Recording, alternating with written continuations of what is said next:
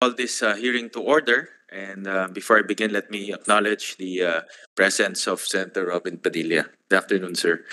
And uh, let me direct the uh, committee secretary to acknowledge your resource persons for today. Thank you, Mr. Chair. Good afternoon, and good afternoon also to Senator Robin and our resource persons. For the public hearing on the Matatag curriculum of the Department of Education, we would like to acknowledge our resource persons from the Department of Education or DepEd. We have Director Jocelyn D.R. Andaya, Director Laila Ariola, Director Edward Jimenez, Ms. Isabel A. Victorino, and Mr. Ruel S. Padernal. We have also invited the principals and schools division offices of some of the pilot schools. From NCR, we have Muzon Elementary School. We have Dr. Cecil G. Carandang, the schools division superintendent of Malabon City SDO, and Dr. Ronald P. Santiago, OIC school principal of Muzon Elementary School, together with Dr. Ernest Joseph Cabrera, Dr. Josefina Pablo, Dr. Eliseo Raimundo, Dr. Hilda Valencia, Miss Evelyn Calyada, and Miss Elizabeth C. Aquino. For Luzon, we have Cauayan North Central School. We have Dr. Cherry S. Ramos, the Schools Division Superintendent of Cauayan City SDO, together with Miss Gemma Bala. From Visayas, we have Tabogon Central Elementary School. The Schools Division Office of Cebu Province is represented by Dr. Gladys Baligtas, the OIC Chief of the School Governance and Operations Division. From Mindanao, we have Siyangan Elementary School. From the Schools Division Office, we have Dr. Fernando A. Don- Dones Jr. and Ms. Edna S. Mantilla, the school head of the Suya- Suyangan Elementary School. From the Philippine Institute for Development Studies, or PIDS, we have Dr. Michael Ralph Abrigo and Mr. Edmar Lingato. From SEAMEO INNOTECH, we have Dr. Josdado M. San Antonio. From the Second Congressional Commission on Education, we have the Executive Director, Dr. Karol Mark R. From the Philippine Normal University, or PNU, we have Dr. Jenny Hoxon and Dr. Alan S. Reyes. From the University of Santo Tomas College of Education, we have the Assistant Dean, Dr. Louis B. Dasas. From the Assessment Curriculum and Technology Research Center, or, or ACTRC, we have Dr. Nona Marlene B. Ferido and Dr. Pam Robertson, who are both Deputy Directors. From the United Nations Children's Fund, or UNICEF Philippines, we have Dr. Excelsa C. Tongson and Assistant Professor Miriam I. Ugadan. From the Coordinating Council of Private Educational Associations, or COCOPEA, we have Dr. Joselito Gutierrez, Dr. Felina P. Espique, Ms. Athena Grace Espino, and Attorney Joshua Alexander Calaguas. Last but not the least, from Rex Education, we have Mr. Levi Espinosa and Mr. John Paul Velasco. Thank you, Mr. Chair. Yeah, recognize also the presence of our minority leader, Senator Coco Pimentel. Thank, thank you for uh, coming, sir.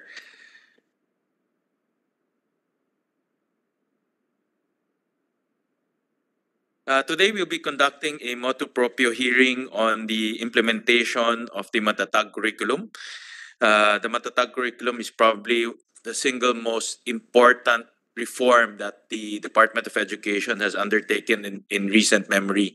And um, although during the pandemic we saw a reduction on the competencies uh, with the uh, implementation of the most essential learning competencies, but now it has been formalized through what we call the Matatag curriculum. And um, today we'll be discussing the features of the Matatag curriculum, the rationale on why we had to uh, reform the curriculum. And we all know curriculum is the most important um, uh, aspect of education because I call this as the software uh, that feeds into the brains of our learners. And our learners will be our future uh, workforce and future citizens of this country. So it's all the software that goes into the minds and the thoughts of our learners. So it's a very important facet of education, and we have already uh, reformed it. And now we're in the pilot testing, and we want to also learn from the implementation implementers on the ground on on their um, uh, on their thoughts and learnings uh, from this new um, curriculum. At the same time, uh, we will also talk about the challenges that that uh, we will be facing in the full implementation of the Matatag curriculum. Um, in the, in 2024 no, uh, will be the um, uh, full implementation of the Matatag curriculum, and we want to understand what are the challenges that we are facing and what are the budgetary requirements that we will be needing in order to uh, see a, a, successful implementation of this uh, uh, curriculum.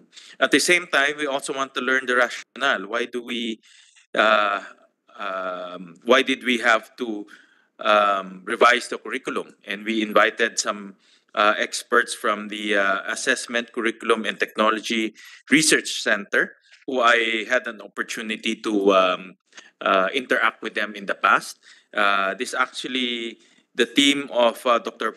Pam Robertson and Dr. Nona Ferido uh, were actually invited here in Congress to um, uh, here in Senate to uh, uh, share us share with us their thoughts on uh, the old curriculum and what are the things that we need to to to, to improve on to to reform in order to um, to make our curriculum at par with the present times and also to fix some of the gaps and the problems that we are encountering.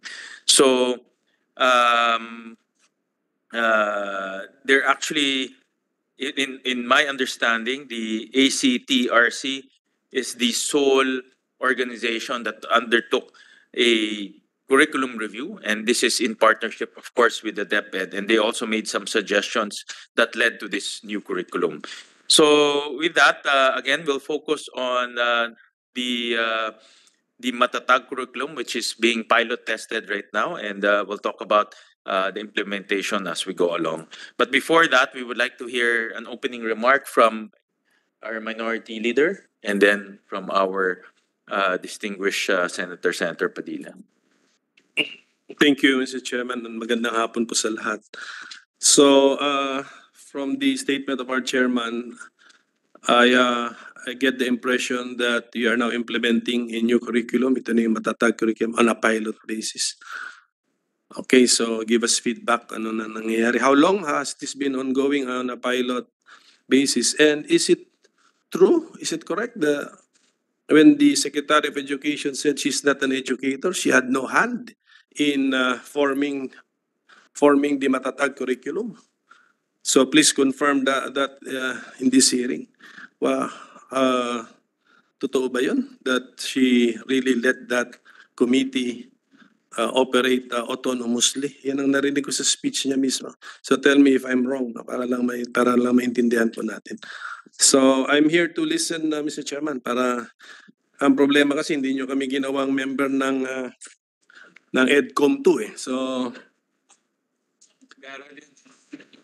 ayan, ayan ang problema. Kaya sa budget uh, hearing, nagugulat kami na uh, anong taan ano ba, na yung may bago ng curriculum, saan galing inputs nito. But I know, I, I, I- I'm aware of a certain law, may curriculum committee tayo eh. Di ba? Uh, section 3 ba yun? Oh, one of their, oh, in, in, the, in, a, in a certain law. That's, that's, uh, so, sige, then we will uh, get to know how that committee works because meron din akong bill on how, on at apa- at the appropriate levels. Sana turuan na natin ng computers coding skills ang ating mga I hope you that committee uh, studied that angle and then I hope marinig sa matatag curriculum na meron tayong component na ganon. Sige, thank you Mr. Chairman. Thank you. Thank you, Minority Leader. And uh, 21st century skills is one of the uh, pronounced features of the new curriculum, and we'll ask DepEd later on to um, um, to to give us some uh, explanation and some um um, clarification on that. So, Senator Padilla. Maraming salamat po, Chairman. A'udhu billahi minasyaitanir rajim. Bismillahirrahmanirrahim. Alhamdulillah rabbil alamin. Bismillahi wa salatu wa salamu ala rasulillahi. Assalamualaikum warahmatullah.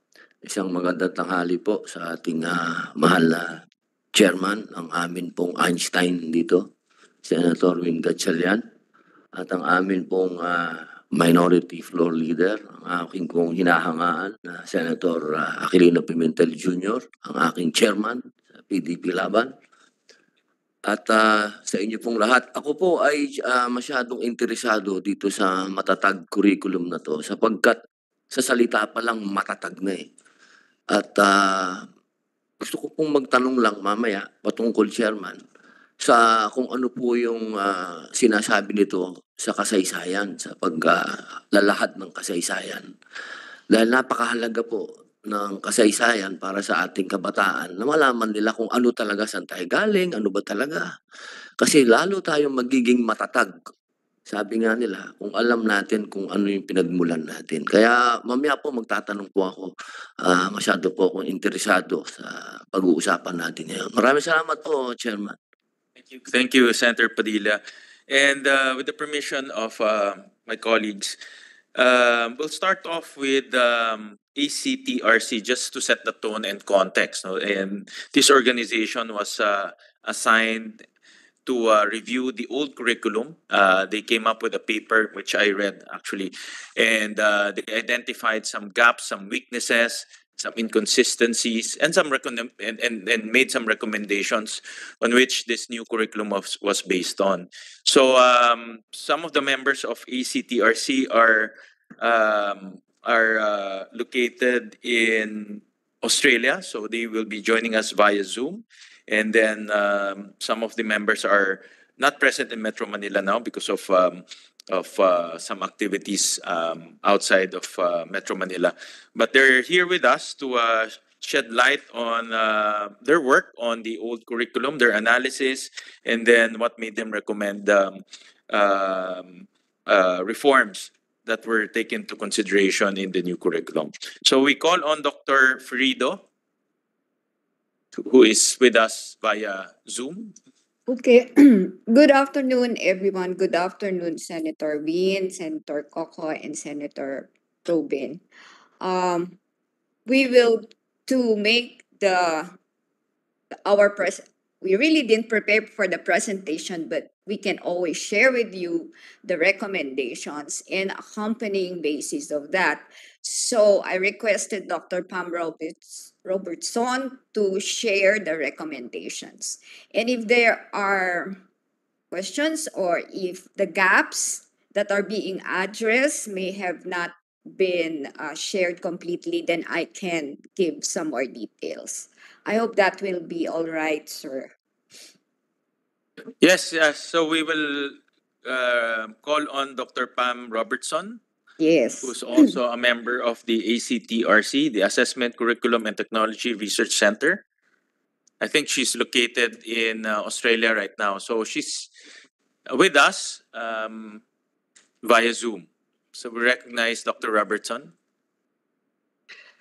Thank you, Senator, and thank you everyone for allowing us to be here today. It's um, very, um, it gives us a great feeling of honour that you are able to um, listen to our research findings and that you find them useful.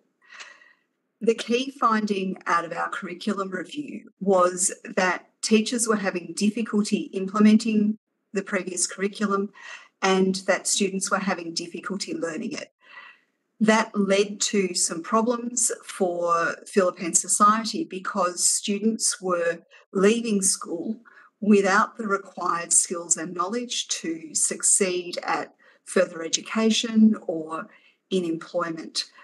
So, our findings hinged around what was making it difficult for teachers to deliver the curriculum and for students to learn it. One of the key findings was that there was simply too many learning competencies in the curriculum.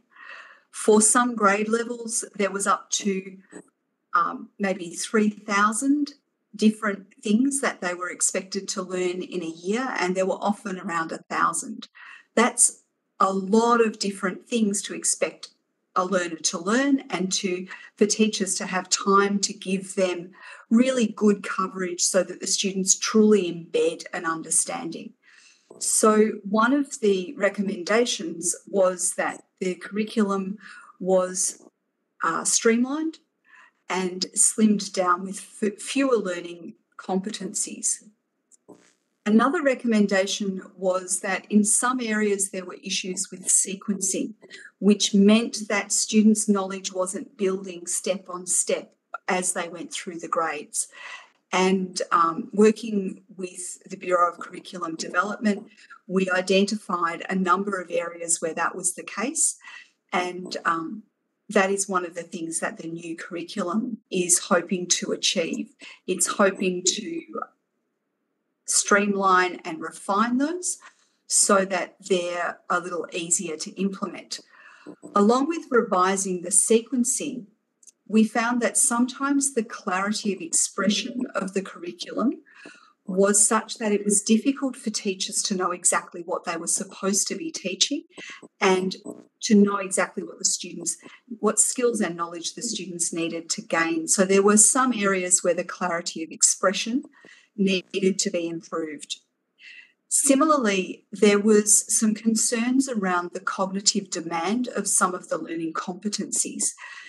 In the previous basic education curriculum, many of the learning competencies were at a very low level of cognitive demand. It was almost at a memorization level.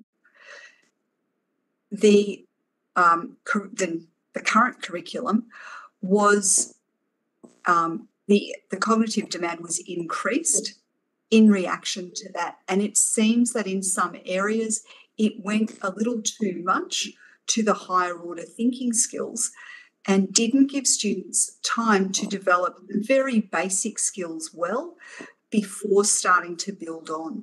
So that was an issue a little bit around sequencing and a little bit around balancing. Students need to have some time where they're memorizing and learning the basics off by heart. They need to have some time where they're practicing performing fairly routine tasks before you can really give them those high cognitive demand tasks. So it was a little bit about balancing that. Through adjusting sequencing and clarity of expression and cognitive demand, it's hoped that the sequencing of skills is developed to ensure that students develop the prerequisite skills and knowledge systematically from one grade to the next to the next. We hope that that will improve the proportion of students who enter each topic that they're starting with the relevant prerequisite skills and knowledge. That's really important because we found in our research that teachers were more likely to have trouble having time to teach something if the students entered that grade and that topic without the prerequisite skills and knowledge. So it's really important that students build skills in a really consolidated way systematically as they move through the grades. And where we found that that wasn't happening, um, it became even more difficult for the teachers to, to teach the curriculum and for the students to learn it. Uh, so, with that in mind, the recommendations were that, as well as streamlining and paying attention to sequencing of the learning competencies, that there was also um, some clarity around how those learning competencies are articulated and work together to build over time.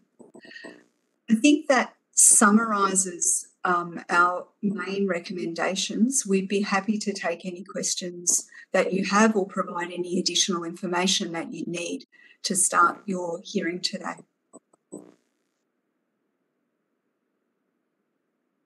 Thank you, thank you for for uh, the concise presentation. So basically, um, Dr. Robertson, the main takeaway here is number one, there are too many competencies in our old curriculum, and uh, because it's too many competencies, our teachers are not teaching all of them, or they do they do not finish in one in one school year. They are having problems finishing all the competencies, and that leads to number two uh, our learners are not ready because they're not all the competencies are not being taught to them. When they jump to the next grade level they're not ready uh, to take on the subjects in the next grade level. And that also eats up into the time of the teacher in the next grade level. And that uh, of course that cascades now the problem now cascades throughout the whole um, process. At the same time um, Dr. Robertson, I also understand that the cognitive demands uh, is mismatched to the uh, learning. If, if I'm not, I'm, I'm not a tech- technical person on this matter, but I understand that the cognitive demands is mismatched to what the learners can absorb. Uh, if, if that's the right, um, that's the right the, the description. And uh, can you elaborate on, on that on that uh, part? No? Because that seems to be uh, a very important matter that we need to emphasize and an important reform that we need to also look at. Uh, certainly. Um, the cognitive demand issue is a very tricky one because you don't want a curriculum like the curriculum pre- prior to the K to 12, where it's just rote learning and memorization. We know from lots of international studies that that doesn't prepare people well for their life. Um, it doesn't prepare them for higher education and it doesn't prepare them for the workforce. So we need to make sure that the curriculum has higher order skills in it. And the K to 12 curriculum really made an improvement in that area. However, in some areas, it went too far. And it was really trying to get students to do things that were very cognitively demanding before they had cemented those earlier basic skills that they need. So you can't jump into the very high levels of analysis and evaluation and creativity if you don't have the fundamentals. So when we compared um, some, we, we had databases that allowed us to compare the Philippine curriculum to some international comparators. Uh, not a consistent um, database, but it was available in some of the learning areas. And where we did that, we found that the Philippine curriculum had a greater proportion of learning competencies that were at some of the high um, cognitive demand levels, but that it had very few, particularly in that sort of routine performance of standard algorithms. So, if I give you a mathematics example, it would be that before students had had enough practice at just learning to do basic addition, they were being asked to do worded problems in a very um, applied and, and um, abstract situation where they needed to maybe draw on learning from different areas and pull, pull it together for some very elaborate problem solving. Now, it's very good that students get the opportunity to do that sort of problem solving, but they need to have enough practice in the basics in order to enable them to do that.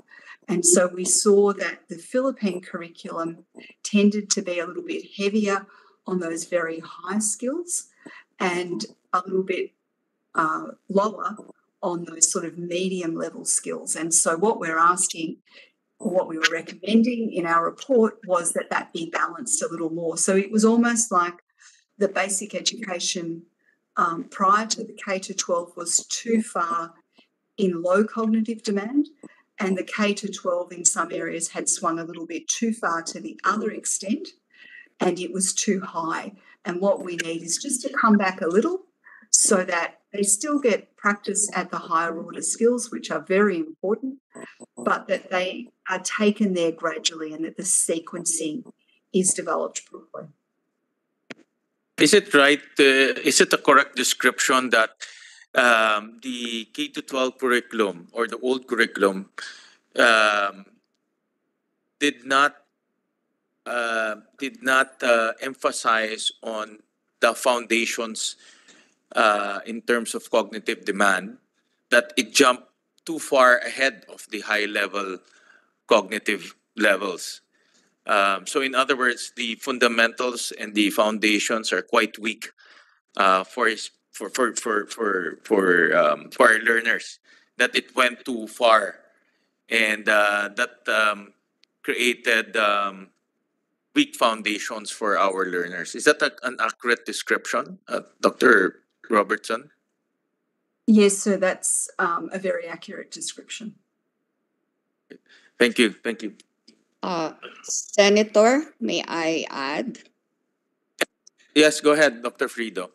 Um, maybe to give uh, everyone a view of what Dr. Pam was saying about uh, the cognitive demand, when we were reviewing the K to 12 curriculum, we use five different levels of cognitive demand. And the lowest is that of, you know, memorizing facts and formulas and definitions. And then the second level is performing procedures. And then the third one is communicating understanding. And then the fourth one is analyzing information and advancing arguments. And the highest level is applying concepts and making connections. Now, the K to 12 curriculum in general, although not in all uh, subject areas, focus on the fourth and the fifth one. That is analyzing information and applying concepts. And there was uh, little time allotted to performing procedures. And as Dr. Pam uh, shared earlier, it was a reaction to the previous basic education curriculum or what is called BEC or RBEC.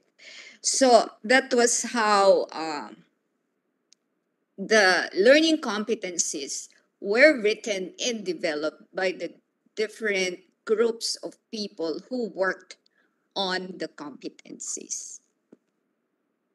I'll, I'll just flash a slide, uh, and uh, this was taken from your research. Uh, Yes, just to illustrate, um, this was taken from the ACTRC research. And uh, just to show um, a visual representation of uh, what you have described um, here. For grade three, um, what you were seeing, level four and level five is is uh, level four is analyze and offer arguments, and number five, apply concepts and make connections beyond the area. And uh, ACTRC compared it with Singapore. So, in other words, in in grade three, the higher level cognitive skills uh, for in the Philippines is much greater than the than Singapore. And uh, for the lower level, uh, Singapore is much lower. No?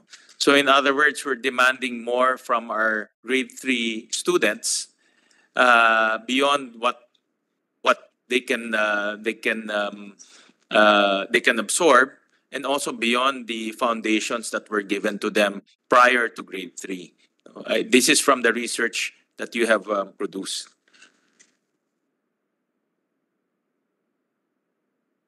And then it goes also, if you look at the, for grade six and grade ten, you can see the comparison. Uh, for grade ten, being a, being, being more mature, uh, in Singapore, they have, you know, the level four and level five are much greater. But, um, in the Philippines, it's, the level five is much lesser. Um, so I think there's a mismatch within the cognitive demands and also what the learners are expected to uh, absorb. Is that an accurate description, Dr. Ferido? Ma'am, you're on mute. Uh, I said that that is an accurate description of the cognitive demand that we have for the Philippine curriculum compared to Singapore. Thank you, thank you. Our minority leader has some questions. uh, from the presentation, I get the impression that our learners, as they advance in age or in years, they also advance in grade level. Although they may not be prepared for that new grade level. Is that what is happening, generally speaking? Uh, Pam, you can answer, but I can go ahead first. Yes, uh, Senator, that is true in general terms. That, that's why we say that the cognitive demand of our curri- curriculum is high and focuses on what we have said on analyzing um, information and advancing arguments, and the highest level is on applying concepts and making connections.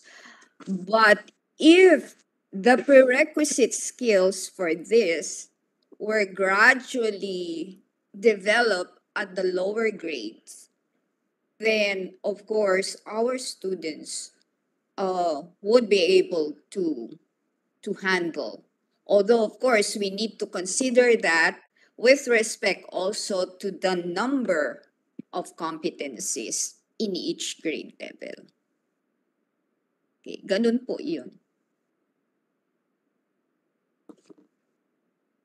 Okay, so uh, does our system pass students to the next grade level, although we know that they are not prepared for the subjects of that next grade level? Uh, I'm happy to take that question if that's okay with you. The issue is not one of passing students who shouldn't be passed. The issue is of making sure that the system gradually builds students' skills in a sequential way. Uh, I'd like to refer back to some earlier research that Mam Marlene and I did in the science curriculum. And if we uh, look at that, even in the selective uh, science oriented high schools, the pace of the curriculum was too great and the students couldn't keep up. It's not about the students not being good enough or not working hard enough or not being smart enough. It's simply that the task that they're being asked to do is too unmanageable. Uh, they can't even have a chance to present, uh, to, to sit in a classroom where the information is presented because the teachers don't have time to teach it all. So it's not a matter of passing students who shouldn't be passed. It's a matter of a system being established that is unachievable for both the teachers and the learners. Uh, I'm sure Mam Marlene would like to add to that.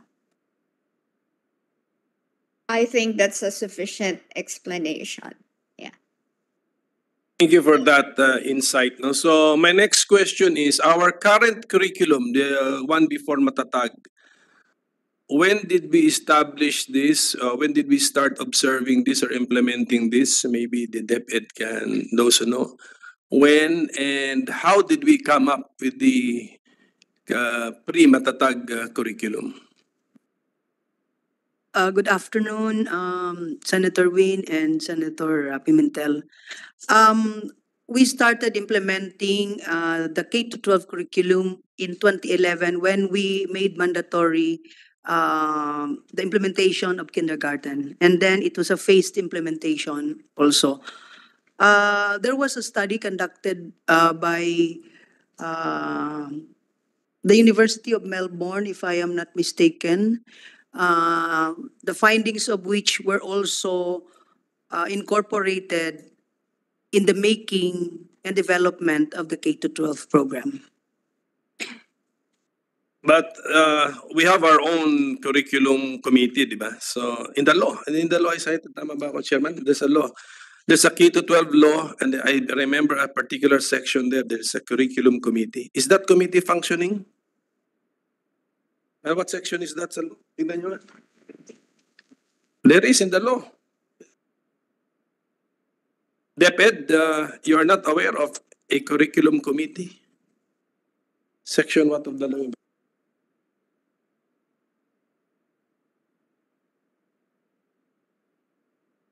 Yeah, section six of that law. There is a curriculum committee, okay, but of course we thank the University of uh, Melbourne and the Australian government for helping us. But yeah, curriculum consultative committee, section six of RA. Uh, ano, ano, ano? Uh, ten five three three.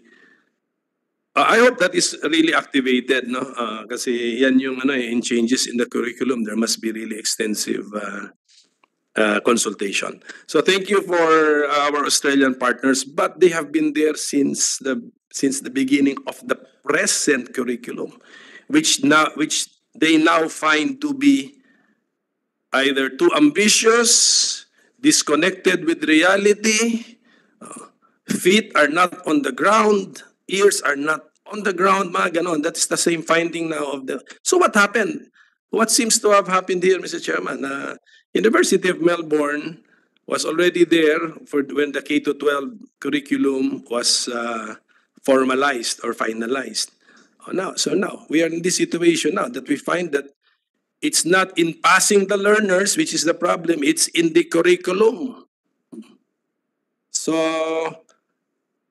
uh, where did we make the mistake? Because we are we have already involved the University of Melbourne from the very start. Oh, Saan, oh, saan ang pagkukulang natin? Um, Director Andaya, do do you want to respond to that? Uh, uh, I can only answer for curriculum, uh, Senator uh, Pimentel.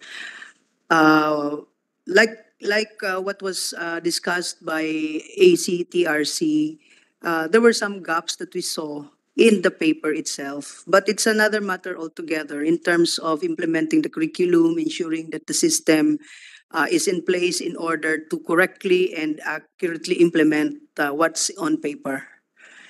And so um, those were the findings, and uh, we're making sure that uh, this time around these findings are really incorporated in the Matatag curriculum.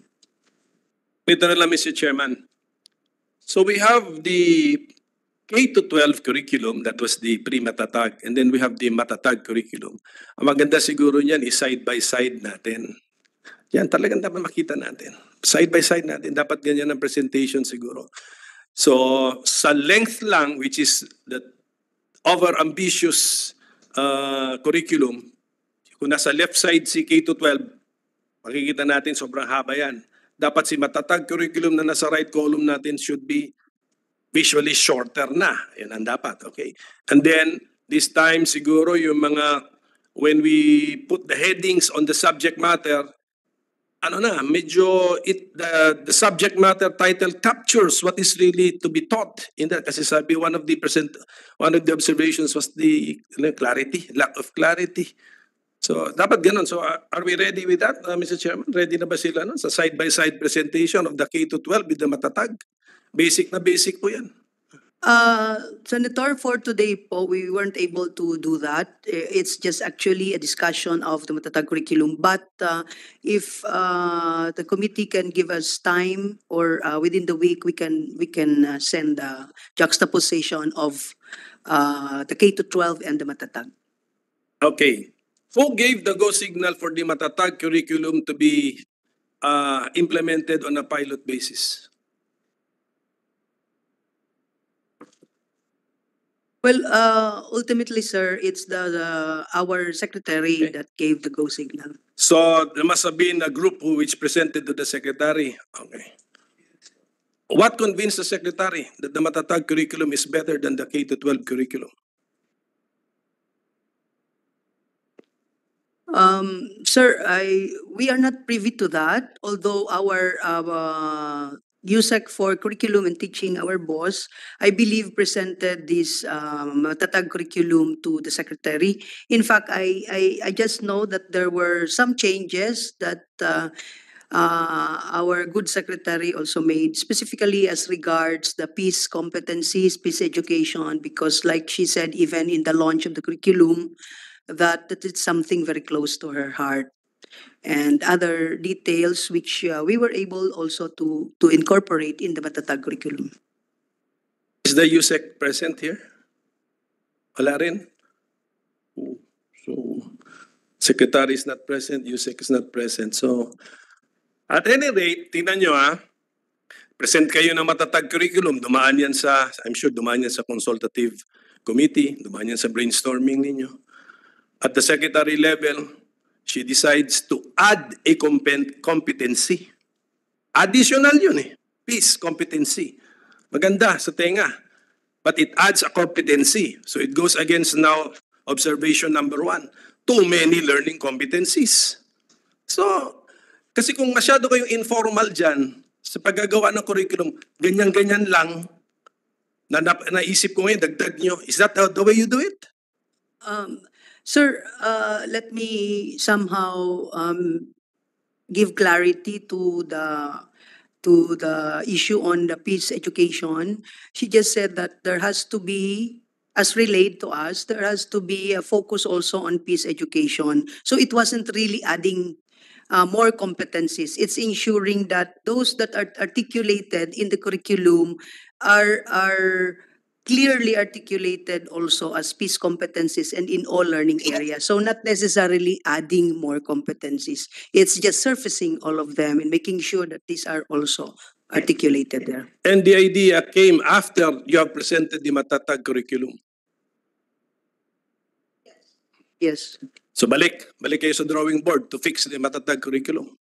Um, sorry, sir. It wasn't really a matter of fixing again, but ensuring that uh, all those uh, under peace competen uh, all those that fall under peace competencies are really surfaced in the curriculum. And so we looked at it with, without necessarily adding more competencies, but rephrasing it such that what are really the important peace competencies that should be included.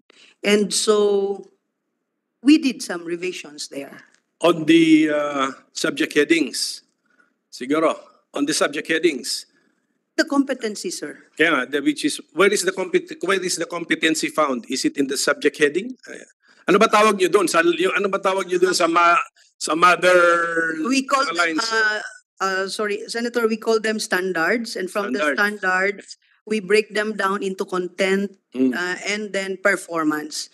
Uh, so it's found in the content also, but at the same time in the competency. What, where is the competency found in the Matatag curriculum? Expressed where? In the subject matter? Yes, yes, content. So when you heard the peace competency, you revised your, ano, at least yung mga subject subject matter title. Uh, Some of them, but uh, many are actually already present. okay, so it's not adding a uh, uh, competency, although you use the word uh, peace uh, competencies. Okay. So okay, so Mr. Chair, uh, Mr. Chairman, I'll just uh, await the report on what has been happening on the ground sa pilot testing. Ilan ba to? How many? In how many? Ano ba? Schools bang approach natin? How many schools how are we testing it?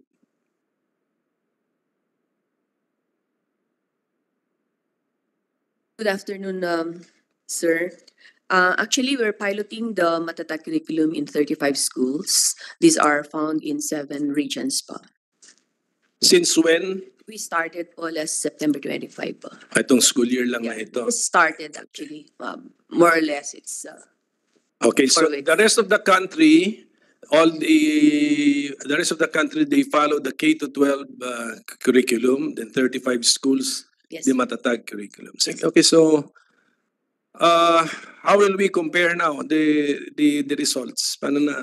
How will we compare after after one uh, grading period, after one school year? When and how? We intend to look at it, uh, sir, after the end of the school year. Okay. Then we'll give them an exam. Yeah, and it's going to be the, um, Bureau of Education Assessment that's going to undertake that, sir. So there will be siguro 35, that's 35 schools with all the students will be given an exam. And then ang control, ang control natin would be some other selected schools na under the K to 12. Yes. And then you will compare kung saan mas magaling in what? In, in math.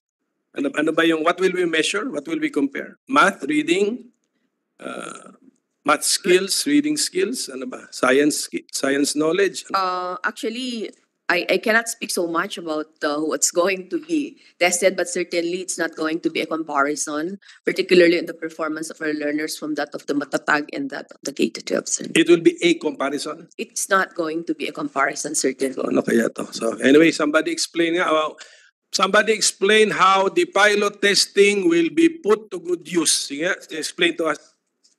Director Andaya, I'm, I'm looking at your presentation. Um, uh, do you want to show uh, the minority leader? There's a a reduction in the number of competency. I think this is what uh, um, he's uh, pointing at, and also the breakdown of the of the um, components of the peace education. It's in page thirteen and page um, what's this? Uh, sixteen. Sir, let's fla- uh, we'll flash it on the screen. This is from your presentation. Um, may I answer first? uh, Yes, and then uh, Senator Vi- uh, Pimentel's question. What's the purpose of the pilot implementation? It's not to uh, actually compare K to 12 and Matatag curriculum. The purpose of the pilot is now to determine the support needed by our teachers and school leaders to effectively implement the Matatag curriculum and to identify the challenges, issues, or gaps that may arise in order to address them appropriately and in the preparation for the implementation and rollout in 2024 so that uh, even from the get-go we already know what are some of the problems and issues that we will encounter and we can actually do something about it before uh, it's uh, going to be implemented nationwide. So that's the purpose of the pilot. So in in effect, it has already been decided that the curriculum will now be changed. It's going to be the Matatag curriculum. Except that, I do not know, parang nag, nag, nagrenda kayo. Uh, outside of the 35 schools, you will allow, you will let them suffer learning from the old curriculum. Yan ang ginagawa nyo eh.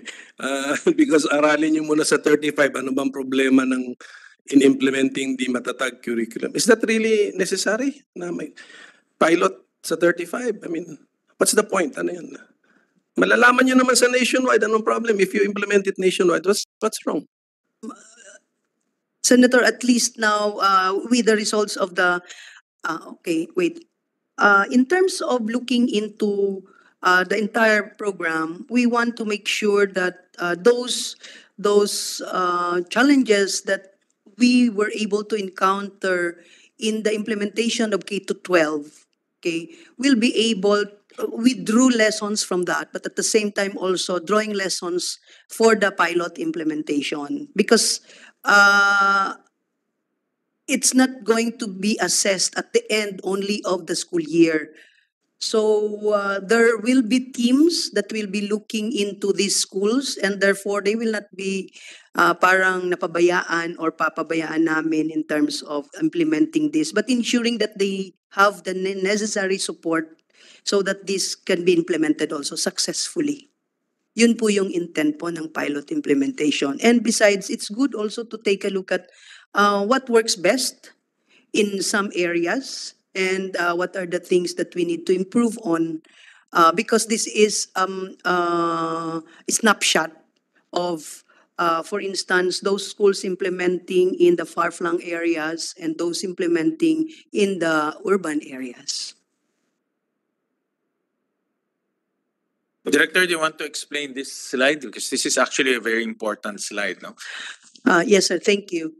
Um, the findings of um, the, the ACTRC necessitated really looking into the most essential learning competencies. And that's why when we did the revision, we made sure, and this isn't just born by the findings of ACRC in terms of uh, doing a documentary analysis, but it's really uh, doing FGDs or focus group discussions with our teachers and uh, even our supervisors. And this is an overwhelming uh, finding and that we needed to address. And that's why uh, we looked at the current curriculum, which is the K to 12 curriculum, and we said that there are those that are nice to know competencies, nice to have competencies versus the must to know competencies. And so we were able to eliminate those and made sure that those that are essential in terms of uh, moving on to the next quarter, semester, or grade level, those are what we placed here. And that's why from a total of 11,738, it became just 3,664 without um, uh, watering down uh, Senator Pimentel what the competencies, what are the essential competencies that are needed by our learners, and so that the teachers are afforded more time to really uh, teach said competency.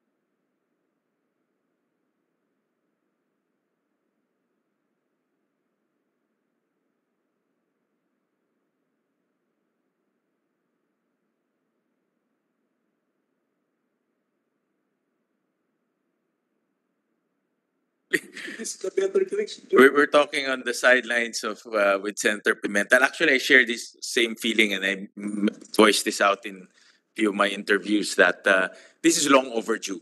And uh, just imagine the competencies, seventy percent reduction in competencies. And um, I'll, show another slide that I picked up from ACTRC. Uh, and this is a very important slide. This is uh, slide two. This is from the research of Dr. Robertson and Dr. Ferido. Um, this is, uh, yeah, so that uh, we'll have appreciation. Um, because of the over, um, the, because of the overcrowding and the, and the number, uh, number of competencies that we have in our old curriculum. Just look at the number of teachers who can finish the entire competencies. No? Uh, in grade 3, only 24%. In grade uh, 6, it's only 12%. Just imagine, only 12% of our teachers can finish the entire curriculum based on the competencies because of the sheer number of competencies that are pushed to them and mandated of them to teach. And uh, later on, we can hear from our teachers. We invited um, um, uh, the implementers to share with us their thoughts on the old and the new curriculum uh, earlier, uh, later on.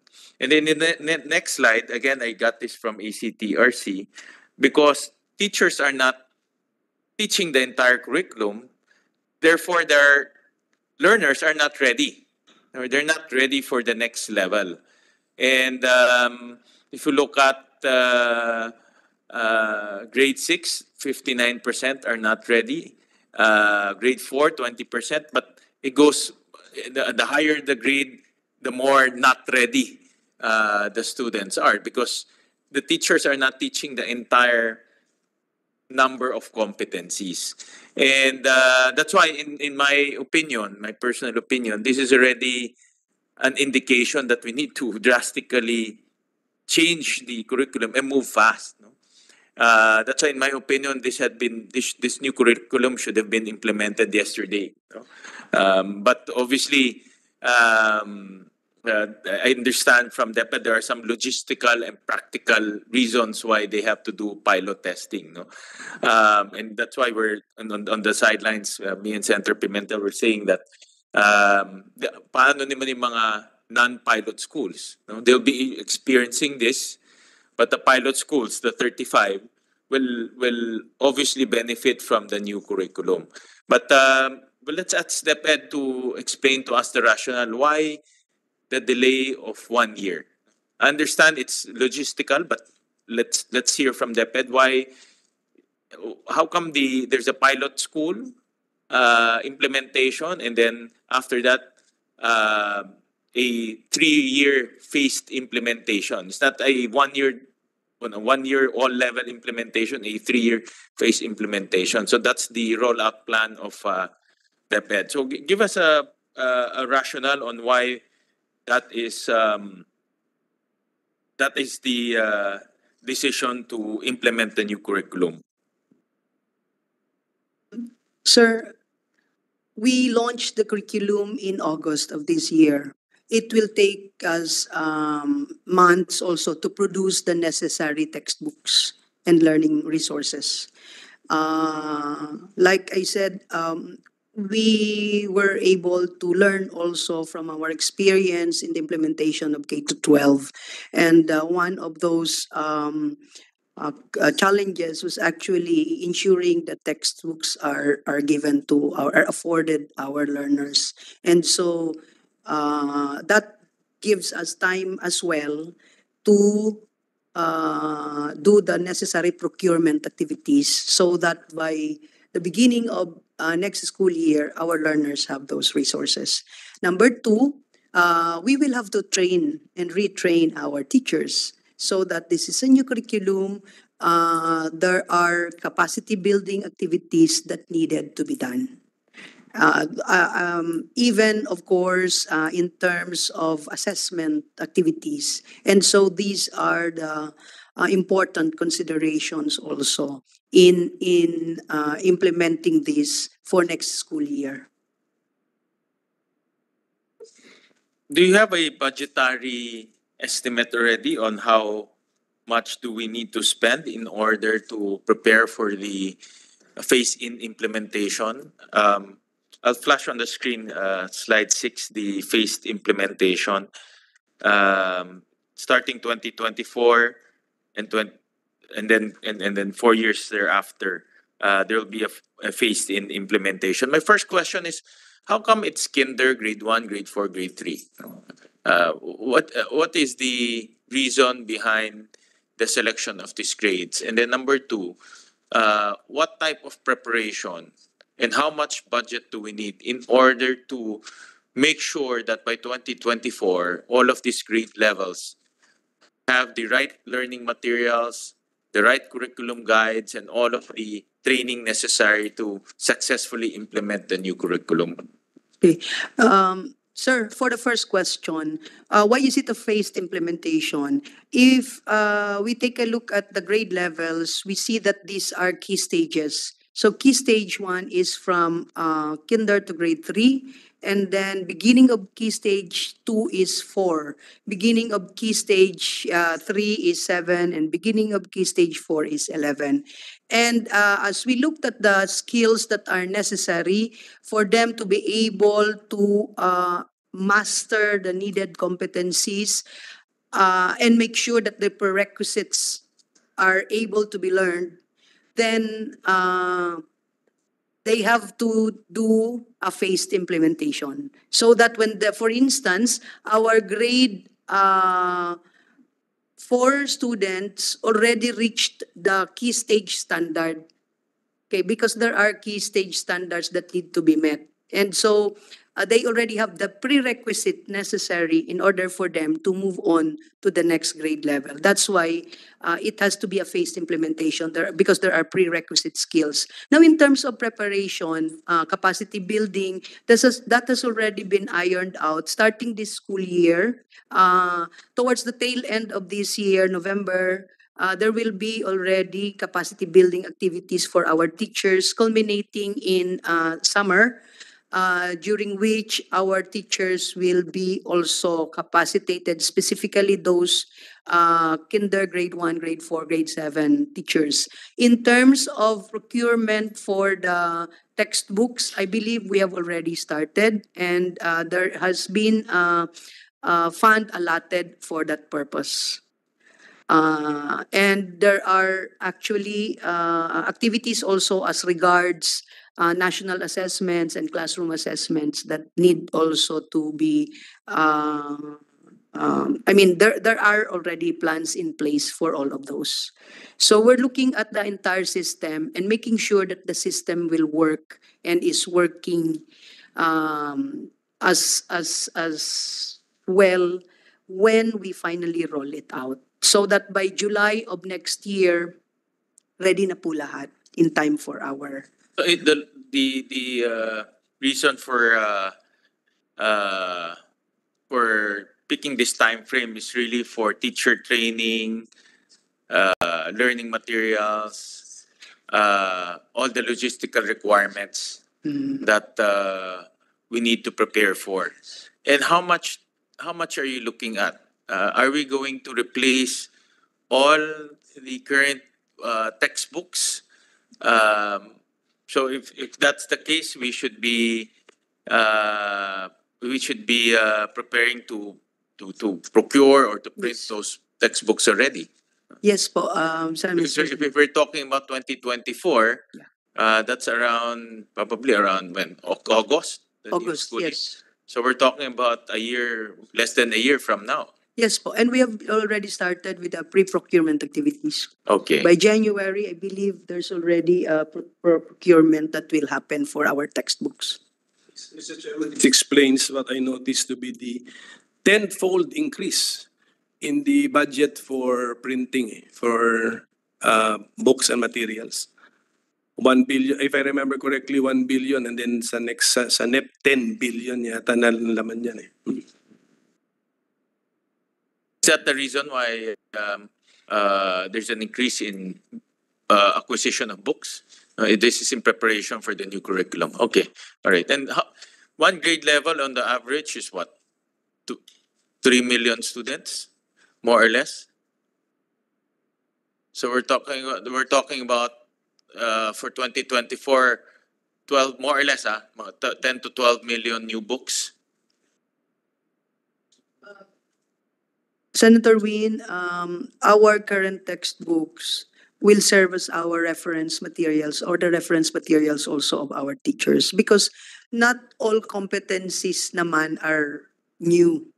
Because there are enduring competencies, of course, and that's why uh, the textbooks, the current textbooks that we're using now might also be used, but not in the way that it has been articulated in the curriculum. So it's now up to the teacher if he or she will use that as long as it's available eh, uh, in the uh, school and at the same time also other resources in the internet that they might find useful. We also have resources in our uh, portal that the teachers can make use of. Do you want to proceed with your presentation? I know you prepared the presentation. Is that is that correct? Yeah, yeah, because uh, that will uh, uh, give us more uh, information on uh, what changes you made and what is the rationale for the changing curriculum. Uh, uh, Edie Karol, you wanna you wanna say something? I guess, Senator Win, we have other comments on the revised K to 10 curriculum, but we just wanted to reiterate our questions earlier shared with DepEd in relation to the textbooks. In our conversations with DepEd, in our ongoing partnership with them, the explanation to us is that for the production of textbooks, you need six months to produce it, three months to print it, and three months to deliver it, to ship. This is optimistic. Kung nasa pre-procurement tayo, it means once awarded, then you begin the six months and then the three months and then the three months. Using those timelines, we will not have textbooks by July.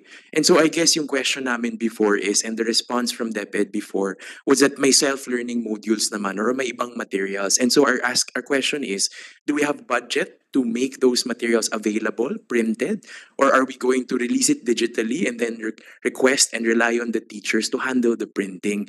Um, in our analysis also of the material, of the information submitted to us by the DepEd Bureau of Learning Resources of, as of August 2023, yung may textbooks lang talaga to fall back on in the current curriculum of K to 12 is really yung kumpleto, grade 5 and grade 6, and a sprinkling of some subjects in grade 4, 8, 9, and 10. So I guess our real question is, we welcome, of course, the revision of the curriculum to make sure it is decongested.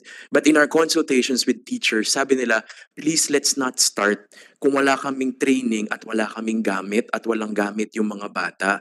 And so our question really is, how do we make sure that happens? We have a runway of one year, this pilot. We've asked the question before on what are the milestones that we are looking at to assess preparedness because you will need to make decisions before July that will then trigger the full implementation of K147. What are the milestones we are looking at? Ano yung binabantayan natin? Ano yung indicator na handa tayo at ano yung indicator na hindi? At sa usapin pa lamang ng textbooks na malinaw na na hindi sapat at hindi in time darating yan sa mga bata, ano yung plan B natin? Kasi ngayon pa lang malinaw na plan B will be our plan A. And is that reflected in the 2024 GAA? We'll, we'll uh, drill down on the textbooks later on. No? That's an important point because, um, of course, uh, it's very difficult to learn and to, to teach without any textbooks. no? So, uh, and what our minority leader pointed out, we already allocated funds. No? So, uh, the next question is, can we spend it and deliver it on time? no? Uh, on time for the uh, school opening in 2024. So we'll drill down on that later on, but we'll allow uh, DepEd to present the Matatag curriculum and uh, so that we can also um, uh, make some comments on um, this uh, curriculum. Okay. You can go ahead, uh, Director Andaya. Thank you, sir. Um, RA, sorry, next slide, please. When we adopted the K-12 program via RA 10533. Our aim was to enhance the Philippine basic education system by strengthening the curriculum and increasing the number of years of basic education from 10 years to 12 years. Prior to the implementation of K-12, the Philippines had been one of only three remaining countries in the world, the other two being uh, Djibouti and Angola, to have 10 years of basic education. The phased implementation of K-12 was adopted starting in 2011-2012 and was progressively implemented in the succeeding years. In 2017-2018, our grade 6 and 12 learners became the first cohort of elementary and uh, senior high graduates. Uh, this school year 23-24, we will have our first batch of graduates who will have fully uh, gone through the entire gamut of the K-12 program. Uh, next slide, please. And so after several years of implementing the uh, curriculum, it is now um, for revision. And um, like what ACTRC mentioned, uh, these were the findings of, of um, when, when they did the review, that the, it's uh, congested, there's misplaced prerequisite learning competencies, and there's an imbalance of um, cognitive demand. And so, next slide, please. This is how we went through the curriculum revision process. Yeah, it took us about two years to uh, revise the curriculum from the development of shaping papers and curriculum guides and validation of these documents to revision and public review and eventually finalization of these documents. Uh, the public review is something new that the VP and secretary introduced po because this is the first time that we did that. We opened it up to the public for their comments and suggestions. And um, we share this uh, in our website, and uh, I believe that many of our stakeholders were able to uh, comment on the curriculum. Um, we have also listened, next slide, to uh, uh, several voices and perspectives, and we showed our commitment to engage our stakeholders in making decisions crucial to the future of every Filipino learners we have engaged a sizable number of collaborators and contributors, not just from the DepEd, but also from the academe and higher education institutions uh, and other state, external stakeholders and industry leaders. We have also engaged the biggest private school associations such as Cocopea, uh, CEAP, ACSCU, PACU, and even our international experts.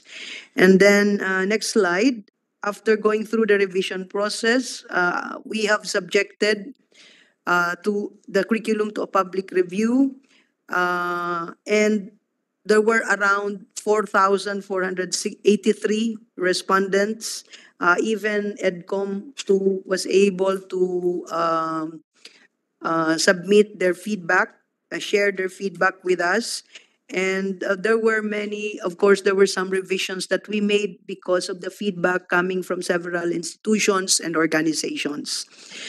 Our revision was guided by several factors, which are found in the next slide, uh, including the insights gleaned from the curriculum review findings, the international uh, large-scale assessment results, and international uh, benchmarks such as Singapore, US, Australia, and alignment with the overarching goals outlined in the Matatag Education Agenda. And we also, in the revision, we also followed the, the some basic learning principles. Number one, learning is not possible in an overcrowded curriculum. Uh, it can be a stressor to students and teachers and even serve as an impediment to learning. Number two, learning competencies must be age appropriate. When adults expect young children to master skills for which the necessary maturity has not yet been formed, we are impairing healthy brain development by excessively stressing the child.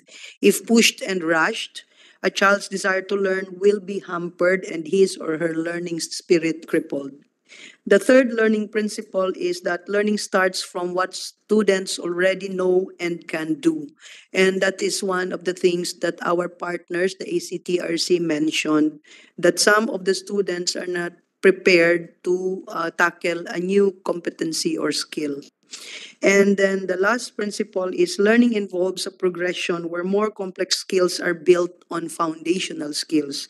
And so much learning tends to follow an expected path or progression where more complex skills are built on foundational skills. Uh, next slide, please.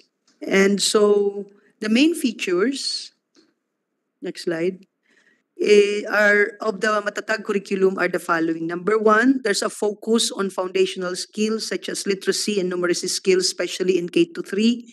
Number two, it's a decongested curriculum. We have significantly reduced the number of learning competencies, a balance of cognitive demand.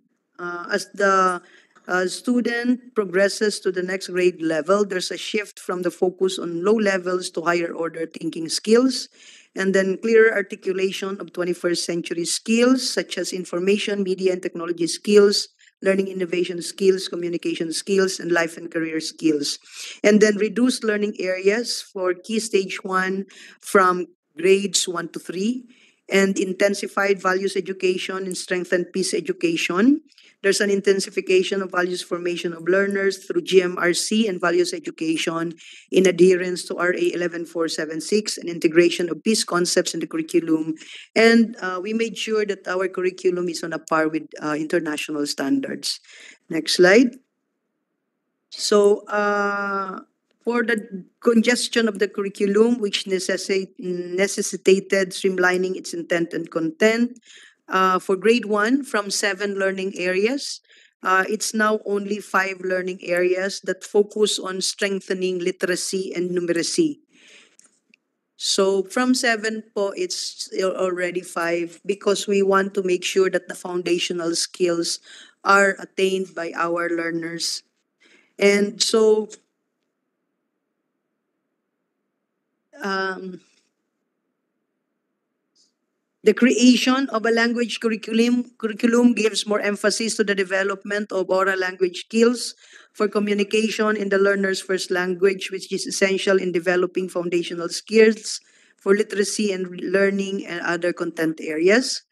Reading and literacy equips learners with strong foundation in reading skills, comprehension, and critical thinking, and concurrently fosters a love for reading and helps learners develop the necessary skills to become confident and proficient leaders, readers. And math remains to be a significant part of the Matatag curriculum. Uh, we also introduced the new learning area called Makabansa that seamlessly weaves vital content and skills from civics, arts and culture, history, and physical education and health. And then uh, the fifth uh, curriculum content, I mean, um, the fifth subject, which is GMRC or good manners and right conduct, uh, puts more emphasis in a on uh, engaging various relational dynamics in a changing world and to ensure inclusivity uh, amongst our learners. Uh, in sum, we reduced the learning areas with only five for grades one and two and six for grade three. Next slide, please. I sorry. Uh, just to just to uh, put everyone on the same, the this is uh, the first slide. This is for grade one, correct? Yes, For- grades one and two. Sorry. For grade for key stage one. Uh, for for grade three, which is part of key stage one, there's an additional subject which is science. Oo. So science starts in grade three. And just to just to educate us, uh, for example, in the for grade one mathematics, how many competencies are there? Just just give us a uh, in the current and in the new. Sorry. It's Uh, it's in the other, th- there, there's a slide, the congested curriculum. It's there po. Yeah. Uh, per grade level, we have for per grade level. Is the competencies for the entire. Entire. Uh, so, for example, mathematics that's divided into Uh, different grade levels. yes, correct? six grade levels. six grade levels. So the seven forty is divided by it's divided uh, it, it's spread across six grade levels. no? Correct, So that uh, just Senator. to give everyone Yes. uh, an idea on how competencies are Mhm. are distributed. But it really depends also on the grade level, correct? Yes. Yeah. It's not It's not uh, evenly evenly distributed. distributed across grade levels. So yung, yung slide number 11 po natin is uh, grade 1. Yung ipa, ipaki- paki-focus po yung yan. That's for grade 1. Grades one and two, uh, Uh, grade, sir. grades 1 and 2. Pero it's it's in the details eh. Sabi ko nga chairman na, namin, so that's those are the mother categories. We have reduced them from 7 to 5, but we may just have transferred the components pababa, uh, palipat. So for example, sige, in the current curricu- curriculum mathematics for grades 1 and 2, what are the competencies that we are trying to teach our learners? Sige, in the current curriculum, mathematics.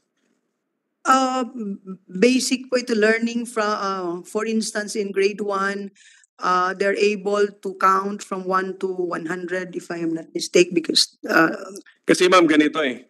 Sa isang slide ninyo, sa current curriculum ninyo, ang competencies na mathematics 740.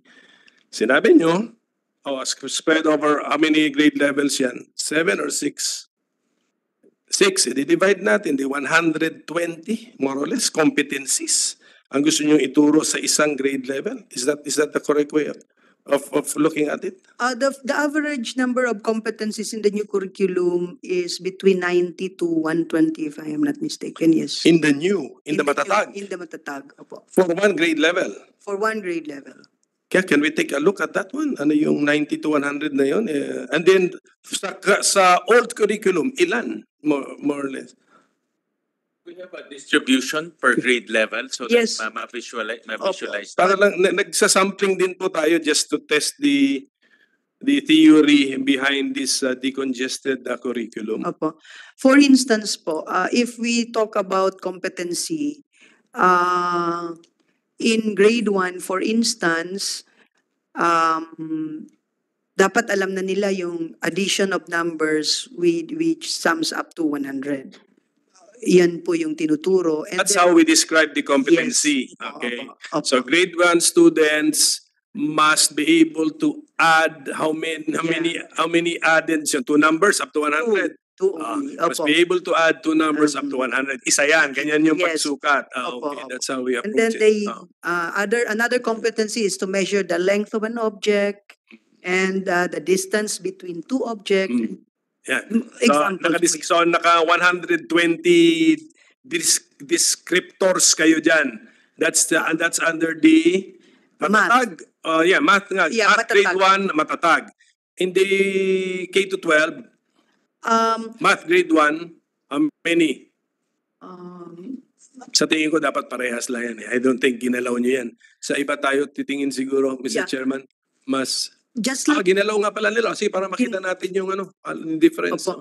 ano lang po, uh, although I do not have the figures right now in PowerPoint presentation and in the, uh, uh, tawag dito, in, in the documents I have, the decongestion did not just mean deleting some of the competencies because uh, in the um, K to 12 curriculum there are competencies that overlap that are repetitive and so those were also some of the reasons why uh, from let's say for instance 250 competencies in a particular grade level it became 90 it wasn't just that um, tawag dito uh, we just deleted those that are nice to know but that uh, repetitions po siya and overlaps.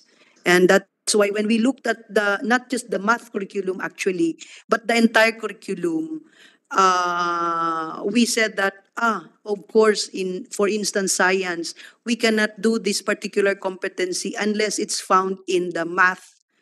Uh, I mean it's tackled in math. And so there was some sort of an horizontal across grade le- across subject areas and vertical articulation that needed to be uh, done as well so that we'll be able to know what's really the essential.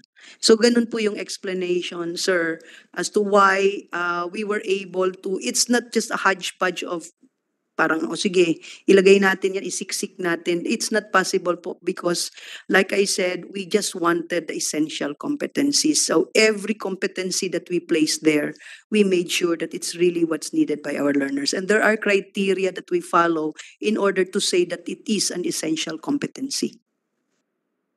So mag- maganda ngayon. I think I- I appreciate this halos uh, 8,000 uh, competencies ang naalis. But uh, why did this happen in the first place? Yun ang gusto ko tanongin. Why yung overlapping, for example, uh, how sure are we that wala ring overlapping dito sa 3,600 na iwan? Uh, What, what level of care did you now implement which was not observed uh, in the past? Um, I do not, um, I apologize, Mr. Senator, but I would not wish to dwell on uh, what happened in the making or development of the K to 12. But this, I can assure you po, as the Director of the Bureau of Curriculum Development, that the process that we observed, it took us two years actually to do this, the revision itself. The review took us one year and a half to do it.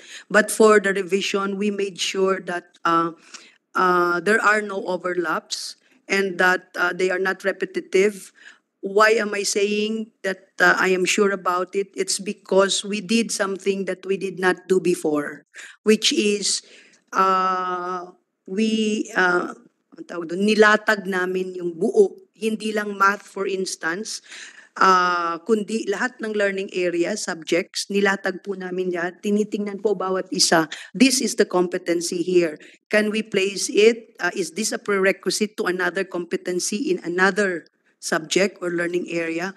That's what we did po. Uh, so the level of care that we placed there was very important as well to us. And so we had to go back to the drawing board if there were some, uh, uh, if the cognitive demand is high in a particular level and say, uh, okay, hindi niya kaya yan kasi hindi pa niya nat, hindi pa yan naturo dito. And uh, to our surprise, Mr. Senator, uh, we found out that there are some competencies, for instance, in grade 7 that uh, were supposed to be taught already in grade 6 or grade 5 but weren't taught. And so we had to go back to that and say, oh, dito muna bago natin lagay. So in terms of level of care, I am very confident about uh, how we did uh, that that uh, validation of the competencies. Siguro, naman, uh, this will not be your last hearing on this, di ba? In the next hearing siguro, let us test the the matatag curriculum by really now scrutinizing, magkuha tayo ng isang subject dyan. Tingnan natin.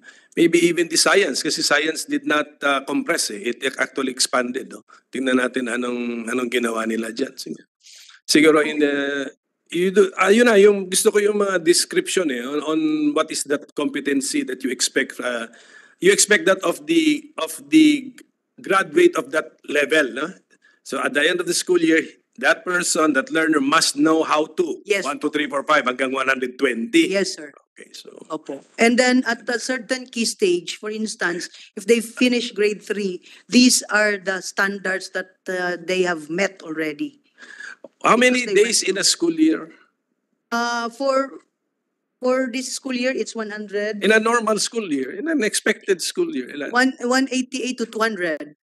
100, 188. And then we, we, we attempt to teach them 120 competencies Yeah. in 180 days. So siguro i-take into account din natin yan, Mr. Chairman, kasi hindi lang naman yan pahapyaw eh. Dapat uh, may, may drills, may drills din dapat.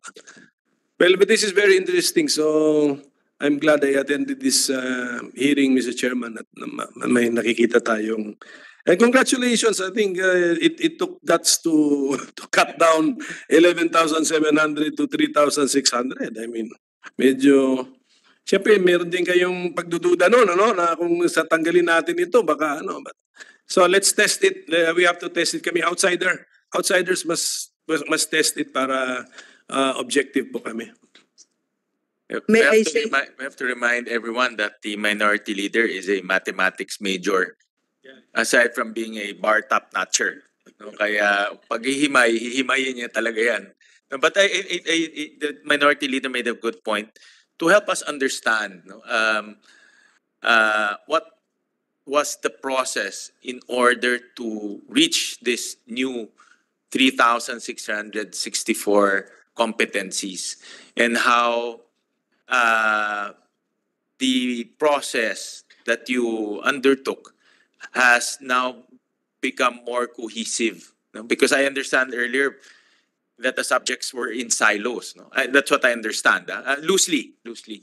But now, because nilatag na, it's more cohesive and it will build on each other. So, in a layman, we're not we're not educators, but in a layman, in next hearing, just demonstrate to us how demonstrate us that cohesiveness in terms of subject, no, so that uh, we will truly appreciate uh, the reforms under the Matatag curriculum.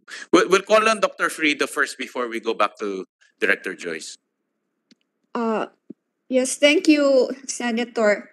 Uh, because we are talking about the learning competencies, I had the opportunity towards the end of the revisions being done done by the Bureau to sit together with a science specialist because I'm a science uh, major uh, for three weeks. Uh, not not really to write, but you know to give some some suggestions together with other Australian consultants. And the way that was done was that it was not simply reducing the number of learning competencies, but it was also focusing on the preciseness of the language of the learning competency. And as has been said, nilatag, kagaya rin ng iba, like science vis-a-vis math, uh, it was also made sure that the exact position in the learning continuum was uh, considered. Also, another consideration that I observed was that the learning competencies had a good balance of uh, knowledge and understanding, that's content, skills, and also values and attitudes, plus um, examples of applications such that students will function as you know good citizens of the country and of the world so that was how uh, that was the lens through which the learning competencies uh, were uh, revised. Now senator pimentel said that science had in, an increase because in the previous k-12 curriculum teachers also had difficulty unpacking uh, some learning competencies that were stated uh, in such a way that they had to or they have to determine ah, what are the prerequisite skills that are really needed here. So they have to go, you know, uh, so many way grade levels way back. So those are some of the considerations done by the science team. I am not privy to the other uh, learning areas. So I hope that that uh, helps. Okay, thank you. the uh, permission of Senator Pimentel for the next hearing, we'll request uh, DepEd to demonstrate to us the cohesiveness of the subject on mathematics and science. We'll just choose those two uh, subjects so that uh, we'll understand how one grade levels subject and competencies uh, is cohesively related to the next grade level and so on. Uh, I think that's what uh, Dr. Ferido mentioned uh, earlier, especially on science. I, I um, now I appreciate that uh, science is further unpacked. That's why the competencies uh, expanded. But let's test it so that we will truly appreciate the new curriculum. right? So, continue the Director uh, Andaya. You're on the Makabansa. And this, this Makabansa, I understand, is a new subject. Yeah. We can we can continue with that. Um, yeah, we'll be happy to uh, do that uh, presentation uh, in the next hearing po, uh, Senator. And then uh, to continue, for Makabansa, which is a new subject, um, layunin nito na mapaunlad ah, ng mga mag-aaralang pag-unawa sa sarili at kultural na kamalayan, kasanayan upang maging malusog at malikhain at may kakayahang makipag-ugnayan sa kapwa at pamayanan. This connects and uh, reinforces grades 4 to 10 uh, Araling Panlipunan as learners examine and understand nationalism in the context of the national narratives, Southeast Asia context, and global dynamics and processes in Araling Panlipunan. Uh, next slide. Uh, we, as mentioned several times already, we have decongested the curriculum by 70%, which supports our assertion and focus on the essential skills of literacy and numeracy. Uh, next slide. We also focus as one of the features of the Matatag curriculum, uh, 21st century skills, uh, with specific examples that manifest in various learning areas. So we recognize recognize the importance of reinforcing the 21st century skills of our Filipino learners, aiming to equip them beyond just the traditional learning domains. Um, the focus is on developing competencies that are vital in today's digital and global world. And so these include digital literacy, uh, critical thinking and problem solving, future orientation and thinking, and resilience and adversity management. We want to ensure that our learners are not only knowledgeable but also adaptable, forward thinking, resilient, and well equipped for the 21st century. Next slide. We have the values education. Uh, actually, this is uh, GMRC and values education. Uh, the main author uh, of this law is, of course, Senator Win. Um, we wanted to inculcate the right values across all levels from kindergarten to grade 10. We have done this by introducing GMRC in kinder to grade 6 and values education in grade 7 to 10. Uh, the focus here is on nurturing the learner's essential socio-emotional skills such as empathy and resilience, contributing to their emotional well-being and interpersonal relationships, and ultimately building a strong character. And the next slide is uh, another feature which is on peace education. Okay, so uh, it is a strengthened peace education in the curriculum where learners are provided with a set of values, attitudes, and ways of life that stand against violence and prevent con- conflicts by tackling the root causes to solve problems through principled dialogue and negotiation among individuals, groups, and nations. And then, next slide. Um, these are our plans. Pilot implementation is ongoing. And then we are starting with capacity building by uh, November. And then uh, the first quarter of next school year, culminating in the capacity building of our teachers. It's not just the teachers that we are capacitating, but also school heads. They need to understand the changes that are being made in the curriculum. At the same time, our supervisors will be able to provide the technical assistance to the schools and learning resources. Uh, we are also revising the senior high school. In fact, we've had we've made several consultations already with academia, with different sectors and uh, industries, so that uh, these inputs will be included in the review of the curriculum and eventually the revision of the curriculum. And we have engaged several stakeholders in this endeavor. Next slide. So, uh, as already discussed, uh, there's a phased implementation of the Matatag curriculum uh, starting in school year 2024-2025 and ending in 2027-2028 for grade 10. This does not, of course, include uh, the senior high school uh, uh, phased implementation also. Next slide, please. Okay, so overall, uh, we want our learners to be prepared with strong literacy and numeracy foundation, uh, equipped with 21st century skills. They are nationalistic and global, and they are ready to succeed in life. Uh, Senator Win, I believe that this is the last uh, slide of our my presentation. Thank you. Thank you, thank you.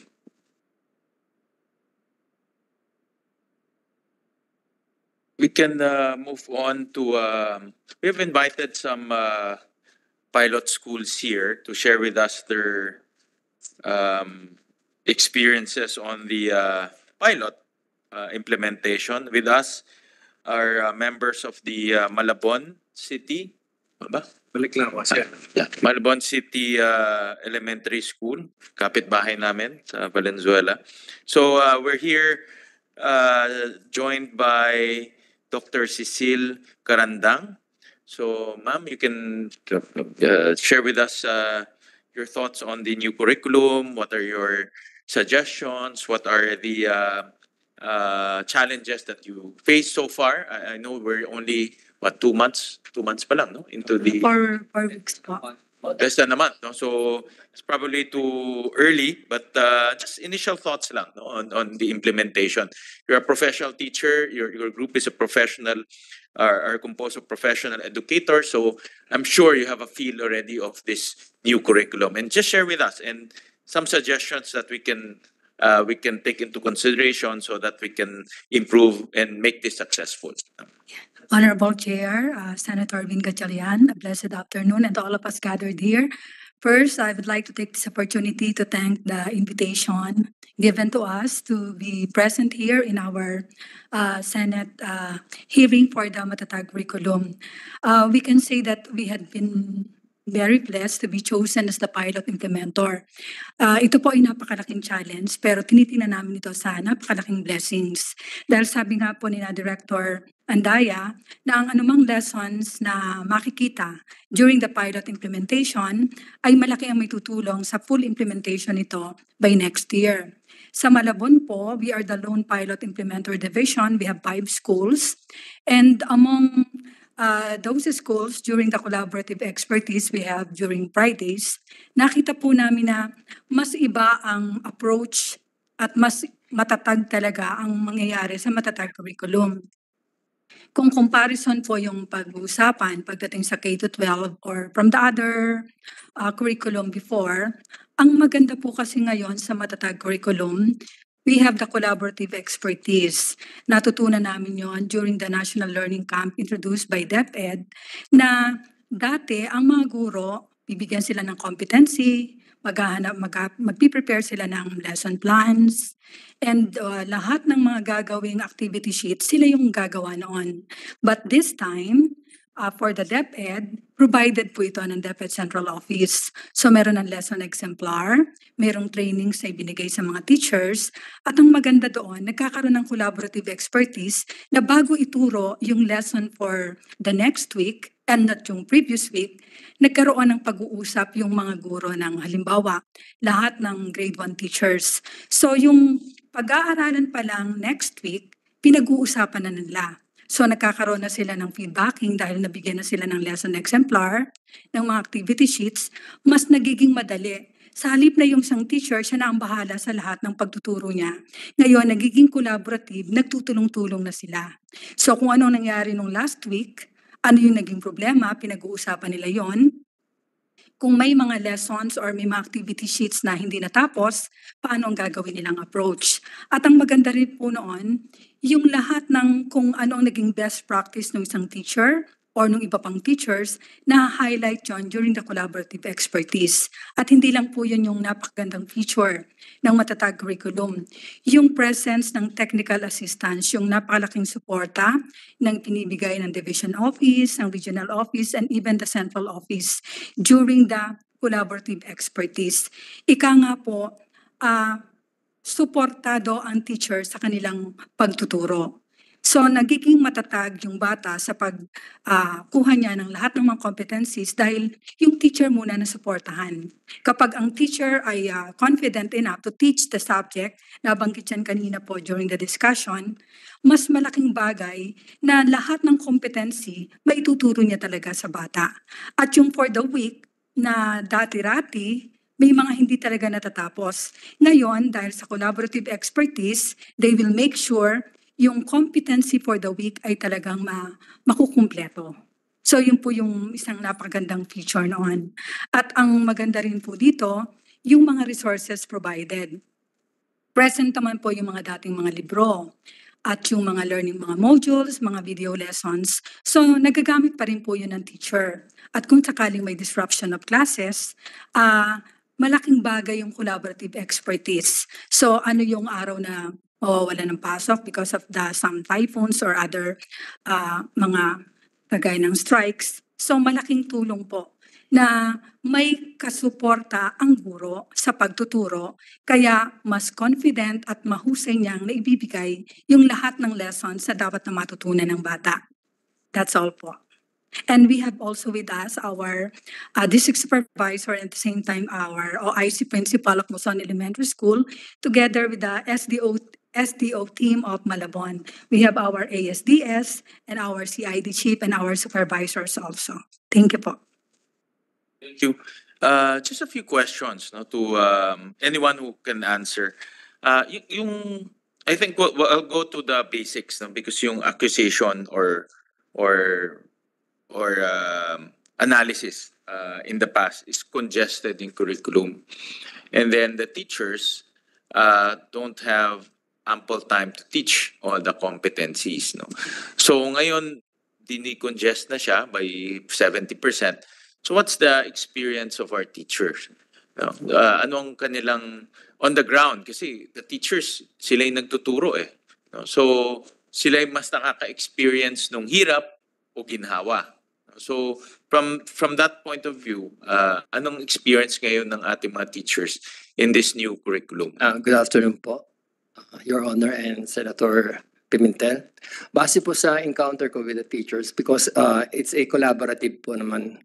At the beginning po, there's a certain adjustment because on the two weeks na transitional po yung ating teachers and the same time ng estudyante, uh, we had before a orientation among the parents just to know that there are some changes po sa schedule. So after being informed, then we proceed po dun sa transitional. This transitional stage po ay ihanda po namin yung mga estudyante sa sinasabi nating matatag curriculum. Now, we're on the fourth week po. Ang nangyayari po uh, daily as a function as a school head po right now, I um, involve myself directly po. Kinakausap ko yung kinder Uh, oh, I have three teachers in kinder and in grade 1, uh, two rather in kinder, then in grade 1 po tatlo and grade 4 tatlo. So based on the school, on the five schools that Malabon have, akin po yung pinaka-smallest po. So what happens that I uh, I was able I was able to meet them daily. So ano po ba basic problems that they encountered? Surely the adjustment po, the time, because they have to make a certain adjustment since uh, nag-extend po konti yung ating grade 4. Then, uh, because of that, uh, nasa, na ano naman po, natugunan. But when look into the yung sinasabi po nating loading, they more appreciate po ang mga teachers kasi they able to uh, able to teach well the uh, around one to two competency per week. And I also ask the, the feedback coming from the teachers, okay ba sa mga estudyante? Um, medyo ang ano lang po is because of the sinasabi po nating pilot, so yung mga worksheets po are being tested for the students. So, minsan po ang nakikita um, medyo marami. So sabi ko, bakit marami? Uh, because this is the prescribed we're going to test these uh, worksheets. So sabi ko, anong ginagawa ninyo? So they uh, tell me, told me na uh, they're go- going to extend it. So okay naman ba to sa mga bata? Sabi naman, okay naman po. So they able to uh, render this kind of ano po yung mga activities that the student will end up mastering the subject matter po. Yun po.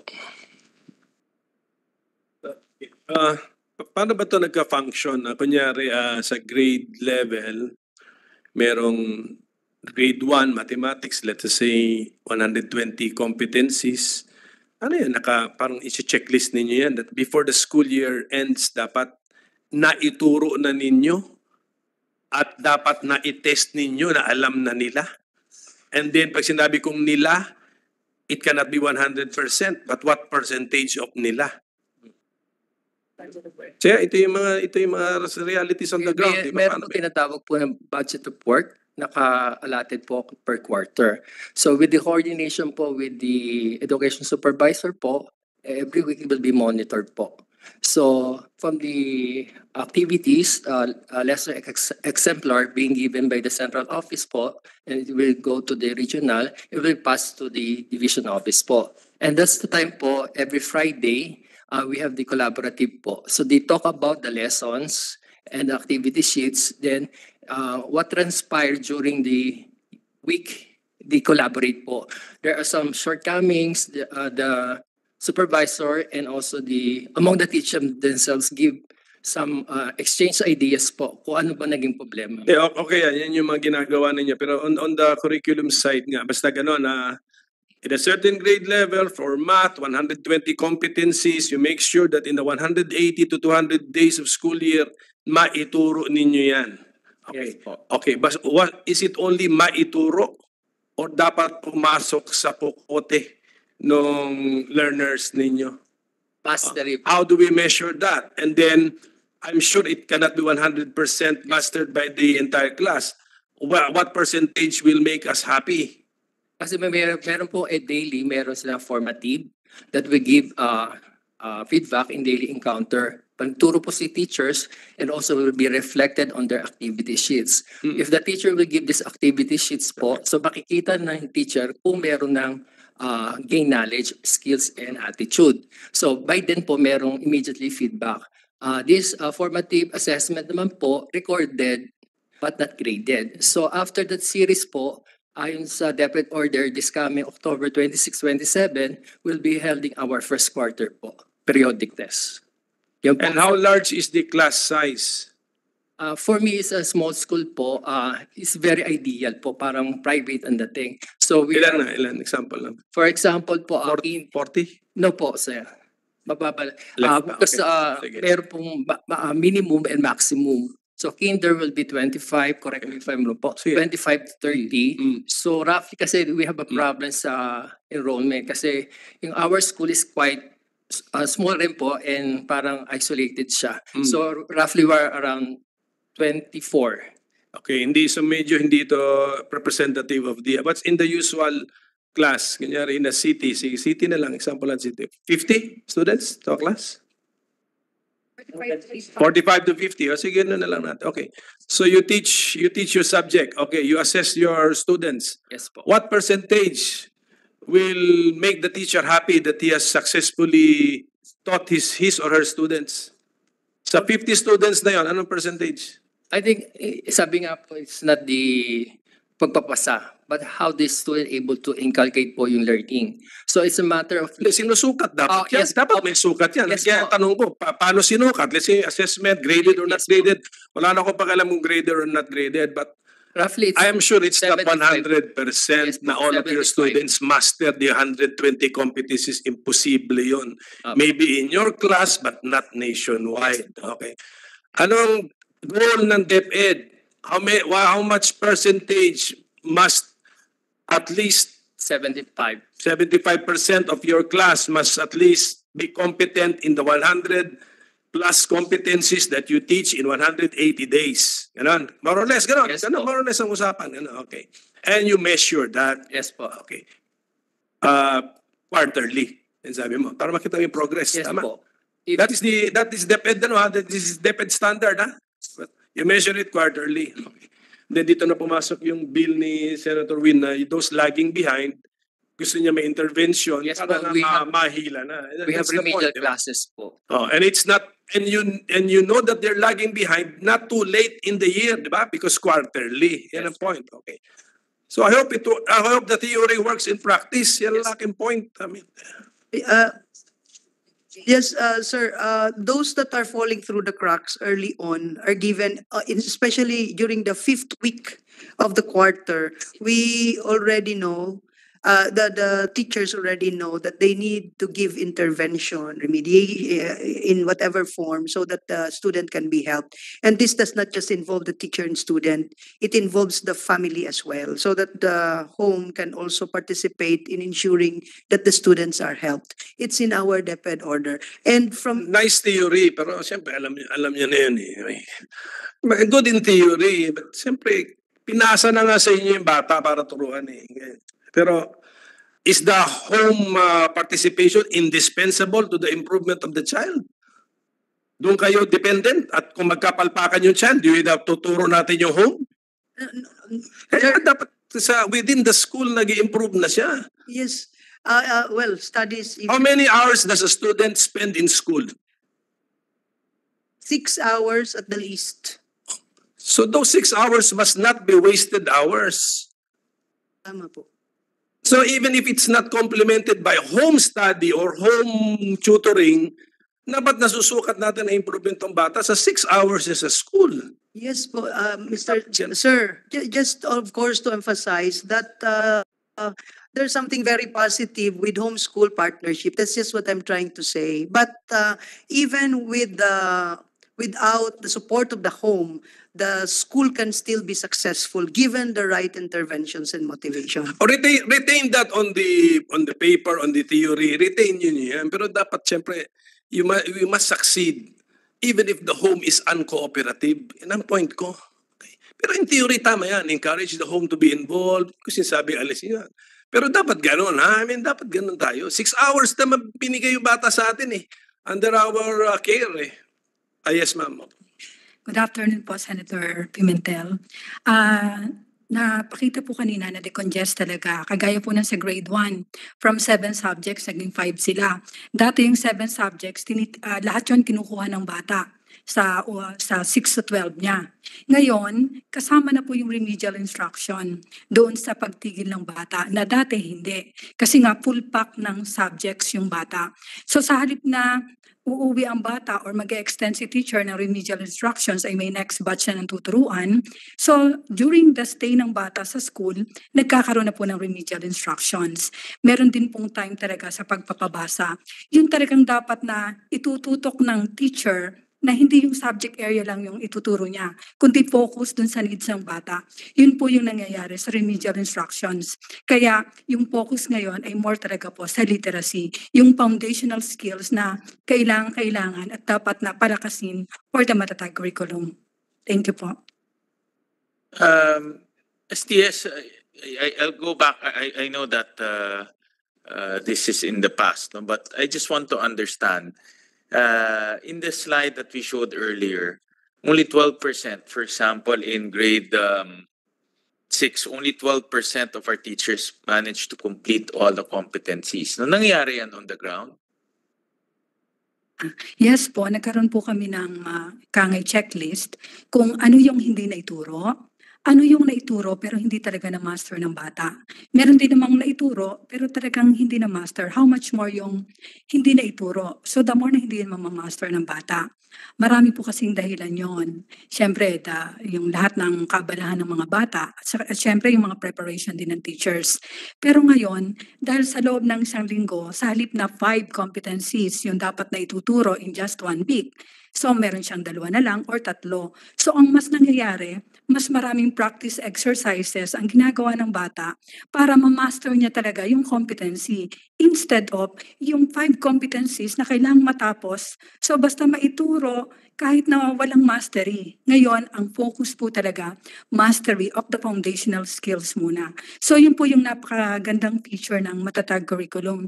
Pati si teacher, mas ah, yung satisfaction niya na hindi yung paspasan ng turo para lang makover ng lahat ng competency.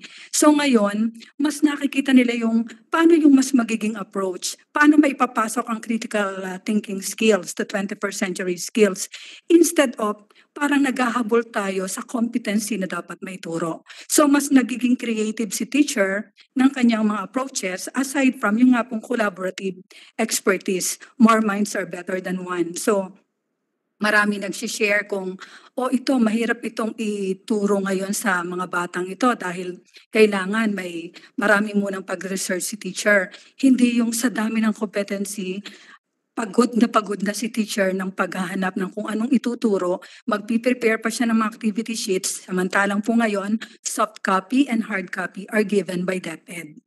At yun po yung malaking tulong for the matatag curriculum. So more na lamang po dun sa mga pilot implementers, focus kami kung how to really teach the lesson and how to ensure yung mastery talaga ng mga competencies na yon. In the, you. in the past, uh, nangyayari na one competency per day. not necessarily naman po, depende po But kasi on yun the sa, average, on the average The po, average. siguro po mga four in a, In- in a week. four in a week. At ah, dun sa competency na yon may pagkakataon pa na sinasub-competency pa yun ni teacher. Kasi yung may mga prerequisite skills na hindi siya agad pwedeng maituro dahil basic muna. Hindi mag-grasp ng bata yung lesson. Kailangan muna. tinuturo yun in one hour. Kasi per Yes subject po. is one hour. In one hour po. And Lalo na, niya to 40 children, to 40 kids. opo. Oh. Then halimbawa po yung mga kindergarten students, hindi yan halimbawa nag-daycare. Automatic kinder na yan. So wala pa silang prior knowledge. So yung competency nakareding ituturo. So ma- napakahirap yon para kay teacher at kay ah, student. Kaya ngayon, talagang hinimay na hinimay na talagang matutunan kaya ng ah, cognitive domain ng bata yung competency na dapat maituro sa kanya. Yung parang palalakasin muna po ang foundation skills, parang yung pinakita nung sa Singapore, yun muna ang palalakasin kahit kaunti muna dun sa maliit. Kasi pa- paano mag, mag-higher thinking skills ang bata ay yung simpleng pagsasalita ay hindi niya nagagawa. Pagsusulat, pagbabasa ay hindi.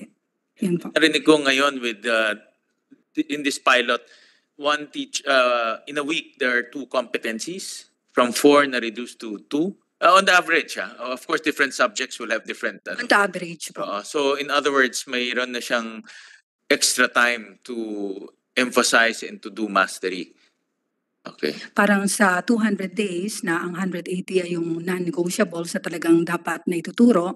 Kung may 120 competencies po dyan, so 180 uh, versus 120, so mas malaking ano yon. Ah, parang hindi naman ibig sabihin isang competency lang yung isang araw, kundi mas malaki yung, yung ah, ika nga ay period para ma-master yung competency. 120 over 180. Teacher training, no? Um, of course, pilot to.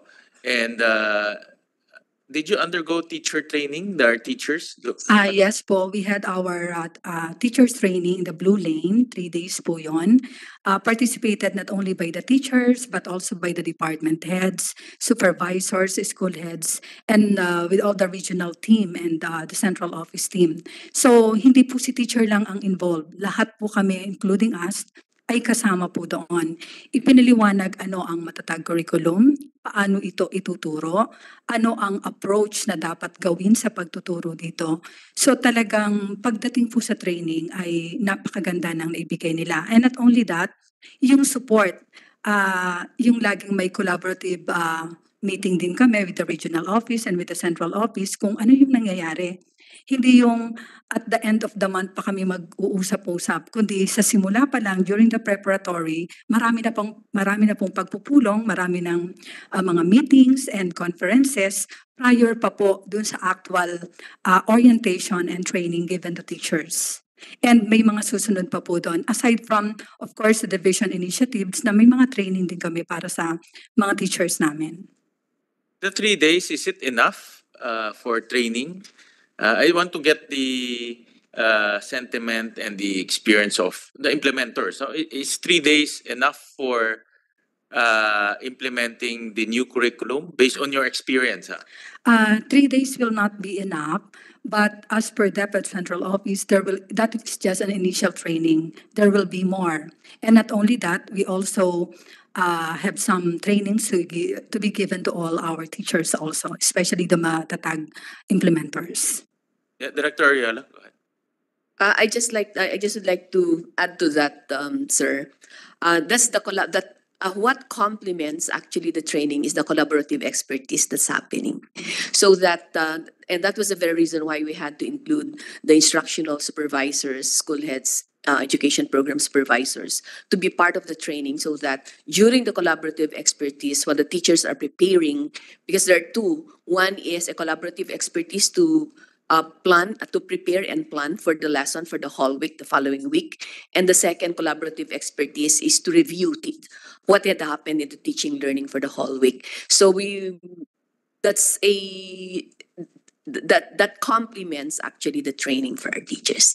And then technical assistance are being provided by our instructional supervisors. Collaborative expertise, collaborative expertise. That's the last session that, That- uh, yeah, I was going to say, yes. Isn't that an old concept? It's been there for Yeah. a long, long time.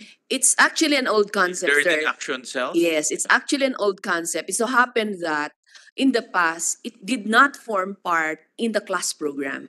So that kung kailan lang may panahon, dun lang sila nagkakaroon noon ng lock sessions. This time, they really have to do it every week to really prepare. And so, bale twofold po ngayon yung ginagawa natin just like what happened in the National Learning Camp. We are capacitating the teachers. We as uh, we provide them assistance for them to be able to teach better. And with that, we get to improve the performance of our learners. Right, so initially, I know you've been implementing this for um, one month and a half, no? Wala pang two months, tama ba? So, but initially, it seems like it's a positive uh, experience so far, you know, so far. Uh, the next challenge is how to implement this on a nationwide basis. We have uh, f- almost 50,000 schools nationwide. no? So, um, uh, it's important to document all the the good things and the bad things, of course, no, and the challenges, so that we will learn from the pilot testing and uh, solve all of those before implementing it nationwide. no. I'd like to add to that, sir, so that uh, where the expertise of our specialists in the central office um, is also needed, then they can just invite um, our specialists during their collaborative expertise also. We'll, we'll jump to, um, we invited other pilot schools, but we'll jump to uh, our resource, other resource persons, uh, particularly some of the uh, experts that we invited. We'll start off with uh, PNU, the, um, Dr. Jeannie Jocson. Um, any comments and observation? I know you've been very involved in the uh, uh, in, in curriculum research and teacher training. So please um, uh, share your thoughts on, on this matter. Thank you, Mr. Chair. Good afternoon, everyone. Um, the Matatag curriculum, sorry, backtrack.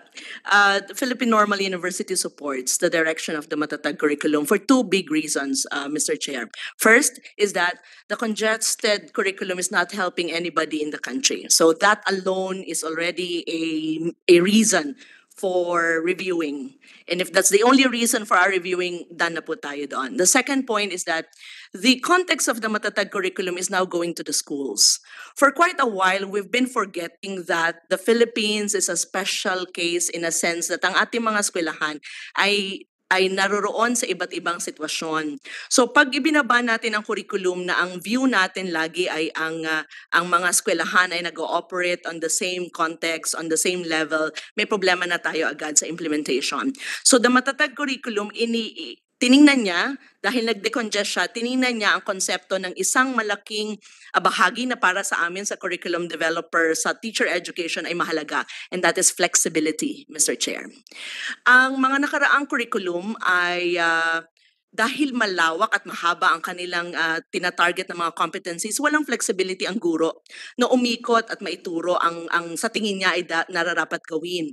At nasanay ang mga teachers natin doon. So kahit sabihin natin ngayon, the matatag curriculum is now flexible, hindi yan maintindihan ng ating mga kaguruan. Kasi for quite a while, they were they were accustomed to doing a curriculum and delivering a curriculum asked of them to deliver. They were not part of of the flexibility context, no? Noong mga nakaraang ah, panahon. Ngayon, with the matatag curriculum, the flexibility is given there. Dahil binigyan natin ng konti na lamang na competency na tatargetin ng isang ah, guro sa loob ng isang linggo, ah, mayroon siyang flexibility na maging mas mabilis kasi natapos na niya eh. Or mas mabagal pa kasi kailangan na niya. Kasi hindi niya tinatarget ang mas maraming competencies in a given month or in a given quarter. So susu- susundan ko lang po na sana tanggalin na rin yung, yung one size fits all na exam kasi hindi rin siya nakakatulong. Si teacher kasi kahit na binigyan mo siya ng flexibility, eh kaso itetest naman. Itetest naman ng division. So mapipilitan pa rin siya na kailangan niyang abutin ang mga bagay na sa tingin niya hindi naman maabot ng kanyang mga estudyante, no?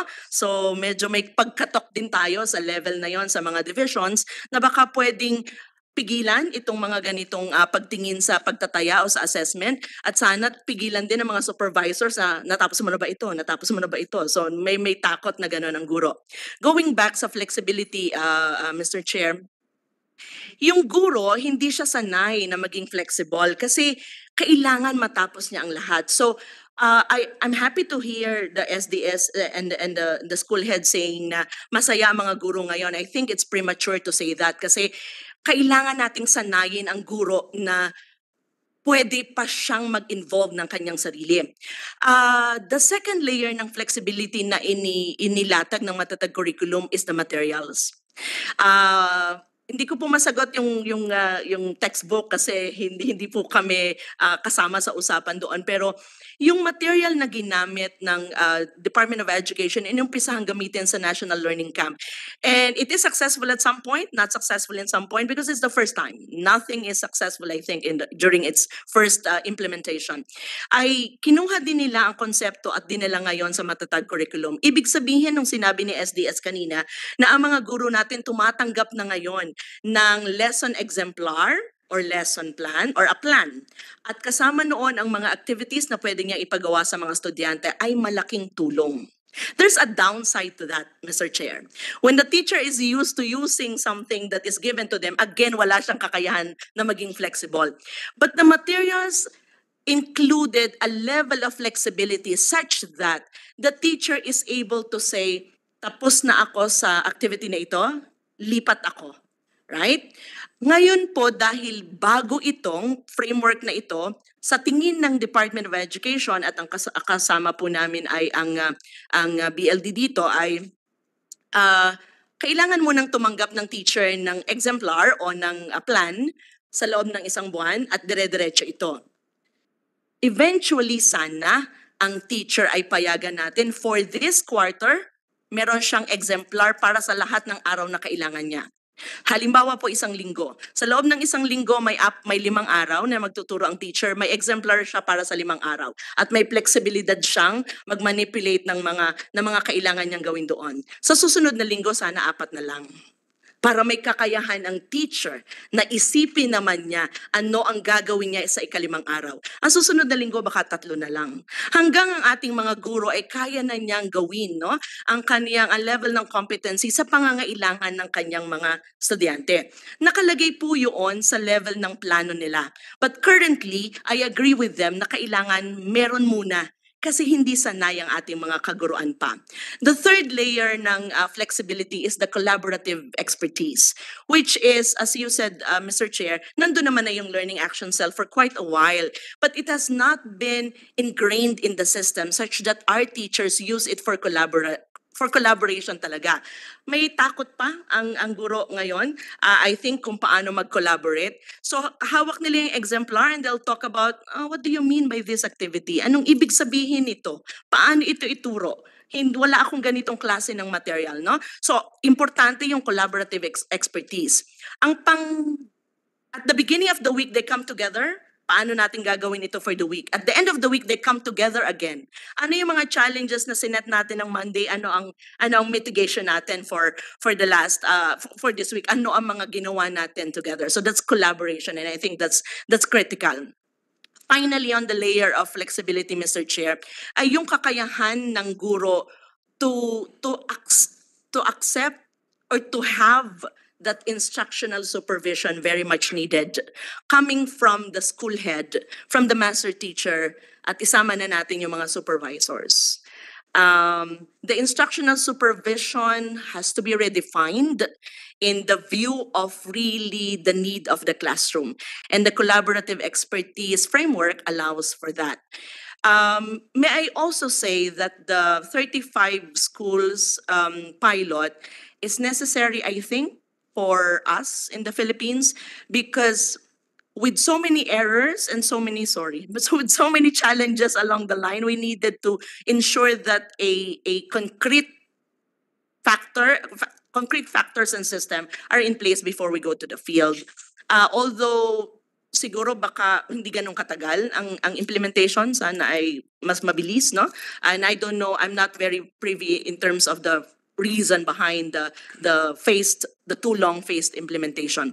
Finally, uh, the Philippine Normal University po was tapped by the Department of Education to support the work on the materials, not the textbook, but we're, we're really after the teacher. Happy to report that currently we have about 42 institutions across the country assisting PNU in preparing this. We have about um, uh, 12, if I'm not mistaken, 12 cen- centers of excellence. Um, no, no, no. 21 centers of excellence assisting us, including uh, my my neighbor here, UP, centers of development for uh, all local colleges, two, the members of the national networks, uh, national network of normal schools, five of us, helping us in the writing of the material. The DepEd uh, teachers are also going to support us to ensure that there's a balance between the perspective of the TEIs and the Department of Education. So marami-rami po ang uh, challenges ng uh, matatag curriculum, uh, pero naniniwala kami na uh, papunta ito sa mas maayos. Uh, yung finally po, Mr. Chair, the curriculum po is the most important document in any program, in any academic program. But the delivery is another case. The intended and the implemented curriculum are two different cases.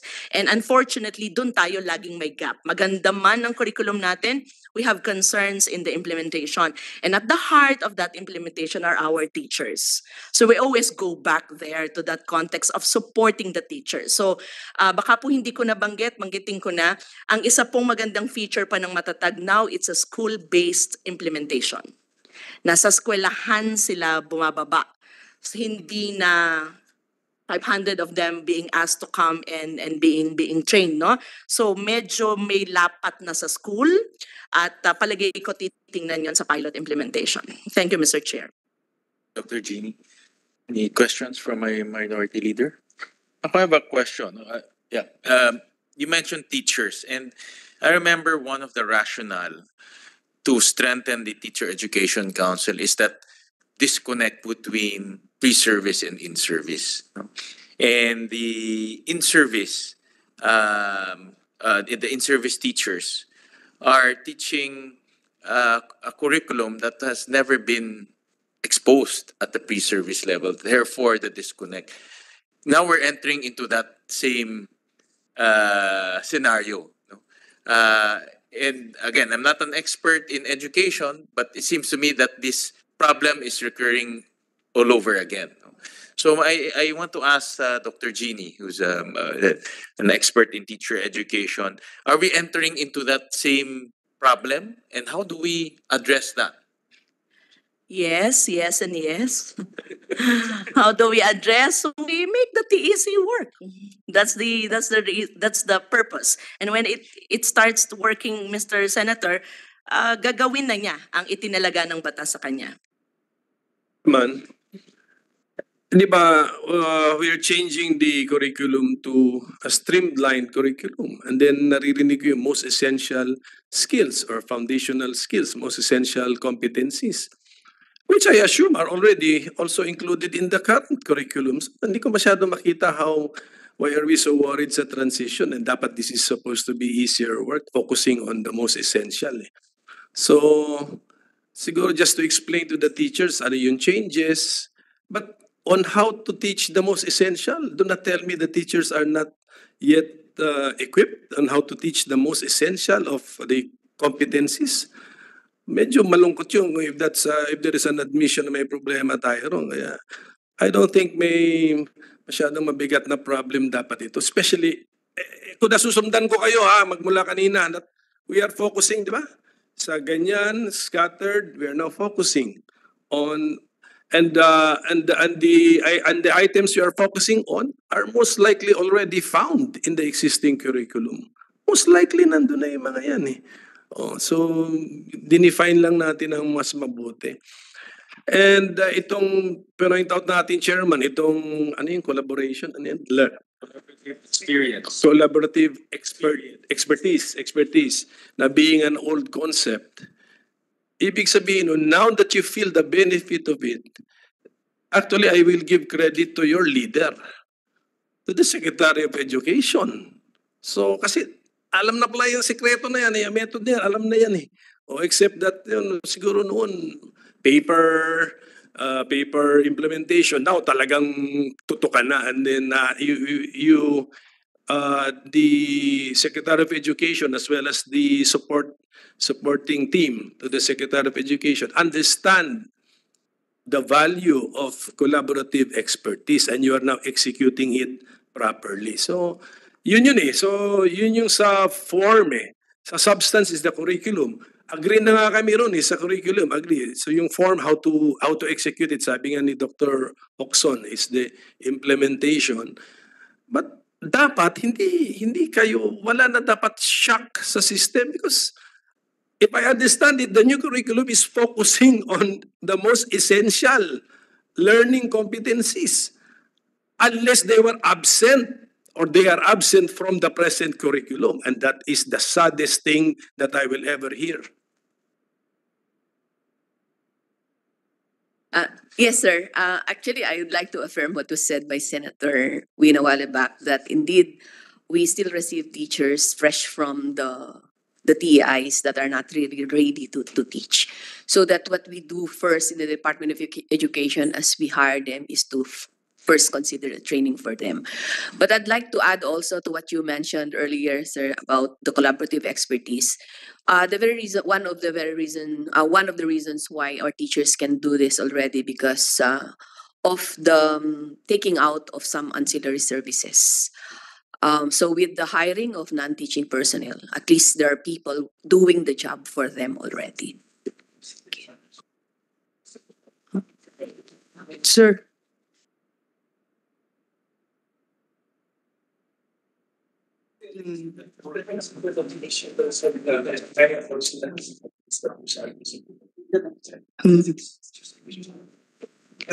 yeah, ano lang po, I just would like to also uh, tawag dito, uh, share and affirm what uh, you found out, Senator Pimentel, that um, it's really the secretary that made sure that the teachers are removed from all these ancillary tasks because there are times when the teachers do so many things except teach. And that's why uh, now there's a laser focus on instructional core, and that's very important to us. Number two, uh, it's uh, ensuring that the public that the public has uh, a say in the curriculum. That's very important as well in the making of the curriculum. Number three, that uh, our secretary is very focused on uh, that the, the students really uh, having foundational skills. She's very, very uh, uh, focused on that as well. She said literacy and numeracy they have to master that early on. And that's why if you take a look at our keys of our key stage one that's really our focus. So there are many things that are happening, good things that are happening in the, the department of education. And it's all because also of the leadership of our secretary.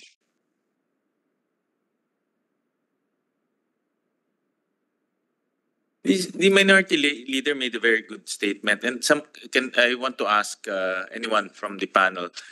Um, our teachers, no, they're they're trained, and now we have reduced the number of competency to the most essential. Does it need drastic training?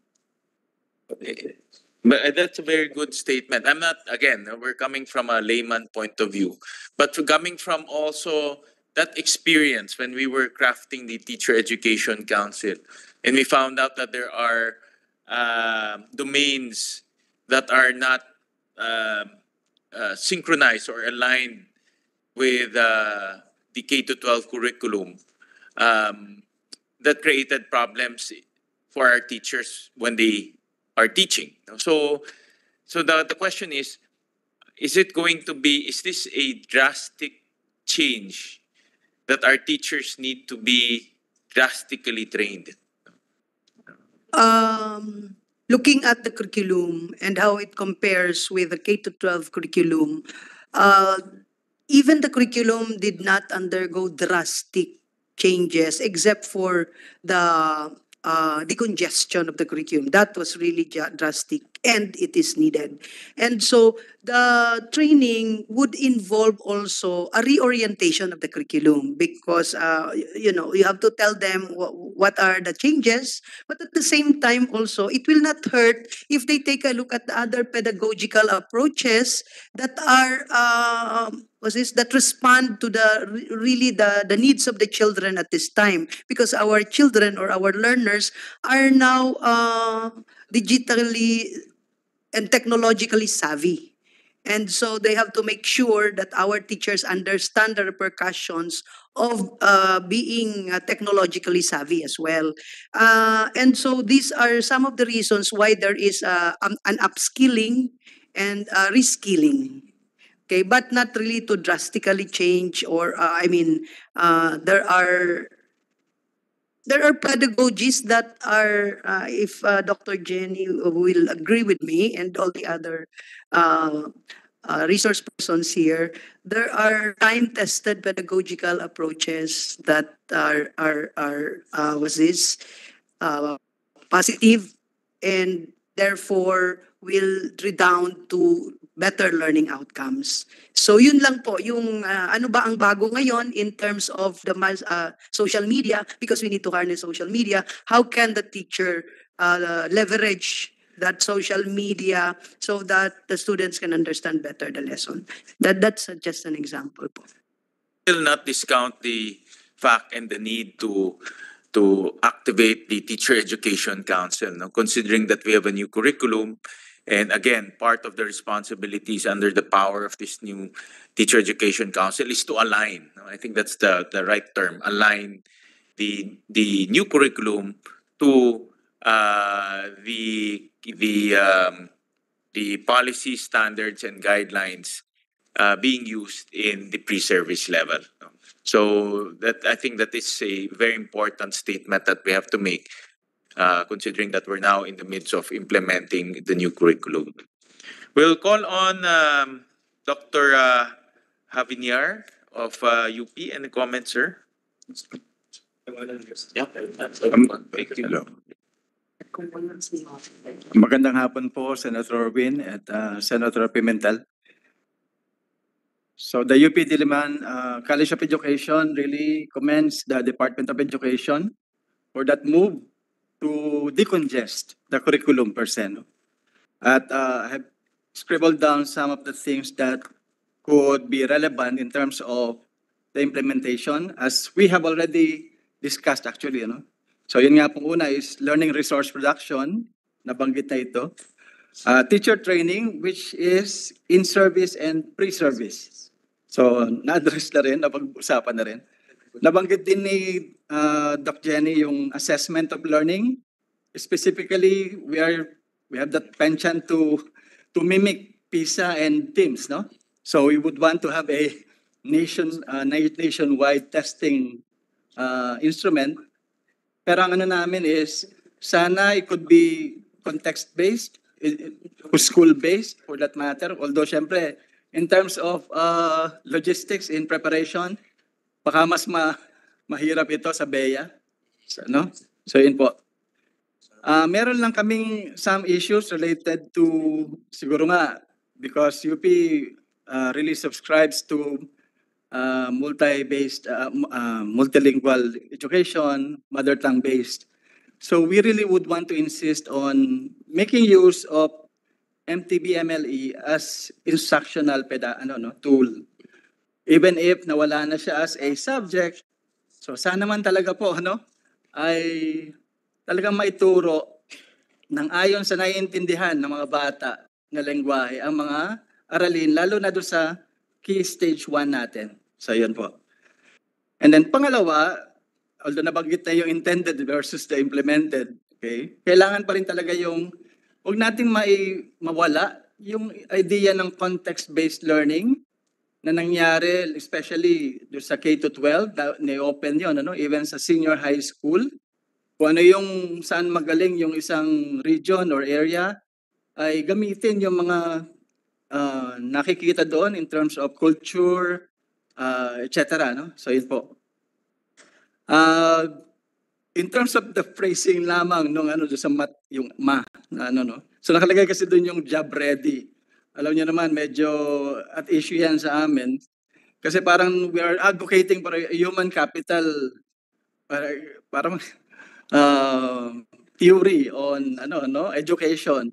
Why not make it although syempre naka naka-etch na yan in ano no, on paper. Make it really liberative no. Nakapagpapalaya talaga na edukasyon. And we are espousing our students to become future-proof, di ba? So, nandun yung creativity, di ba? Yung critical thinking, communication. Sana yun ang mas naging napalutang na, na idea. Then po, al- allow me to read uh, two position papers uh, prepared by our science education area and the SPED.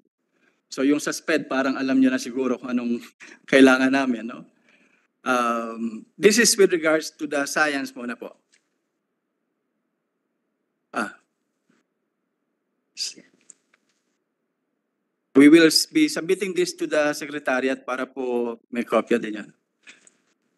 So the Matatag Science Curriculum aims to achieve scientific, environmental, and te- technology and engineering literacy of all learners.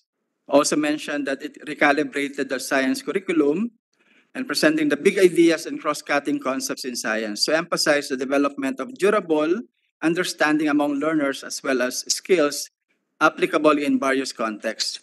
So on this end, we believe that it helps clear, uh, establish the clear expectations, fostering engagement, and supports continuous improvement in education. So maganda po yung idea. As compared to the other uh, learning areas, as we have uh, heard earlier, so nadagdagan ng competencies from 284 to, beca- to having 330. So again, that's a good example, uh, good plus points with regards to science.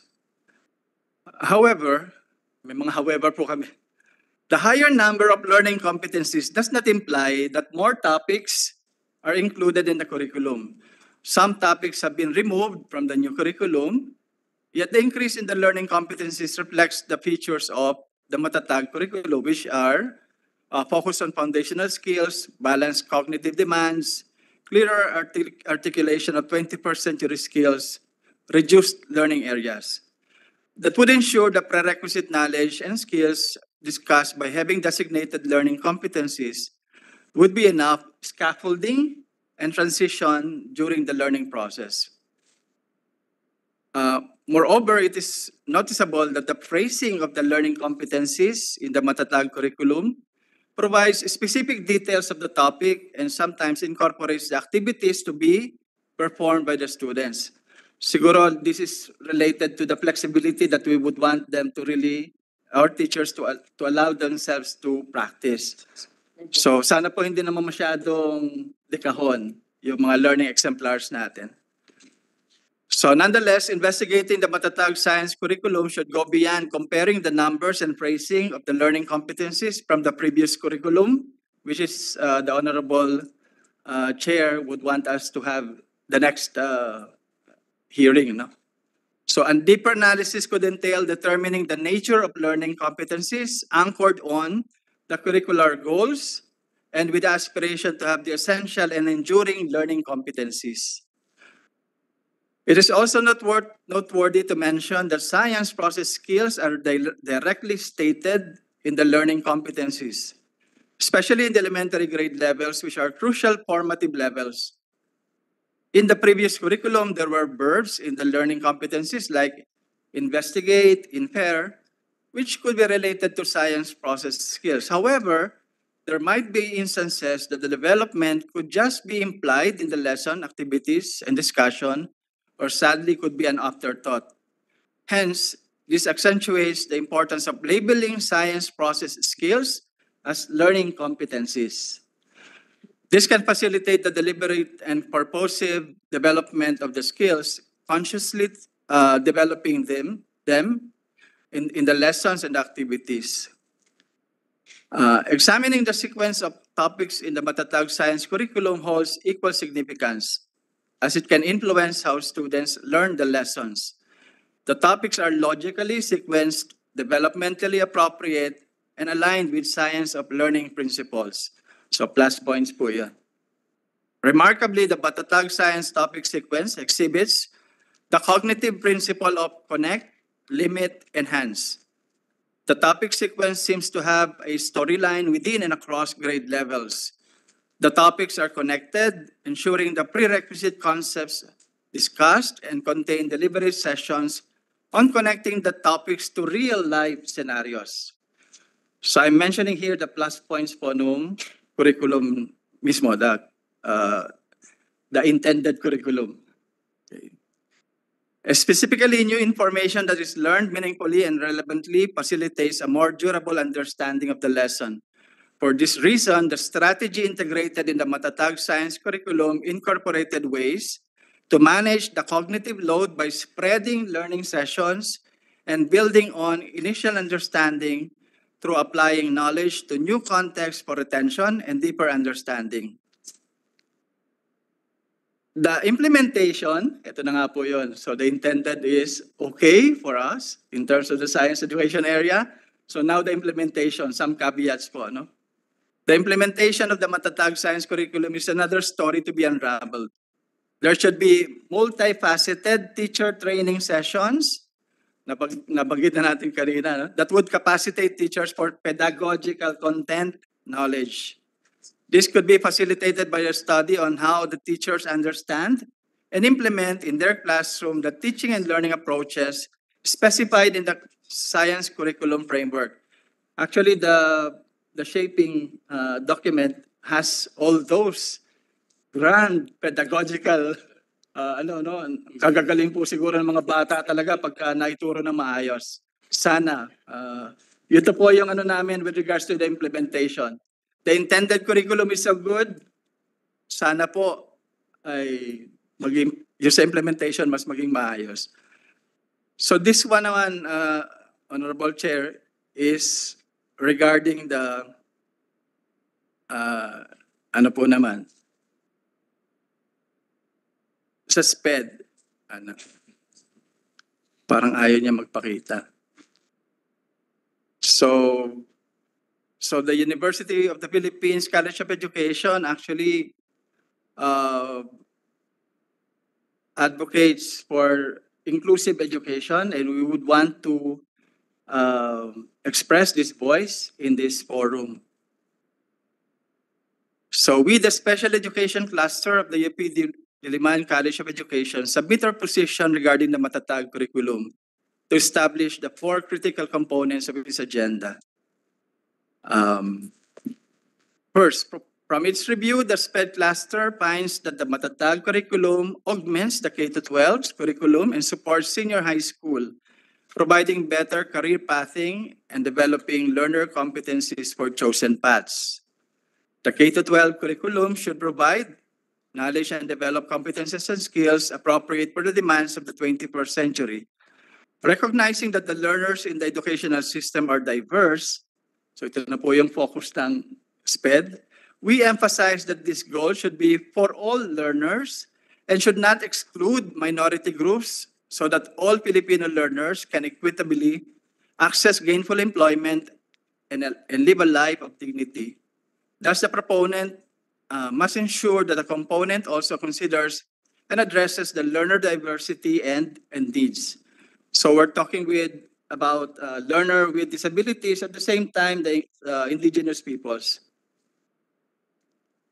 Next po, uh, the education sector has suffered and continues to progress at a snail's pace towards the effective inclusion of students, all learners, particularly those from the minority groups students from indigenous peoples groups, socioeconomically marginalized learners, because its budget has been slashed countless times in favor of some other agendas. Decades after the Philippines signed the UNESCO Salamanca Statement on Special Needs in 1994, the lack of disability-friendly school buildings is sadly evident. Existing school buildings are still inaccessible to LWDs. Classrooms are congested, and many school teachers and children still have difficulty accessing technology that would bring them to 21st century teaching and learning. So we subscribe to the idea that budget prior- prioritization will address uh, these, uh, these concerns. Next point. To be truly inclusive, the Department of Education needs to prioritize system changes for schools and specifically yun nga, sa K-12. The critical component calls for comprehensive programs and support services which are actually advocated in the index of inclu- inclusion, specifically uh, the creation of inclusive cultures, producing inclusive policies, and evolving inclusive practices to achieve inclusive reform in the education system. Last po, so give support to teachers for to teach better. Uh, this component of the Matatag is, uh, is timely because with the recent enactment of the Inclusive Education Act of uh, 2022, RA 11650, teachers need the most support in terms of resources. For example, well-built and designed classrooms, instructional kits, training to serve the learners better, especially those with learning needs, special learning needs. We cannot overemphasize the importance of in-service teacher training in the in the content areas of the uh, K to 12 or K to 10 and the special needs and inclusive education. The SPED cluster of UP, uh, College of Education is involved in such training with DepEd, receiving teachers, school principals in the rollout of the inclusive education. However, there is a need for a more intensive training necessary for disability and needs detection, identification, creation and implementation of individualized educational plans, application of principles and strategies for universal learning, and differentiation of curriculum and instruction, to name a few.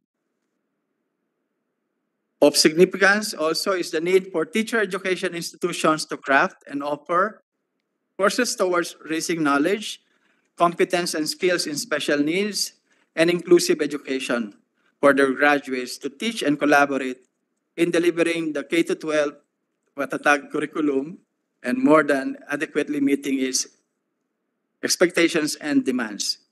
If indeed Matatag would subscribe to Bansang Makabata, kailangan para sa lahat. Maraming salamat po. Thank you, thank you, thank you, Dr. uh. I have some questions, but I'll reserve it later on. Uh, we will do the rounds first so that uh, everyone can give us their thoughts on the topic. We'll call on Dr. Dasas of um, uh, UST College of Education. Any comments, sir? Good afternoon po, magandang hapon. Um, I think much has been said and I'm in a difficult position because some of the things that I'll be saying are already mentioned. But I'll underscore something very important. Siguro magandang tignan po natin yung curriculum from two lenses, intended and implemented. And I think as we examine the matatag curriculum, i-examine natin parehas. Um, while I may not completely agree with Doc Joel that the intended curriculum is fully furnished, it has good features.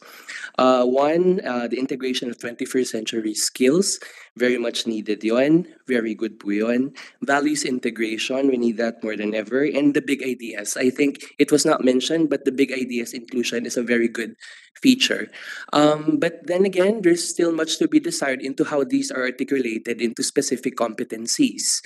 Because most competencies remain to be discipline specific with some targeting 21st century skills some values, but mostly are cognitive in nature.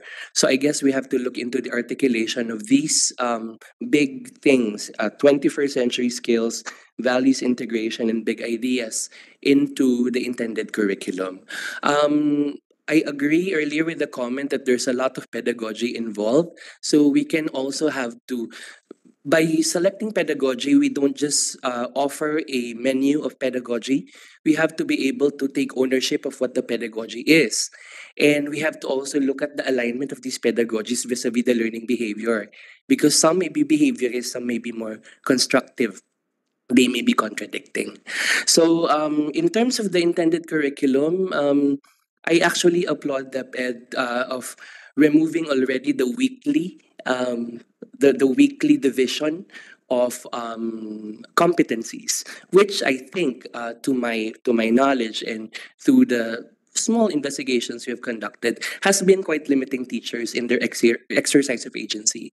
The budget of work, sometimes called definitive budget of work, is so definitive that you have to really finish one competency in a given time, which now prevents the teacher to decide uh, whether the competency can be collapsed, can be merged, could be resequenced in that matter.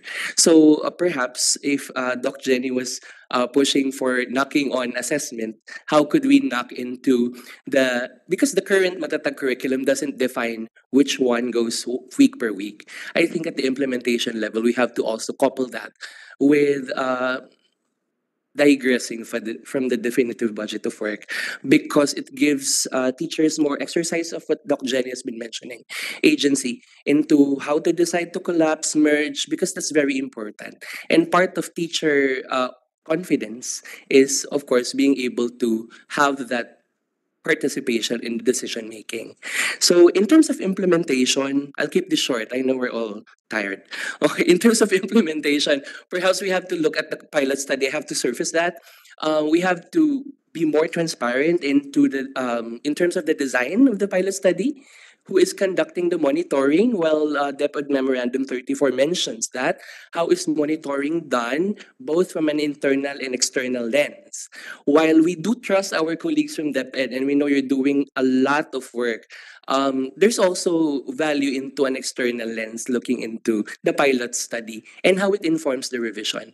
I think that's very crucial because we're not doing pilot study simply for pilot study's sake. We have to be able to look at pilot study from the lens of informing the revision. And um, Mr. Chair, earlier you were mentioning, can we not just do this? In curriculum, there's such thing as a curriculum cycle. And part of implementing something new may not necessitate just doing it because it's quite similar to the last one. Um, I agree with Director Andayo. Part of the cycle would be teacher training, developing the materials, and training the teachers how to use these materials. But I'd like to put forward again another thing in terms of the implementation. We have to target really preparedness and what knowledge, skills, and values do teachers need to have in order to implement the curriculum? Are they the old set? Are they the new set? We were mentioning earlier uh, TEIs producing not so ready um, graduates. Uh, then we have to also factor in those seasoned teachers. How do we how do we now develop a training program that's more responsive to experience, those who undergone K-12 and those who are newly inducted for the first time? So I think part of the training is not just being able to cascade. I think DepEd, uh, with all due respect, has subscribed to the cascade model because of the scalability of the training, budget constraints as well. But we have to look at the cascade model from the lens of is it really working? Asian Development Bank would say it lacks effectiveness and impact. I think we have to look into a training program not just on familiarity, on how to teach, what the curriculum is and its features. How do we now tap on what Doc Jenny was mentioning earlier as decision making? What happens if my learners are this? How do I decide? Capacity building must zero in on teacher decision making. And in relation to the pilot study, we have to capture that. I think the good principal was able to mention uh, they, they were deciding because the learners were not prepared. I think these are data that we need to capture.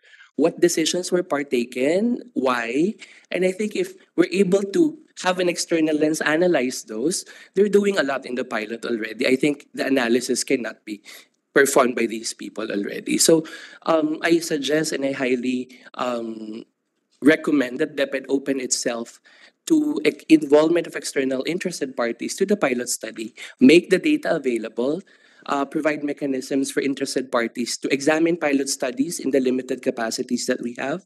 Centers of excellence like the University of Santo Tomas are just waiting to be tapped. And we're very much willing. Um, at no or minimal cost, we can shoulder part of it because that's part of our mission and our call as teacher education institutions. We're not just center for excellence just for bragging bragging sake. We have to make impact, and this is a clear impact that I think no COE would ever run away from.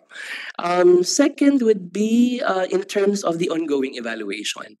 I think uh, matagal pa po na matatapos yung isang cohort ng curriculum and in curriculum evaluation, you have to have several cohorts to be able to see effectiveness. Now, ongoing formative evaluation is very, very crucial because when we talk about the, the nuances, adjustments can still be made up to what extent. So again, we call on um, uh, DepEd and the other agencies to open themselves to possible involvement of external agencies. After all, we're all, all hands on deck po tayo.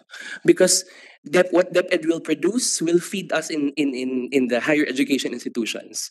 Um, whatever failure would this Matatag curriculum have will have a direct impact on higher education institutions like us, and more importantly, teacher education institutions. And lastly, I think I'd like to piggyback to what uh, Jenny mentioned on actor-oriented curriculum implementation. Let's democratize the process. Um, when we talk about actor uh, implement uh, actor-oriented curriculum implementation, we have to look at how we develop teacher agency. And there are two. I, I am I am looking at two C's in developing teacher agency. Number one, capacity to decide. Capacity in terms of professional development. We're very happy that there are more administrative staff hired because there really need to be more time for instruction and preparation for instruction. Any teacher would say that 80% or if not 70 80% of the teaching happens before the classroom uh, teaching is done. So, how do we capacitate teachers to decide? How do we now build on capacity building measures that are really making an impact? And how do we review them? Because it's not enough that we do capacity building and we're not reviewing its impact. Uh, and second would be conditions. And this is where implementation in terms of our mid and top level administrators would come in. How do they build a condition um, that's conducive to commit mistakes? How do we build a condition wherein teachers can freely say that this is not working? How do we build a condition wherein we do not go, well, policies are very important, but policies can be reflexive. Policies must be able to have that embrace um, of what teachers can do and cannot do. Because at the end of the day, a very conducive condition would make teachers stay. You know for a fact that there's a problem of migration, and the DepEd knows that. Good teachers are leaving for the States. We must keep them. And having optimal conditions to teach, to decide, to participate, I think we will attract more teachers to stay in the country. So, lastly, um, I think Thank you for inviting us this afternoon. Um, DepEd is, is doing its best. And, and we would like to also congratulate them for being able to, uh, in the limited time that they have, uh, do the revision, put inputs. I cannot just imagine who did the analysis of the public consultation because masakit po sa ulo yun, no? Nagpadala po kami, nagpadala rin ng ibang PNU, I know, and UP.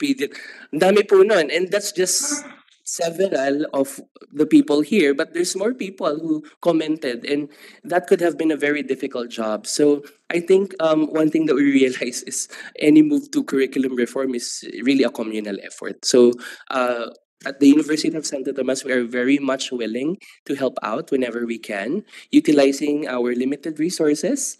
Um, but I think, sabi nga po ni Doc Joel, para sa bata, para sa bayan. Salamat po. Thank you. Is DepEd open to external observers, external um, uh, organizations who will want would want to study the pilot implementation? Is that is DepEd open to that uh, concept? Sir, um, that's very well um, provided in DepEd Order Number 54 Series of 2023. So just to inform, uh, we're going to uh, we'll be working with the, the Philippine Institute of Developmental Stu- Development Studies, with the ACTRC, and then the Philippine Normal University Research Center, uh, with that of CIMER. And the last um, the last sentence in this particular paragraph says that other research groups may significate, sig- uh, signify their intent to conduct the study. So we're open po. Thank, Thank you. Thank you for for that. Yeah, I can see that here in the DepEd order. So, in other words, other organizations such as UP, UST uh, can join in and do the analysis. Analysis is um, infinite. eh. I, I really believe Mr. that. Chair, if I can just ask a question. go I did read the memorandum, but it says they're open, but we're asking for the mechanism. Um, because the DepEd uh, memorandum may be silent on the mechanism. Because we have to look also on how can we, what, what are the things that we need to submit, issues on data privacy, and issues on utility of the data and analysis also matters to us when we get involved. after this, you guys can uh, network and link together, you know, and uh, like I said, no, um, analysis is infinite. Um, the more, uh, the more people analyzing, the more people uh, looking at the data, um, the richer the recommendations can be. No, so I truly believe that uh, we should open up um, um, uh, analysis to other organizations who would want to uh, conduct one. So we'll, we'll call on uh, SEAMEO INNOTECH, uh, Dr. San Antonio, Dr. Dad San Antonio. And I, I so I know you, Dr. Dad San Antonio has uh, prior experience and knowledge to uh, on this matter. So Good afternoon. Normally po, uh, Senator Win, I refuse to talk about DepEd policies now, uh, considering that I used to be part of the DepEd uh, executive committee. But uh, as a passionate educator, I cannot help but say I'm very proud of the team. Uh, they were able to deliver. Many of those were discussed uh, when we were trying to uh, put together the curriculum without a name yet. All we had was a year before the curriculum, but uh, I'm also glad that the, the name was uh, identified afterwards. Um, I'm glad that indeed the curriculum has been decongested. I've long silently actually violated certain curriculum standards when I was regional director. I implemented my own priorities of competencies. Um, while I did not completely abandon the 15,000 competencies, in our region we had 400, which we said a senior high school graduate should be able to demonstrate. Although um, the implementation was short-lived because I was uh, moved to the central office, and um, I think that was also the inspiration for the push to easily develop the MELCs um, at, a, at a very short notice. So um, obviously, the reviews from the experts indicate that um, there's a significant, very significant decongestion um, on the phased implementation, I would like to help the group in explaining that we cannot do this in one go. Even if, of course, it's very uh, ideal to do this um, a general uh, implementation of all the grid levels, but logistically, it's going to be very difficult.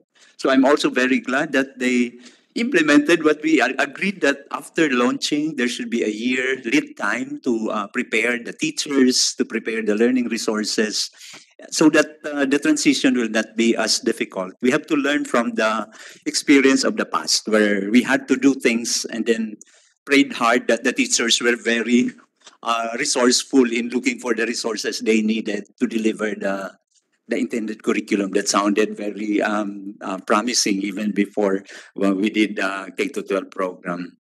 Of course, I'm also um, optimistic that the implementation will end up uh, very successful, considering that the policies now being implemented are also aligned to what I feel should be happening in the schools. Uh, VP Sara is very serious about protecting the learning time, so she has um, decided to really say that class days should be class days. And um, I think that's something that will help uh, make that intended curriculum uh, translated into a more um, uh, effective implemented curriculum later on. There's also this mechanism of, you know, LAC sessions, the learning action cells in the schools. I think that will still be reinforced. Um, because we are concerned about making sure that the teachers are updated. Uh, this is a very, um, I would say, a very flexible way of making sure that the teachers themselves are able to identify common concerns in implementing the uh, curriculum at the levels, perhaps of the, the departments in high schools or grade levels in elementary schools. I am also, um, of course, aware that there's a career progression mechanism that's going to be supported finally. We're really, uh, I think, in agreement that the significant um, factor that will make this successful are the teachers. If we provide the teachers the opportunities to learn and uh, get rewarded um, for their efforts, um, we will um, be able to see better results. Of course, just like what was mentioned earlier, the the transparency in developing the curriculum was something that I also uh, um, uh, appreciated. I really felt that uh, the more people who are able to provide feedback on the draft, uh, the better the curriculum document would be. And yes, uh, flexibility should be there. My final, um, I would say, reminder is um, perhaps the implementation has also to be uh, coupled with a more empowered um, school governing councils. Um, this, the SBM, if we do this right, will be very effective in creating a community of um, school stakeholders right at the school level who will not just talk about uh, how to beautify the school, how to create more resources, but who would be discussing things related to making learning happen. Um, and at the INNOTECH level, of course, there's an ongoing research we're doing on uh, SBM that is future focused and um, learning focused as well. Um, and this would hopefully be able to complement what DepEd is doing. Another project we're doing now at INNOTECH is uh, Tigre, uh, technology-enabled early grades reading intervention that will be uh, complementing the national reading program that will be unveiled very soon. But uh, we've been able to co- collaborate with the team of Director Joyce. Um, um, I think the, the friendships we have developed uh, while we were working together made this uh, co- coordination efforts easier. Those are um, the things that I can share today, uh, Senator Win and the rest of the group. Thank, you. Thank you, Dr. Dats. Dr. Dats, uh, wearing your SEAMEO hat and looking at um, uh, the competencies and also the emphasis, especially on 21st century skills, I think one of the, the key features of this uh, new curriculum is the emphasis on 21st century skills.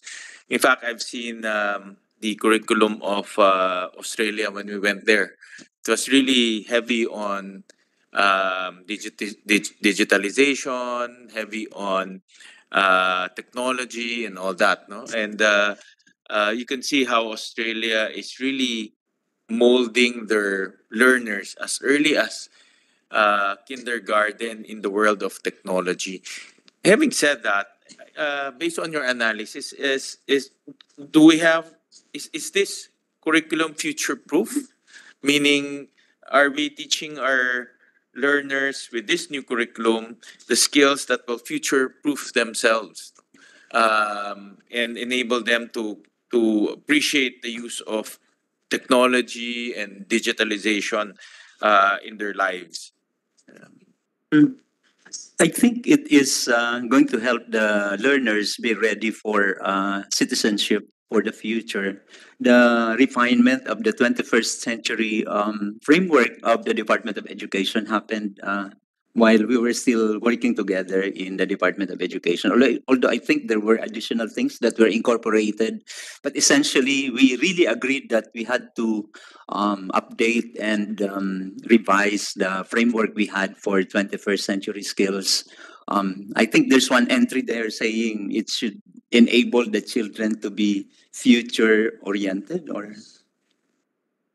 Yeah so other than that of course we know that uh, to thrive in the so-called uh, future one has to possess critical thinking skills very good uh, you know capacity to work with teams. These are skills that are expected of citizens who will most likely succeed in the 21st century. Unfortunately these are skills that ha- that would be very difficult to assess using the traditional paper and pencil assessment. So I think that's the other thing that should be uh, looked into by our partners at the Department of Education. Although there's also this uh, um, ongoing effort we are doing with uh, on the refinement of the learner assessment framework uh, through the USAID and uh, the ILO PH Improving Learning Outcomes Philippines, where uh, SEAMEO INNOTECH is a consor- consortium partner of the uh, RTI. Thank you, thank you, Dr. San Antonio. Uh, call on our very own EDCOM uh, Executive Director, Dr. Karol Mark Yee, and uh, he already started off with uh, some logistical issues on textbooks, and uh, we want to hear your thoughts on uh, the new curriculum. Thank you, Mr. Chair. Um, again, well, congratulations first to our DepEd colleagues. I know that they've been working very hard and we've been closely talking to them the past months ever since we started in January. And we do know that this is really a feat to be able to boost to do this, to implement this, to even do a pilot, and to successfully do the full implementation of K1, 4, and 7 next year. And so, really, our intention is to support in any way possible to make sure that the preparedness is there because at the end of the day the goal is the same which is to make sure that our learners have the quality of education that they deserve um, i would also like to reiterate uh, VP Jenny's point earlier on implementation because I think the curriculum is good and decongested. But on the ground, what we would like to share with everyone is really the feedback we've been getting from teachers in terms of the implementation challenges that have really constrained um, the the quality of how we've done things for the K to 12 curriculum and onwards. The First is alignment, and I think, Mr. Chair, you brought up earlier the issue of alignment between the revised K to 10 curriculum as well as the technical panel of CHED in terms of the PSG. That's one thing. The other side is also PRC and what they test and whether there are tests depending on the specializations that they actually took in the PSGs of higher education institutions. But it would not even stop there. And I think a lot of our conversations with teachers on the ground, because we would have breakout groups, and in each breakout group, yung issue na lumalabas is teacher specialization. That what they are teaching is not aligned to what they were trained for in teacher education institutions anyway. So even if we have alignment in terms of the curriculum of the revised K to 10 and TEI PSGs, if they are not hired to teach that, anyway in the end, then it would be a huge problem that we will continuously need to correct through teacher training. And then I'll go to teacher training, which is in service that we discussed earlier. What should we really train for? Kung nagbawas tayo ng competencies, kaya na ba ng teacher yon? That assumes that they have the content knowledge for those competencies because that was their training. But what if that's not the case?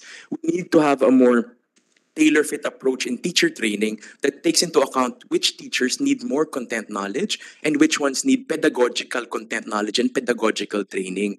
And that seems to be something that we will need to do better in. Um, I also would like to point out that we, for example, if you check the pedagogical approaches for the different learning areas that was released by DepEd, they released for each learning area several pedagogical approaches. I guess our question is, for example, in science, there are nine pedagogical approaches written. So if we're saying that we're going to train teachers for pedagogy, which pedagogy and how are we going to do that in the next year to prepare them for the implementation of K147 and that's just one subject alone. How about the others? Kasi napakaraming nakalista po dito. So how do we make sure? It's good to have options and that the teacher who is empowered will have a toolkit to select which would fit what type of training and what what type of lesson and what type of learner that is in front of him or her. But how do you build this toolkit in the teacher? And that's our question. If we are going to achieve this for next year, for 2024 implementation. The second point is flexibility. And we are happy to hear that DepEd has veered away from the from the per week determination of competencies because on the ground, what have been told us is that really tali yung teacher. Even if alam daw nila na yung bata hindi natutunan or wala siyang mastery sa isang subject, kailangan nilang lumipat na sa susunod na lesson by next week because of the daily lesson log, the budget of work, the detailed lesson plan. So it is perfect and in the written response of DepEd to the suggestions of EDCOM in terms of the revised K-10 curriculum, and they state in their letter that DepEd trusts and empowers our teachers with the autonomy to determine the appropriate duration for a teacher to teach a particular skill or competency based on their unique classroom dynamics. This is perfect and ideal. We hope that this is seen through in the different tools used by DepEd at different offices, different bureaus, different levels, at the division level, at the school level, to make sure that in practice, this is really the case, that flexibility is something that teachers really have in implementation. Because in the past practice, in our recent consultation with teachers, it's not the case though po. So sana, I think we all have the same aspiration and it's really just underlining it na it's a really concern. And it is there. How do we work around it or how do we resolve it? Because it is an issue and maybe it's cultural practice that we will also need to overcome. Baka hindi na kailangan pero yun yung nakasanayan. So yung mga supervisor, yun yung hahanapin. Kahit na sa totoo, iba na yung policy. So how can we work together to make sure that these practices change in the long run? Because as VP Jenny said, kahit nagpalit ka ng policy and they, they have so much freedom now, what if they don't know yet how to do with what to do with that freedom and how to check for that? for the quality of implementation. So yung supervisors, yung mga principals, kailangan nasa parehong pahina in terms of the principles of this flexibility and what it's supposed to do. The third that I wanted to bring up is the learning gap. The curriculum is decongested, but it still assumes that the learner that goes through each level or each grade that we have has the foundational skills for that grade. What if the child or the learner is not numerate and literate? And we do know that that's not unlikely. That there are those who reach grade six without the competencies for that grade level or the foundational skills that should have been taught years and years back. How do we systematically address that? That is our question, and how those learnings from the learning camp should be now embedded to how we do things. Because that's the reality. We need to meet the learners where they are, and where the learners are would not even be in our revised K to 10 curriculum yet as ideal, because we need to really bridge them to get to this point. I guess our question is how aggressive is our effort in making sure that we get our learners there, which connects to our question in terms of the learning camp results. We've written to DepEd twice already requesting for information on the learning camp. What is the results of the learning pre-test and post-test that is done already many many weeks ago? Ano na pong nangyari? Sino ba yung nagpunta sa learning camp? Nag-improve ba sila? Yung mga hindi nakapunta ng learning camp na dapat nasa intervention camp, what are we doing for them now? Kasi kung wala tayong ginagawa, kahit maayos yung curriculum, how are they absorbing the curriculum if they are not numerate or literate? And how are we now doing those National Learning Recovery Program components that were discussed in our last August 24 hearing on this? In our last August 24 hearing, we discussed several things the National Reading Program, the National Math Program. And we were told then that the National Reading Program would be in place by October and implemented. I guess our question is could we see, is it now happening? Have we done the assessment to know which learners need to be in that National Reading Program, which in our August hearing, they mentioned that it was supposed to happen the week prior to August 24. So nasaan na tayo in terms of our programming and our implementation of these learning recovery programs because these now I think must be integral to how we proceed because unfortunately this is our norm. This is what we need to accept and what we need to resolve so that we could really go and fulfill and successfully implement the revised K to 10 curriculum. How have we systematized and institutionalized these practices to make sure that we are able to meet the learners where they are today? The last question I was going to ask was the pilot. In the August 24 consultation of EDCOM, they mentioned that PIDS and ACTRC was going to were going to be engaged as members or as external actually external partners in the pilot. I guess our question is do they have a TOR? Have they been engaged already? Because this is August 24 and it's already October 18. Almost several several months na ang nakalipas. Nag-start na po tayo ng pilot, nandito ang PIDS, and nandyan kanina yung ACT-RC. Nasa na yung status of engaging them? Do they know their responsibilities? And because from then on, we want to ask, what is the design of the pilot? What are the milestones? What are we expecting to learn in the course of the pilot? And at what point do we say that we are ready or not ready? Um, I guess two more items.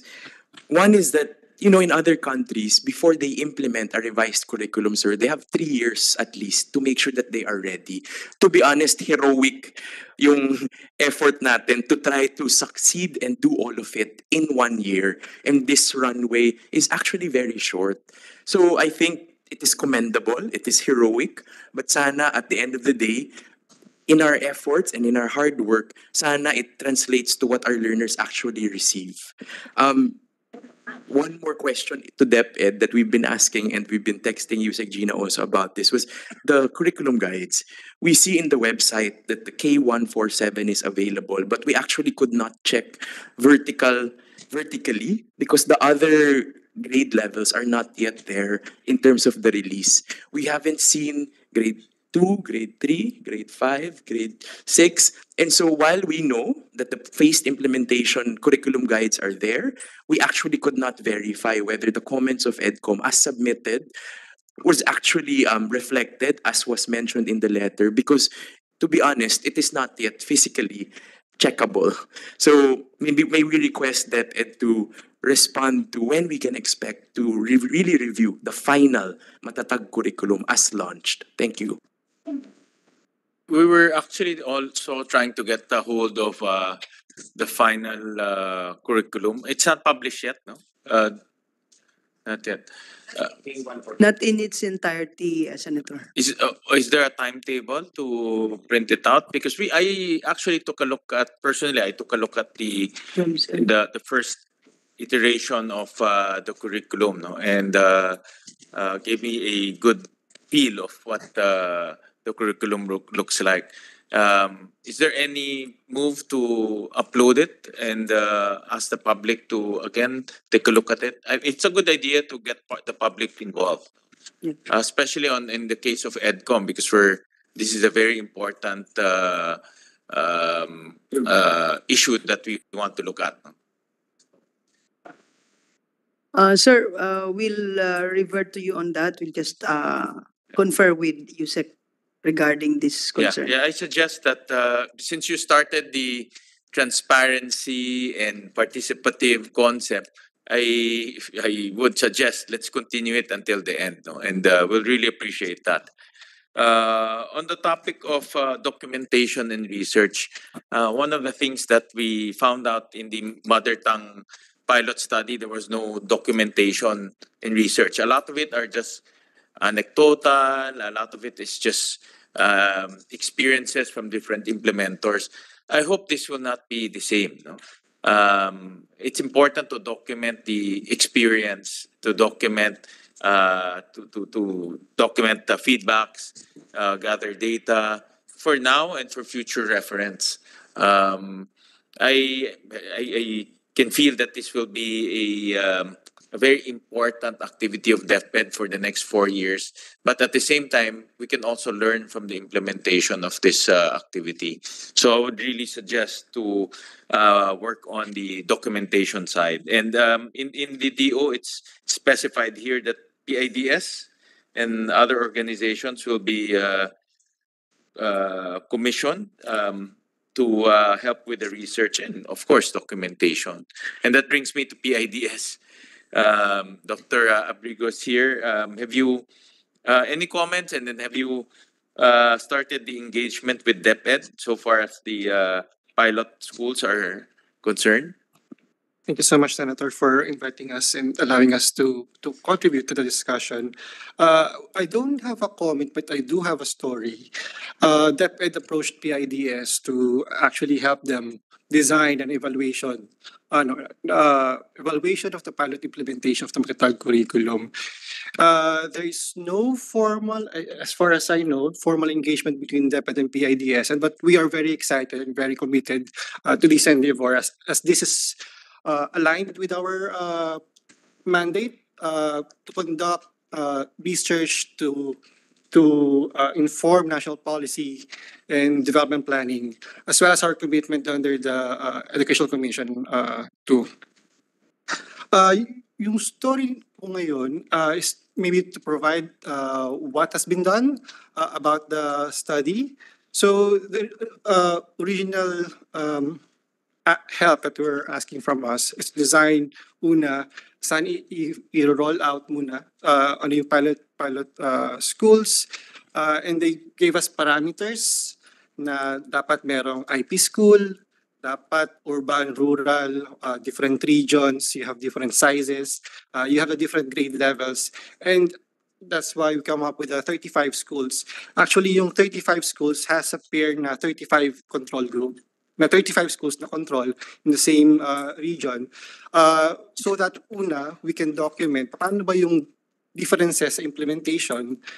Uh, and before that syempre yung differences with the actual um, curriculum yung design and then how it's implemented.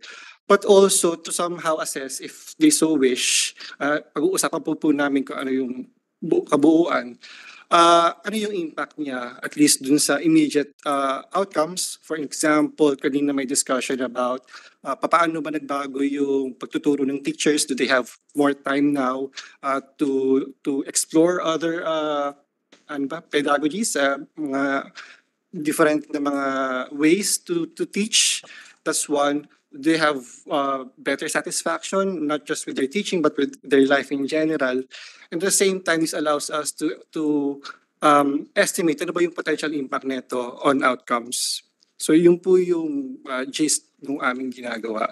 Uh, there are uh, yung original is that we have a baseline, we have a midline and an end line.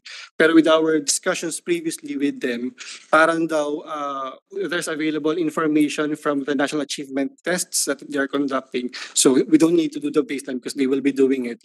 Uh, but uh, we are also developing now yung end line. Nakafocus kami sa end line and this aligns with our commitment sa EDCOM about um, assessment. So yung mga learnings namin from what we're doing for EDCOM, uh, pinapasok din namin dito. This also allows us to uh, to wi- with their, of course with their indulgence uh, to test uh, some of the ideas that we have. For example, uh, right now kasi yung nat natin ay hindi siya tied sa any anything na may kinalaman yung bata. Mag-exam siya, gal- galingan niya o hindi. Uh, yun yung score niya. So we feel na maybe it's uh, effort on the part of the children, part din sa learning nila. So how do we make it uh, low stakes to uh, somewhat uh, high stakes? So paano natin iti-test yun? And maybe we can roll out something na, na matitest natin dito kung is it possible to have it some maybe part of a grade ng bata so that yung effort din nila yung, yung mga ganong mga interventions we're layer, layering uh, studies uh, in this um, uh, partnership with them. So I suggest, uh, since it's already specified in the DO that they'll be working together, you, you guys will be working together. Suggest that we can already start the ball rolling, considering that the pilot has already begun and uh, it's been in a, it's been what a month and a half already in the uh, in the uh, implementation. So um, again, documentation, analysis, data gathering, it's very important for now and future reference. And uh, we seem to be quite, um, uh, we don't give that so much importance. eh. And uh, we need that uh, in order to, um, as an important resource in case that we do implement new projects and new activities later on. So we'll call on um, UNICEF. Uh, Mr. Uh, Tenazas. Good afternoon, Mr. Chair and everybody in the hearing. Um, I'm actually with our um, partners from UPFLCD, so I think we will be showing uh, a couple of slides. But uh, while preparing, sir, I just have a few notes from our meeting. Um, number one, UNICEF is working with DepEd on the development of the kindergarten learning uh, lesson exemplars.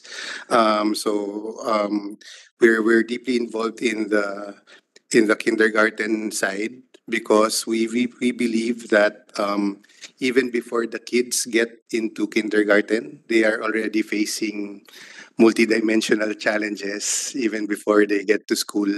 So so um, kindergarten might be a we have evidence for this.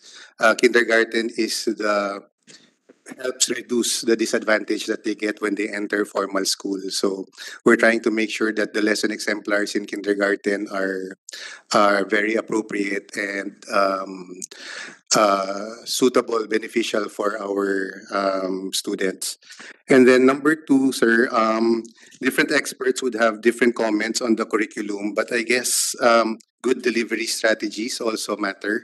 So at the at the global level, UNICEF is advocating for TARL uh, teaching at the right level. So this means we're not grouping them based on date of birth, but we're grouping them in terms of abilities and skills and challenges and things like that. So um, many recovery programs uh, are designed this way so that uh, there's uh, better better dynamics inside the classroom and things and better learning generally, sir. So globally, there's evidence for for teaching at the right level. Um, so we're trying to introduce that also in our work with DepEd, not just in the lesson exemplars for kindergarten. For example, we're doing it in Region 8 as well, uh, patterned after what Region 5 has done last year with uh, ABC Plus project. Um, so um, we have we have uh, data or information on this one. And then um, uh, all of this just to facilitate, sir, the proper transition from uh, early childhood education or the absence of early childhood education into kinder, so that there's no there's no culture shock or that uh, the foundations are really there. And then lastly, before I turn over to our colleagues from UP, uh, UNICEF continues to work with DepEd on the other areas of the BEDP, the Basic Education Development Plan, the Matatag Agenda, and even, sir, the Transforming Education Summit national country statement uh, that was submitted to the United Nations General Assembly last year. But uh, my final my final point would be um, in next year, sir, there would be another round of SEA-PLM. And if that would be the first implementation of uh, the full Matatag curriculum, the next round of SEA-PLM will now be 2029. So the people who come in uh, next year will be the same people who will probably be tested in 2029. And that represents a good uh, way to measure uh, the curriculum, the effect of the curriculum, so uh, on a national scale. So uh, we're also working with DepEd to include the measurement of socio-emotional learning in the SEA-PLM, in the SEA-PLM, so that the results are uh, more holistic and that um, we will have like better insights, uh, not just for next year, but in five years' time also, so that we can also measure the effect of the curriculum. That's all, sir. Uh, I, I would pass to Dr. Echel Tongson just to show, I think this, this would go into um, the discussion earlier about how do we look at the curriculum and the competencies just for kinder, sir, just for kinder. All right.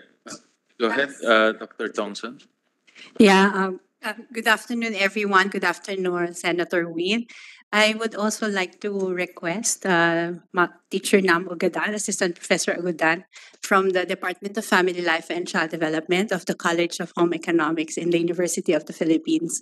So thank you very much. And also, based on the comments provided, also we agree that uh, we congratulate the DepEd for making a decongested curriculum because from over 200 uh, competencies in kindergarten, it was reduced to 46. And I'm also happy to inform you that we participated in the you know public uh, comments because uh, the uh, the what you call this the uh, uh, draft of the Matatag curriculum for kinder was sent to us for comments also, and we discussed all of these things. And I'm so happy that from from so many competencies it was reduced to 46 so we were there also during the orientation and we're conducting the retooling of kinder supervisors uh, that was done already in makiling and also in cebu and also, pinag-uusapan na natin ngayon yung cognitive. But in the kindergarten level, sir, uh, we believe that it's not only about the subject areas, but also the development of the different domains of development. So we have a different take on the kindergarten curriculum to prepare the children also for formal schooling in grade one. So it's really very important that while we are developing their cognitive aspect or domains, it's important to note that all domains of development, including social emotional, the physical, and also the you know the other things related to their development are very important. It's not just enough to prepare them cognitively, but it's also very important to prepare them in terms of their uh, dispositions to learn. So it all begins in early childhood. So we cannot really uh, discount the connection of um, early childhood, the uh, below five years old, to the uh, learning competencies or the skills of the children that they will learn also in kinder, which will be the basis of lifelong learning for grade one and up to college as well. So I also agree with our, you know, um, resource speaker from USD saying that the, the effects of what they've learned in elementary and high school or even kinder will also have an impact on the way we will conduct our higher education courses. So it's a different take altogether because in kindergarten, we would like to promote play. So maaaring magtaka yung mga iba, bakit pinaglalaro lang yung mga bata sa school? Pinapapasok namin sila doon, pero bakit sila maglalaro lang? Well, in fact, we're uh, play is the work of children. So wag po sanang magugulat yung mga nanay, mga tatay, even mga kamag-anak, even the other teachers who were not trained to do play-based approaches. That really children need to play because when they play, they see the connections of the things that they do.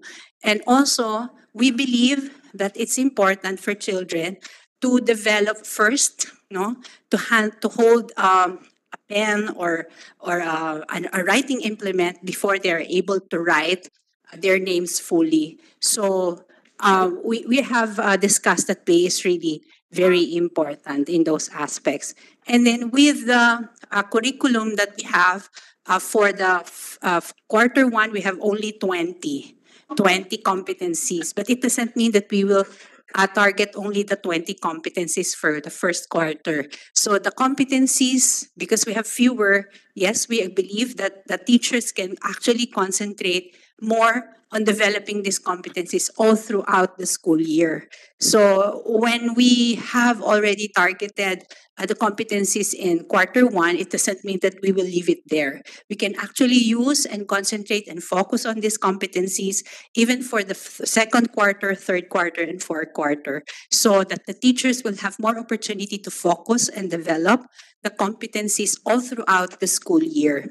And then we also now in kindergarten, because we do not have subject areas there, we believe that um, it's important for children to be prepared. And there's this burning question also why we need to involve the parents because uh, it's really very important to involve them uh, because the parents are the first teachers of their children. So the school will be more eff- effective in implementing all of the curriculum when the parents are really very involved. So with that, I'll turn you over to uh, uh, Assistant Professor Ugadan to discuss the slides because we prepared um, the connections to see the connections also of the quarters and the themes and the sub-themes for uh, the Matatag curriculum. Magandang hapon, Mr. Chair. Magandang hapon sa ating mga kasama, mga kapitbahay, sa EDUC, at saka Sir Dasas. Ah, gusto ko lang po sigurong ah, bigyan ng kaunting kwento. Ah, pero doon na tayo sa sa slide mismo ng curriculum web. Ah, teach pa forward. Is it with that? Ang tawag po namin sa aming mga sarili ay mga brain surgeons. Kaya lang kami ay non-invasive. Bakit? We are non-invasive brain surgeons because we help influence the brain architecture of young children early on. And we do this by helping facilitate meaningful experiences in the classroom and hopefully also in the homes, no, with the families na ma- magkaroon ng follow-through sa bahay. So kahit kami ay mga br- brain surgeon, ang aming tools ay yung yung aming ginagamit na pag-intindi ng mga bata, alamin kung nasaan sila, i-connect ang kanilang nalalaman sa kanilang aaralin. Para hindi ito ganyan. Kailangan ito ay palaging meaning-based. Because that's for young children, very important yun eh. What they are learning is something that they understand. And for that to happen, we have to start where they are. So tingnan lang po natin itong, maliliit po yung words, pero doon po sa apat na, na tema ng DepEd, doon sa matatag, kinonect po namin siya. Maybe I I would call this like a like a roadmap, no? But we call this a mother web. Kasi gusto po namin ipakita na kahit ang pinag-aaralan po ay nasa quarter one, kumokonek po ito hindi lang sa nangyayari sa pang-araw-araw kung ha, sakaling umusok ang bulkang Taal o kaya mag-alboroto ang bulkang Mayon, hindi dahil nasa quarter four pa. Ang tungkol sa mga anyong ah, lupa ng Pilipinas ay hindi pwedeng ay hindi yan pwedeng pag-usapan kasi sa quarter four pa yan ano po. So gusto namin ipakita sa paggawa, pag-connect ng mga themes and sub-themes na ito sa mga bata, ganito nila ito tinitingnan. Konektado sa kanilang mga araw-araw na buhay at kung ano nang nangyayari sa kanilang komunidad. And sabi natin kanina, iba-iba yung konteksto ng mga bata, ng mga eskwelahan, no, ng ating public schools. Kung kaya't very important, gusto ko yung minention kanina, kailangan context-based siya. No? So yung developmentally appropriateness, hindi lang siya age-appropriate, individually appropriate, at saka socio-culturally and linguistically appropriate. So, paki, next slide please. Ayaw gumalaw. Ayan. So kung, kung halimbawa po ang pinag-uusapan ay, pwede ba akong tumayo? Hindi ko kasi makita.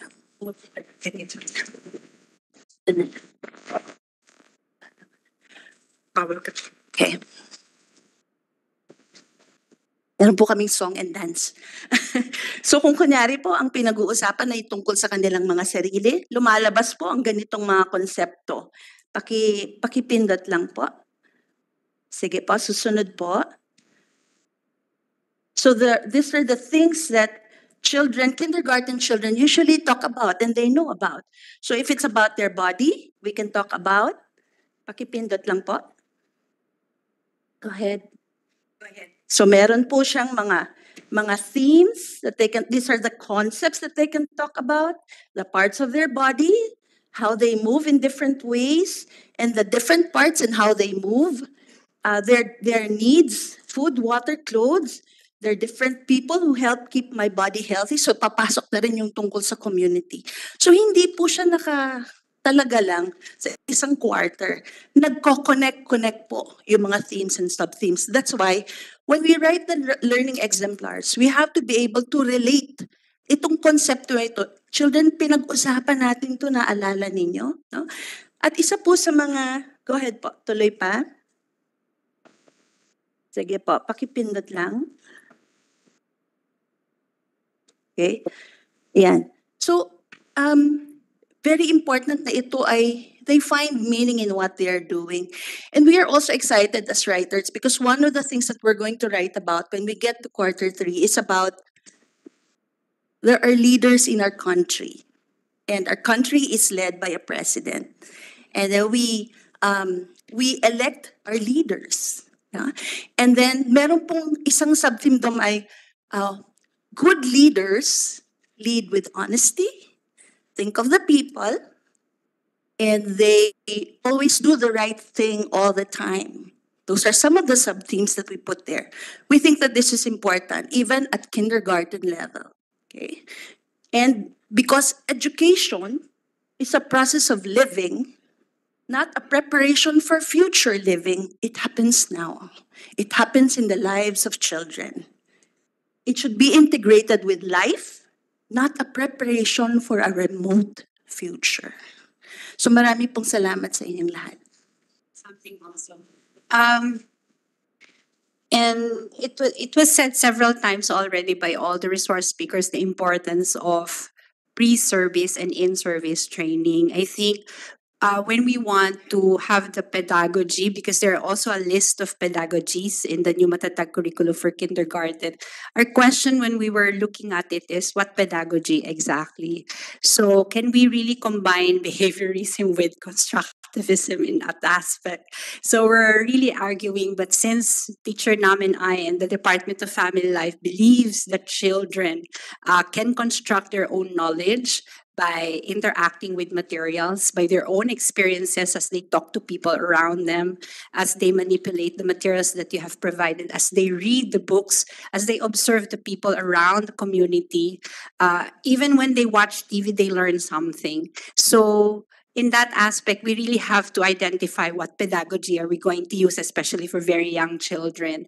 And we want as early as possible that children are able to articulate their feelings, they're able to articulate what they want. They develop their critical thinking skills. And it's so very important that even at a young age, they know how to empathize with people, even with people from far away, for example, what's happening, for example, in Israel now. Of course, they are not, uh, you know, uh, they're very much aware of that because they're looking at it uh, on television and social media. So how do we now process these things even for a young children, for a young child? And also science. We've been, been talking about science and math as well. I don't think we need to wait in kinder uh, in grade one or in grade two or grade three to teach science because telling about the weather and predict and predicting what will happen because it's cloudy is part of inference. It's part of knowing and learning about what will happen when it's cloudy. How do you feel when it's hot? It's already about teaching them science. When you count how many boys and girls are found in the classroom or how many pairs of shoes do you have in the classroom right now, you're already teaching them the basics of number and numeracy.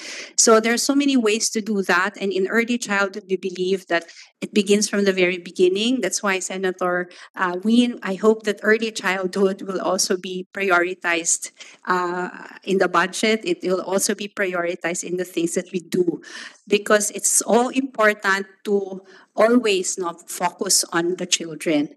And also, uh, one thing that we were uh, advice not to do in writing the exemplars is that it should be lit based, meaning to say at a very young age, children, even in far flung barangays or even in fifth class municipalities, will be taught how to read using books. And it will be in Filipino. We were uh, told by DepEd also that all books that you will use for kinder exemplars should be in Filipino. And we're very happy that, you know, we are promoting our national language, but I also believe with our colleague in um, EDUC that we should be able to teach children the language that they understand. So kung Bisaya sila, mag-Cebuano sila, kung Ilonggo sila, mag-Hiligaynon sila. So I don't think there's something wrong with us teaching them their uh, mother tongue because it's the best way to teach them um, concepts and skills as well. Thank you. Thank you. The the the, the web or the uh, uh, illustration that you showed us. Yes, sir. That is an illustration of the new curriculum. based on our interpretation, sir. Because when when we came to DepEd, they gave us this matatag curriculum, and then of course, as learning exemplar writers, we need to make sense of how this works based also on our experience. By the way, we have a laboratory school, the UP Child Development Center, and it's been using play-based approaches. And sir, in our many years of teaching, teacher Nam and I, and even our older colleagues, we never prescribed a textbook. We never have a textbook, and then we don't buy textbooks at all, but we make our own exercises, we make our own artworks, and we use a lot of common objects um, that are found in the school or at, at home as well. Well, textbooks are also very important, or worksheets and workbooks are important. But for early childhood, we would like to lessen that a bit, especially on the first quarter. Perhaps in the second or third quarter, even the fourth quarter, they can start writing uh, and using um, what you call these worksheets and workbooks as well. But for the first sem or first quarter, even for the second quarter, we don't highly encourage using prescribed textbooks because there are so many other ways to do and teaching children, especially very young children, will not only be limited to us buying a lot of very expensive materials. The old curriculum, there are about 257, Yes, sir. and now it's 46. Yes, sir. Uh, so in, in, in, in the old curriculum, it means that if there are 200 school days, every day there's a new curriculum. Is that how it? There, there's a new Uh, sorry, uh, if there's a new competency. there's a new learning competency, but for this one, they have about an average of two. So, like for example, for the let me let me uh, look at my computer. Because in, in the reduction, kindergarten is one of the most uh, reduced. Yes. Eighty-two percent. So in other words, um, my, my, again, I'm not a curriculum expert, but uh, common sense just dictating that we're giving now children more time to play, more time to learn, as opposed to bombarding them with a competency every single day. Yes, sir. But because it's play-based approach, we incorporate all of these competencies through play. So they are allowed to play. And then it's only not one time. It's like, for example, so for uh, quarter one, knowing who we are and our families, in that particular quarter, you have a total of 20. 20 competencies. For the second quarter, you have exploring our community, meaning to say children will have opportunities to learn about their communities. For an indigenous community, for example, and then knowing, appreciating our country and caring for our world for the third and the fourth quarter, you have lesser competencies. But it doesn't mean that the faculty, uh, that the teachers will concentrate only on the seven competencies, for example. But all the competencies from the first to the second and the third can still be, you know, targeted for all the quarters. Yes, and then uh, teacher Nam will say something also.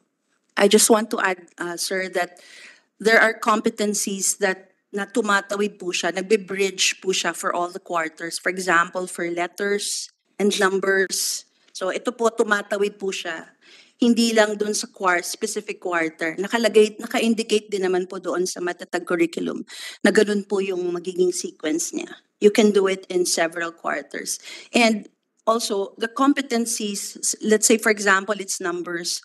It, it's not only done during work time. There are, there are many ways. If you use intentional teaching, you can do it when children li- line up, when you're waiting for transition, in between the routine. You can do it for um, attendance time. You can do it for when you're uh, leaving, uh, preparing to go inside the classroom from, from outside, from outdoor play. So marami po siyang um, uh, pwedeng uh, pag-applyan if you are intentional as a teacher and you look at what are your goals, what do you want these children to learn. That's why you can do it several times in the day and also during the week and also during the quarters. That's why, uh, Senator, may I add something? That's why when you talk about teachers ve- being flexible, I think being flexible comes with knowing that you're confident about your craft, that you're confident to be able to find out. And it will all boil down to what kind of pre-service and in-service training they will receive from our higher education institutions in the Philippines. Thank you for that. Um, well, w- when we visited Finland, I remember, and I was surprised that they don't have any exams or tests no, for um, their, their their learners, uh, but they have tremendous amount of trust on their teachers. Their teachers are they trust their teachers that their the teachers are teaching the learners what they need to learn, and at the end of the school year, the system trusts that the learners learn. So, uh, but of course, that's a, a, a, a, a whole new different topic. But I just want to share because you mentioned uh, the teachers um, are, are they know their craft and they're trained to do that. If I may just add po, um, the elementary teachers talk about collaboration. Perhaps in the kindergarten level, we can have something like a coaching or a hand holding with the kindergarten teachers and someone who is a pedagogical teacher para lang po matulungan siya to prepare for the lessons. And it's not so much dishing out or covering the content, but it's asking the right questions. Thank you, thank you for that. Uh, next will be uh, Cocopea, represented by Dr. Gutierrez. Good afternoon, Honorable Chair, Senator Win. Um, I also represent uh, the CEAP, at the same time our institution, the St. Louis University, together with uh, VP Espike. Um, we are also centers of, one of the centers of excellence in teacher education, and uh, we are also supporting um, Department of Education in terms of learner material preparation. Um, our sharing this afternoon, honor, Honorable Chair, is from a collective comments and suggestions from select member schools of the CEAP. And uh, we know for a fact that private schools are also compliant of DepEd requirements no, from following the different competencies, the mandates, the assessment, and the grading system. I would like to give an high, uh, the highlights and comments given by the select member school of the CEAP. Uh, we, we observed no, in the Matatag curriculum uh, the competencies promote critical thinking and evidence of clearer articulation of the 21st century. Uh, Senator Win, uh, just for your information, no, uh, since um, our school is the seat of the regional uh, center for the CAP in the region, we we assisted our private schools in the region in terms of curricular delivery. Meron po kaming mga moves, no? uh, dahil karamihan po sa aming mga private schools in the car in Cordillera, hindi ho sila nakaka-avail no nung talagang mga trainings po for the for the schools. Kami na po yung lumalapit sa kanila. We convene them at the same time uh, to give them training in terms of uh, curricular delivery. We also observe that there is a focus on the foundation and skills. Nakita po namin ito na ito po yung nakita po namin na talagang kailangan po namin because uh, Ma'am Joyce, na in the private school kasi we have a mandate to make our delivery unique and distinct from the public school. So kailangan ko, ito po yung sinusunod po namin na competency. We need to upgrade our delivery para hindi naman kami kamukhang kamukha ng public. Otherwise, we will close our institution and let the public school do the teaching. So in the private school, we made no, some uh, upgrading and modification of our delivery, especially in terms of um, strategies, assessment at the same time in the performance tasks. Third, ma'am, uh, we ob- also observe the alignment between the performance and content standards. No, it's very clarified, ma'am. Um, yun din po yung ginagawa, ma'am, namin sa private schools po, ma'am, ngayon. No, na kung ano talaga yung hinihingi na, ng competency, kailangan itaas natin ng konti. Yun po yung ginagawa po namin, uh, sir, sa private school. Uh, we would like to give some comments and suggestions po sana no, on behalf of uh, the private school. And it is our prayer na sana po na huwag niyo pong kalimutan ang ang private schools. No? Sabi, lagi kasi pinag-uusapan na pagkasabing curriculum improvement, delivery, laging public lang. What about us in the private school? Like for example, in the uh, salary increase no, ng mga teachers ng private ng public. Paano naman kami sa sa sa private, no? So sana wag niyo po kami kalimutan Sir Win na naglalambing po ang mga private schools, no? At the same time, um, Opo, mag-aaral siya, sir. Opo. At the same time, yung pong, um, yung clear and seamless understanding po ng public and private schools about the matatag curriculum framework. Sana po kasama po lagi ang, ang private in terms of uh, uh, sharing no, yung talagang pinaka-framework po ng matatag curriculum. At the same time, um, isa po sa comment po namin, yung strengthening of formative assessments before giving the summative assessments. And there must have a clear assessment system and assessment calibration. Ano ho ba talaga yung para natin ng pagmamarka? So sana maging malinaw po sa atin, lalo na po papasok po yung bago matatag na curriculum. Sana po maipa, mailantad po natin dito yung talagang paraan ng pagmamarka po at makita po natin yung talagang performance. Kaya na binabanggit po nila yung pagtuturo po ng competency. Sa amin po sa private school, lagi po namin in-inject sa kanila, hindi lamang pagtuturo, it must be the learner should be able to demonstrate the competency. Hindi lang yung naituro ko na, okay na, dapat makita mo na talagang na-master niya at kaya i-demonstrate yung competency po. Uh, Senator Win, uh, I have with me our Vice President for Academic Affairs, Dr. Spike, to give also some input regarding the Matag curriculum. Yeah, go ahead, uh, Dr. Uh, Estique. Good, af- good afternoon to everyone. Good afternoon uh, to our chair, uh, Honorable Senator uh, Win. We're really very grateful that we're always involved in all of these activities to ensure that we're going to provide quality education for all our learners. Actually, I'm also with the uh, the TEC with Ma'am Jen here, so we were able, of course, to hear a lot of uh, comments and suggestions, and we're happy that these were all integrated by the Department of Education through the different uh, revisions that they were able to do. And of course, we would like to commend the Department of Education for ensuring that there will be a focus already on the foundational skills that's needed. Being in a tertiary education, I think one of the observations that we have receiving graduates of the K to 12 has something to do with providing a lot of bridging activities for them, of course, to fully uh, understand also the lessons that we do deliver or the competencies or outcomes in higher ed. And we're happy that this was already done through the Matatag curriculum and even the clear articulation already of the 21st century skills.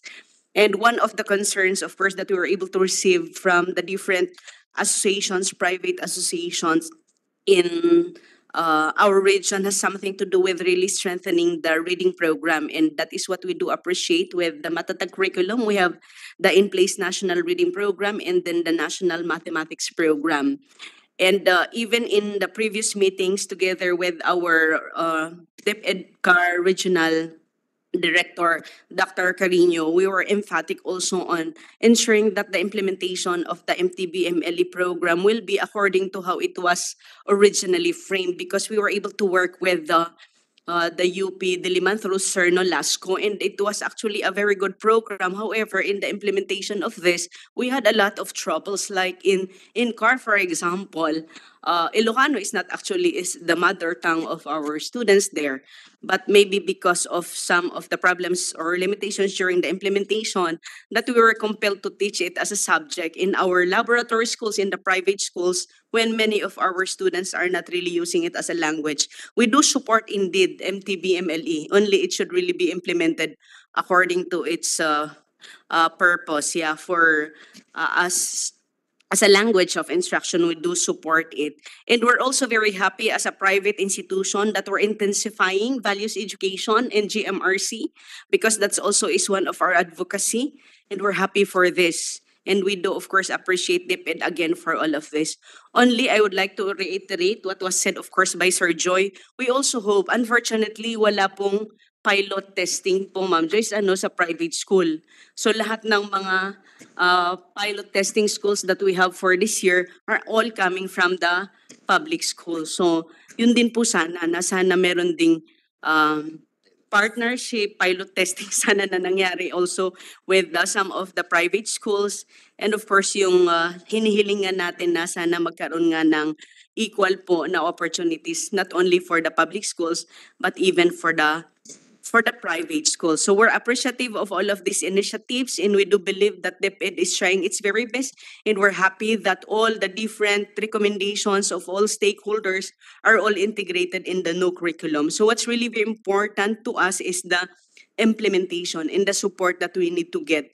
Uh, because I'm also coming from a private TEI, it's unfortunate also that while we have uh, very good facilities because it was actually mentioned a while back that we are producing teachers coming from higher education institutions but the problem is they need to retrain them again when they are with the department of education and so on. So i think we really need a support coming from your office po sir so that the complementarity will not just happen in the basic ed but i think it should also happen in higher education institutions because uh, sir, yung mga mayayaman po hindi nila sasabihin, anak, mag-aral ka at kumuha ka ng edu- education. So nakasalalay po yan sa scholarship. And then uh, I tried to I tried my best to understand how come among teacher education institutions bumaba po ang aming mga enrollees for science and mathematics even if we were identified by DUST as the star for the region. Star for the region uh, sir is uh, science and the Science Technology Academy of the region. So we have very good facilities, sir. The problem is wala po kaming enrollees to take up BSED, Science and Mathematics dahil wala na raw pong scholarship. Wala na yung SEGYAP, NISGP, yung mga ganun po, or yung uh, PESFA that were provided in the past at ang ibinibigay din lang po ng mga mula sa Kongreso ay grant na lang po na 15,000, hindi po full scholarship. So these are our concerns because uh, SUCs are having, of course, problems with facilities. But HAIs, top performing institutions, have very good facilities only because, I mean, but the only problem is we do not have students to teach, taking all of these very good programs, that's science po and mathematics. So sana po magkaroon po ng voucher para po din sa teacher ed, katulad ng nangyayari po sa basic ed. Yun lang po, maraming salamat. We- We'll talk about that. That's a whole big, big topic. Unless you want to stay here until twelve midnight, pwede natin pag-usapan yung complementarity. No, but uh, kidding aside, uh, in, in the private schools, Director Andaya, so this is a curriculum for public schools, but this will be the curriculum also for, for private schools, okay? And uh, they are uh, mandated to implement this as well. Okay, all right. All right, but that's a good point by Dr. Speaking. Uh, uh, uh, we should have included um, maybe a few, one or two private schools in the pilot testing. Uh, I'm not very sure if there's time for that, but please consider that, no? Just to uh, show our uh, counterparts in the private sector that they are part of the system. No? Um, uh, I came from Cebu. I was a speaker in CEAP, and uh, I emphasized that uh, we look at the entire system, not not to divide it by public, private, because at the end of the day, we're teaching Filipino children, no? Filipino learners, and they're no matter where they where, where they studied, it's it's them who will run this country in the future. No? So we look at the entire system. Yeah, go ahead. Senator Win, uh, just uh, a rejoinder to Ma'am uh, VP Speaker's uh, statement. In our region, Ma'am Joyce, uh, together with uh, the regional program of DepEd, the regional office, we had a strong partnership with them because in our region, we have a saying, no child is left behind and no school is left behind, whether public or private. Kaya minsan kung kailangan po ng public ng support coming from the private, handa po kaming tumulong. Kaya kung meron po kaming training na binibigay po sa private school, we also invite our uh, counterpart from the private. Like for example, ma'am, uh, this afternoon we are having English uh, English enrichment program. We have invited speaker from U.S. Embassy. We invited also teachers from, from the public from the public school, not only from the private. That's our partnership, and we thank uh, Dr. Carino, our regional program director, for a very close partnership with with the private institutions. Thank you, po. Thank you, thank you for that. Um, we, we have also, I, I missed this, this, uh, earlier, uh, in the earlier part of this hearing. Uh, another, uh, pilot school from, all the way from Mindanao who's here with us, uh, Dr. Dones of the Mindanao, uh, of the Sunga, Suyangan Elementary School, Surigao. Uh, Siargao pala, Siargao, Surigao del Norte, sorry. Uh, good afternoon, everyone, especially to the Honorable Chair, Senator Win Um, in behalf of the Schools Division of Siargao, in the name of our Schools Division Superintendent, we are very happy that we are being invited in this meaningful exchange. And I believe that we are in the same boat, like what, uh, what, um, pilot school, the Malabon division has said a while ago, that um, we are very positive in embracing this uh, new and improved Matatag curriculum. Yet I believe that there will be prevailing issues and concerns when it comes to the geographical locations and the erratic weather condition as what we are experiencing in the island. So um, our concern is how could we um, how could we perform well given that kind of conditions um, as we are in the island schools.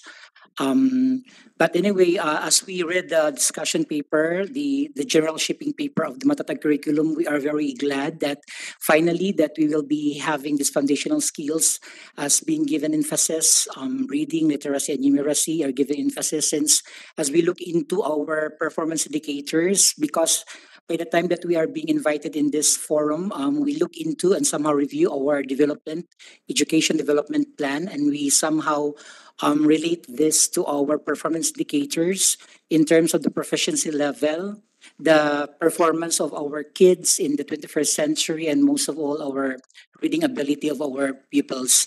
And then I believe that the teachers uh, may have had a hard time um, delivering the lesson since they need also to attend to or provide more interventions, reinforcement, and remediation activities for our um, pupils who are categorized as struggling readers and non-readers. That alone would be an issue for our teachers while they will be delivering and somehow in the attainment of the competencies under Matatag.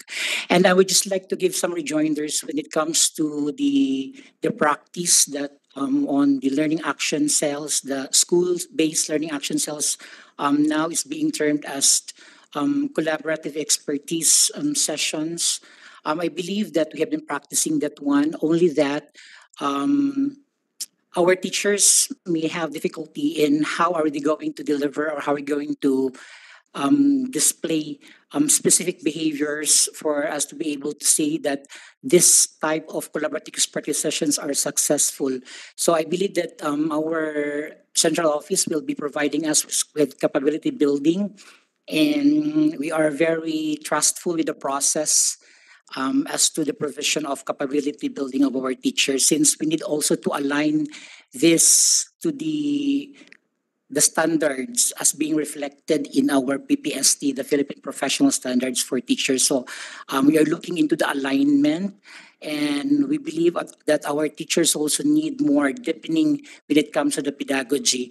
And as I've said, um, they are having this LAC session, yet Um, perhaps this won't be enough if there will be no more no um, rejoinder coming from the central office in the provision of the capability building so that they will be able also to share and somehow contextualize along the way. Like in the case of the island schools how we could contextualize the delivery of instruction for our island islanders for our young islanders thank you po So far, what's the experience of so uh, far, um, there is a really a positive um, reception coming from our teachers. They will, a- uh, they are, they were able to, uh, based on our initial monitoring and evaluation, they were able to perform well and they were able to deliver it to their kids. Um, uh, the only problem there, which is very manageable and very minute, is on the reproduction of the materials, the learning guides, the teaching guides as well, because we are only given soft copies. So hopefully, um, as we as we will be journeying with the Matatag curriculum, um, we will also be given um, the necessary materials, the hard copy copies of the guides. Thank you po. Thank you, thank you. We're talking about materials. We invited also Rex Education, um, and um, we want to hear their um, comment on the new curriculum and uh, if you have any um, um, related issues uh, regarding the curriculum. Go ahead, sir. Go ahead, um, Mr. Espinosa. Good afternoon, Mr. Chairman, and thank you very much for inviting us here. Um, uh, first, uh, Attorney Buhain would like to extend his apologies for not being um, here.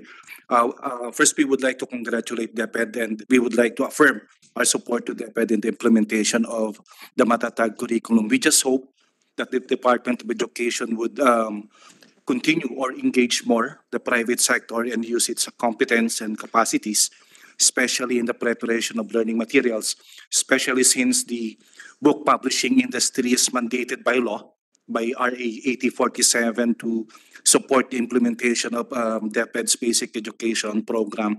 In relation to that, uh, Mr. Chairman, I would like to echo the logistical concern raised by Director uh, Mike a while ago, and we would be more than willing to work with that and to work out a system for a shorter uh, process of textbook call to evaluation to notice to proceed to um, mass printing and eventually to dissemination. Uh, we, we, we stand ready to, to, to work with the Department of Education in this regard.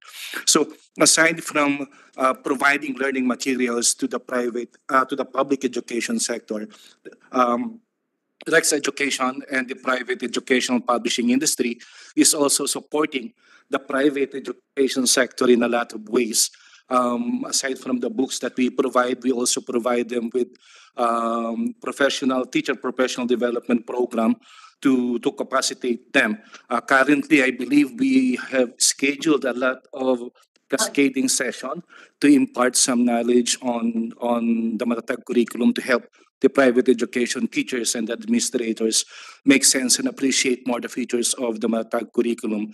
Uh, uh, we, we work with DepEd for inputs on this. Also, throughout the year, we provide capacity development program for teachers to implement the, the curriculum. I believe that is something that we would also be doing because as early as now, we have been receiving a lot of requests from our private school clients and partners. Uh, that, that said, Mr. Chairman, and to my former colleagues from DepEd, we would like to be included din po sana doon sa pilot implementation doon ng, ng matatag. And not really to intervene, but we would like to be kept in the loop of the developments as we, we anticipate that our private school partners will be um, looking to us to help them prepare for the, the, the nationwide uh, implementation of, of the Matatag uh, curriculum. So, uh, Mr. Chair, if I may introduce my, my colleague here, who has uh, uh, more competence to discuss comments on the curriculum. Bottom line is uh, the, the new curriculum will still be uh, uh, in the implementation of the new curriculum, textbooks will still be procured from the private sector. Right. I mean, that's mandated by law as well. But uh, the intention is to uh, uh, develop books um, well, um, request the development of books from the private sector and then they will also publish. no? And government will obviously procure. And uh, the way we distribute books is the private sector will distribute the books. That's how the system works. So I think that's the bottom line there. Sir, Yeah, go ahead. uh, ju- just to add that, um, we just finished with the orientation of the Matatag curriculum with the uh, private publishers. This is already uh, eyeing that uh, by January, we'll be able to proceed with the procurement uh, process already. Thank you. Right? Thank you. Um, any more comments? Uh, magandang gabi po, Senator Win. Yeah, go ahead. I just want to highlight some commendations for the Matatag curriculum. First on the congested curriculum. A while ago, uh, we were we we asked Director Joyce on certain numbers, the prompt two numbers, say for example for the mathematics competencies. So there is a, a massive deduction in terms of the competencies. On the average right now, uh, for a grade level, the range of competencies is around 40 to 50. For grade one mathematics, previous uh, current curriculum offers 66 competencies. Now it is reduced to 44 competencies. Actually po nakatulong po yung public review para mas lalo pang ma-decongest yung curriculum. During the April publication of the first draft, the mathematics grade 1 offers 53 curricu- uh, 57 competencies from the 66. So, and then after the public review, uh, mas na-decongest talaga. And I think, hindi lang po basta na-decongest uh, Senator Winano. Uh, when I look into the global proficiency framework of of UNESCO, uh, nakita namin na very close na yung mga skills na minimeasure under SGD, SGD 4.1 doon sa ating mathematics competencies. So, in terms of global standards, the mathematics grade one spe- specifically is very close adjacent to that global proficiency framework. So I would like to commend the Department of Education for that. Second, I would like to thank the BCD, the BLR, and the BLD for facilitating a two-month a two-month hand-holding sessions with the uh, publishing private publishers. So we concluded uh, yesterday, uh, and we're in we were provided some guidelines, no? But there are some recommendations that uh, arise uh, during the session. And also, um, the other item on the development of 21st century skills, I think this time hindi na siya masyadong parang kwento lang or a motherhood statement. The Department of Education show us some indicative and specific initiatives to address this concern. So sabi nga, it should be the strengthening of the 21st century skills as articulated in the revised and, re- and re- re- redefined, I think, or refined framework for the 21st century skills and the articulation of the STEM framework. Yun yung isang, I think, highlight ng Matatag curriculum, the STEM framework, that um, give emphasis on the application of the acquired learning in various STEM disciplines uh, through the engineering design process. The STEM framework articulates its goal of developing 21st century skills through uh, learning opportunities where the students can apply uh, what they learn in the natural learning platforms like mathematics, science, and technology. Also, I would like to highlight the intensification of values formation. I think uh, more than the list of values written in the assessment policy guidelines of the Department of Education, the inclusion and uh, the institution, the institutionalization of the GMRC, I think, is a tangible uh, evidence of the serious call to intensify values formation uh, alongside with um, with the the new learning area called Makabansa. And normally, uh, when I appreciate this Makabansa in the tagline of the Department of Education, which is para sa isang uh, para sa batang makabansa, I think the subject Makabansa is a natural learning platform that will push this tagline into uh, into a reality and more concrete actions. So, so I think there are many. Uh, matatag curriculum is a promising curriculum. Pero sabi nga nila, ang curriculum ay isang magandang dokumento na pag hindi na implement ng tama ay mananatili lang yan sa shelf ng ng Department of Kagawaran. I think the real battle is in the implementation. And we need to give premium to our teachers and the capacity building. Uh, the national curriculum ay hindi lamang usapin ng public education. Ito ay usapin din ng private education since we subscribe to the national curriculum. I would like to recommend, uh, would you consider item to the kagawaran nagbumuo o bumalangkas sa isang programa na mag-strengthen ng public-private uh, partnership sa aspeto ng evangelization ng curriculum na ito. Kasi maaring ang ang BCD ay hindi ka- hindi piling ko lang Ma'am Joyce hindi sasapat ang BCD para i-cover lahat ng eskwelahan uh, uh, ng public at private. Uh, I know BCD is going around the country reaching so many uh, provinces pero do not lose sight po sana of the private schools. And I hope uh, DepEd can look into the opportunity of tapping uh, credible uh, institutions like Cocopeya, CAP, PAC, and other uh, uh, uh, private entities like Flex Education for the evangelization, if I may describe it, the evangelization of the matatag curriculum para po hindi na para po hindi po na-alienate naman yung private education kasi this is a national I think interest din po. Uh, for Rex po Sir ato, um, Senator Win, uh, we are ready for the matatag uh, learning resources. Uh, in fact, nung nag-publish ng April version ang curriculum and then nagkaroon ng revision hanggang sa September 21, we are ready already with the matatag edition or learning resources, and we are now contextualizing it for the public uh, requirement based on the specifications uh, laid down by the Bureau of Learning Resource. So uh, to DepEd, to the CMT, and to the B, and to all the bureaus, congratulations for the Matatag curriculum. I think this will really make us Matatag in terms of our goal to improve the quality of education. Thank you po. Thank you. Well, just uh, a, a side comment. Uh, I just want to emphasize that um, I, I'm very sure that DepEd nor this committee is um, disenfranchising the private school or the private sector. It's just the sheer number of students that are going into our public schools. No, that's why the attention is really given to our public schools. And uh, I mentioned this in the CEAP meeting that I believe um, to fix this country, we need to address the problems of our public schools uh, without losing sight also that our private schools are partners. Because 90% of our students are in our public schools. Almost 90% of our teachers are also in our public schools.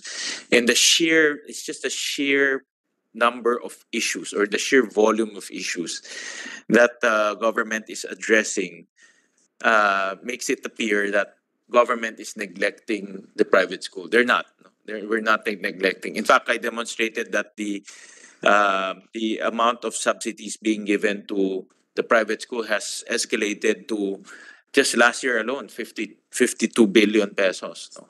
It's just the volume of students lang. That's why.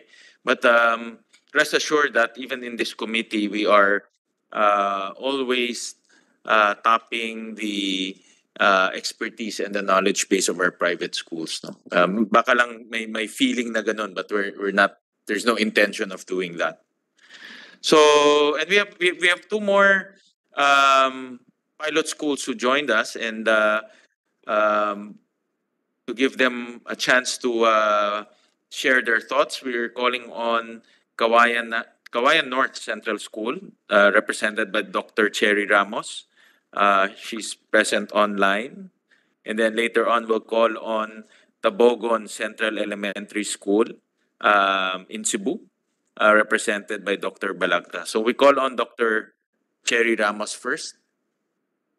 Thank you very much, sir. Good afternoon uh, to our chair, Senator Win. We have here the supporters from uh, the different agencies, both public and private. We would like also to uh, give our uh, experiences as to the implementation of uh, the Matatag curriculum.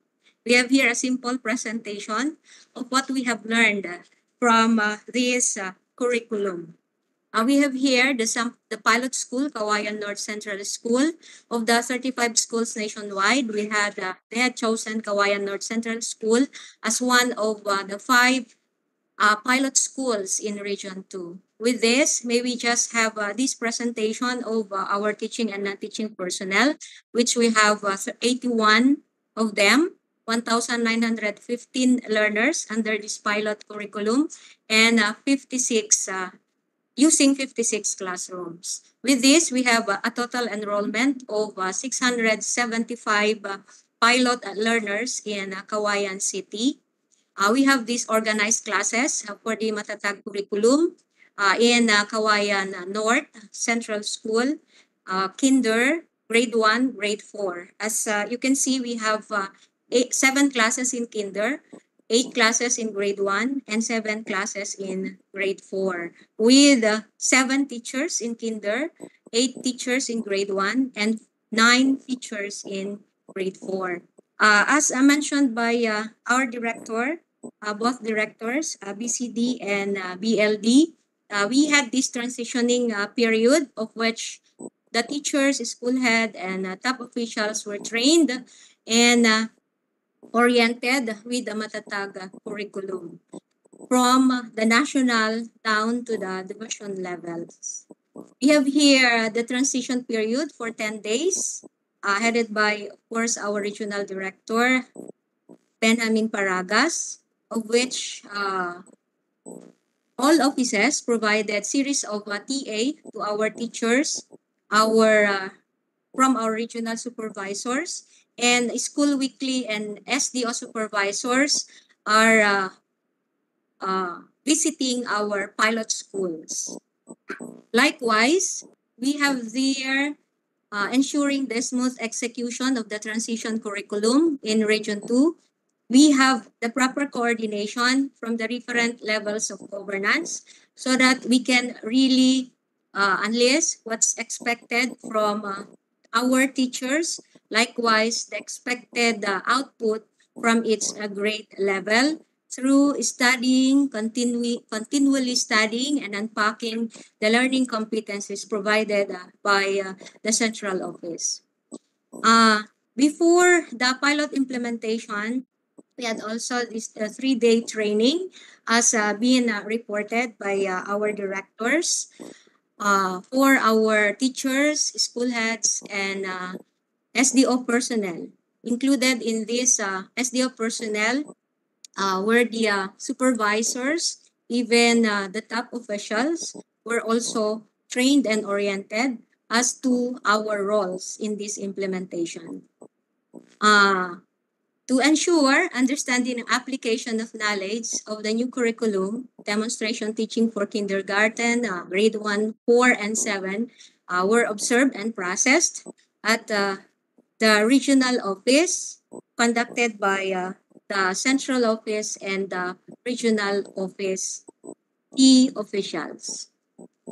We would like also to report that uh, a week before the start of the pilot implementation, we have this uh, mastering of the TC. All teachers involved were uh, convened to unpack uh, the provided LE and uh, WS where collaborative expertise sessions were maximized uh, through the assistance of the regional and division supervisors to quality assure and en- enhance uh, provided LE and WS based on the learner's needs. In the pilot implementation phase of uh, the Matatag curriculum, we have uh, these facilitating and uh, hindering factors that we have noted as we uh, are already engaged in this pilot implementation. These are some of the indicators and remarks or findings that we had already surveyed. First is the sufficient provision of supplies and materials via Matatag Fund. And uh, we have these positive learning outcomes that are evident as lessons and well aided with these essential materials in teaching under the new curriculum. Another, complete provision of learning exemplar and worksheets in uh, grade 4.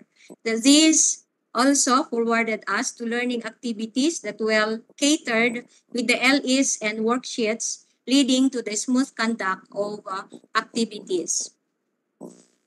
Another indicator is on positive learning environment. The feedback coming from uh, the learners, teachers, and parents and other stakeholders.